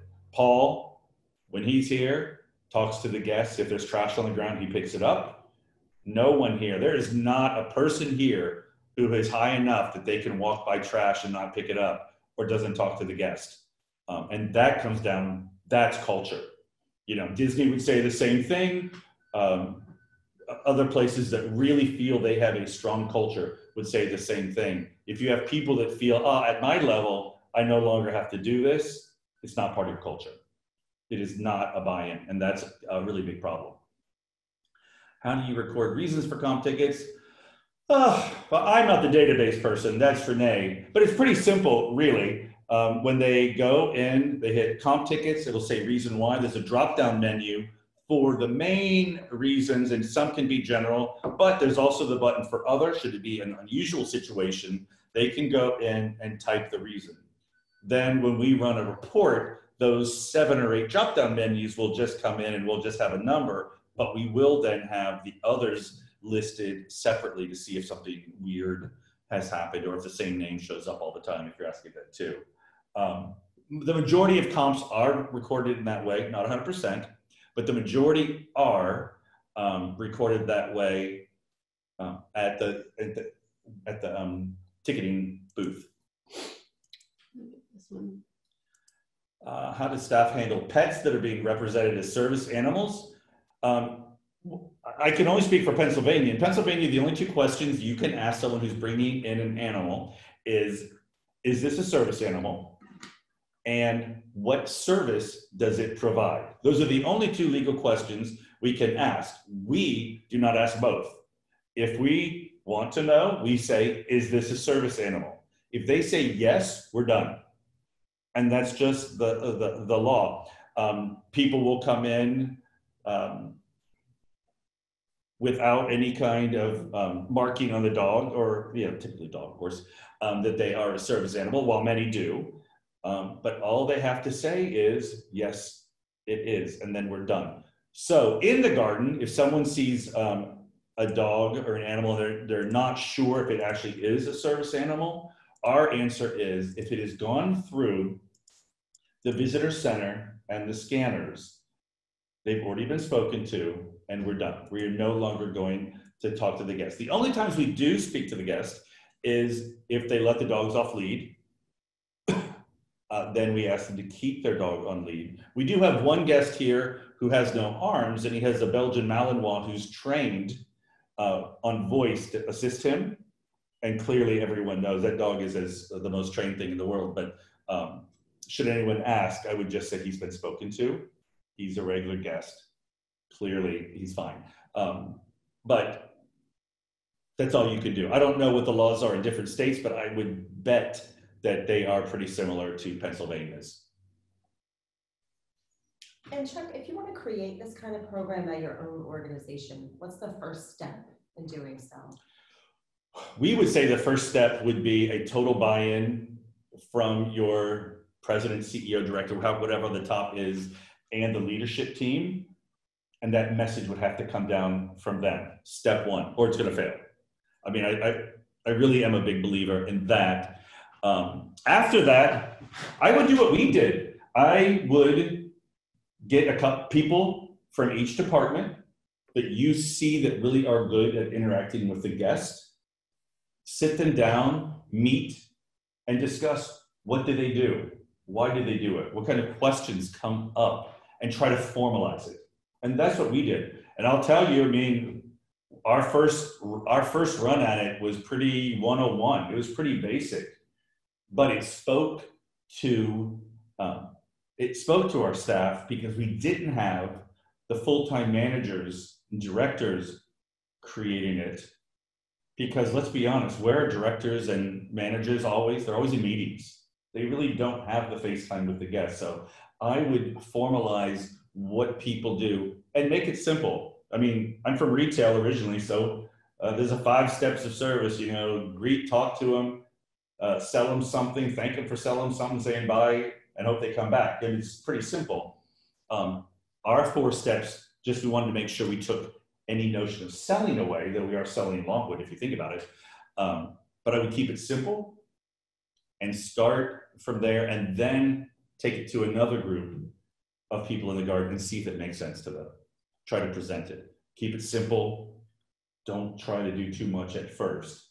Uh, make your own videos that are based on your own garden and the experiences that you have there.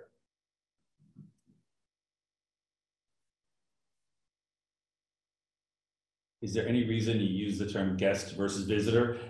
Guest just, it's the idea of a guest in your home it, it, just the, I, the idea of making it a little more personable. I remember going back, whew, it's going back decades, back to the Williams Sonoma Pottery Barn age um, when I was young and I worked there. And I remember they made a video of people. It was just, you didn't know what was happening. You just saw people going to a door and knocking on a door. And they, the door just kind of opened up and they walked in and it was packed full of people at a big party and everybody laughing and doing stuff, but they didn't know what was going on. And you just see them kind of walking around. It's uncomfortable. Um, and you feel the discomfort. Didn't even last two minutes. The next video was the exact same scenario, the same people walking to a door, knocking on the door. A friendly face opens the door. Welcome, let me grab your coats. Here are the drinks. Do you know Bob and Sue? Here's John and Mike. Do you know these people? And everybody's starting to interact, talking. And I said, would you ever have a guest? Would you have a guest to your house and treat them the first way? Just hope they find everything else. Absolutely not. Well, don't treat them that way here. A visitor is just someone walking onto your property. A guest, we want to tr- try to create a connection. So for us, that's why we say guest. Okay, well, thank you everyone for your questions. And once again, Chuck, thank you for your fantastic session. And with that, we've come to the end of our Marketing and Communications Community e-conference. Thank you so much for joining us today. Um, please note that you'll be receiving a short survey via email tomorrow, asking about your experience with today's webinar. And you'll also be receiving a link to today's, to today's entire e-conference recording in the coming week. Thank you so much.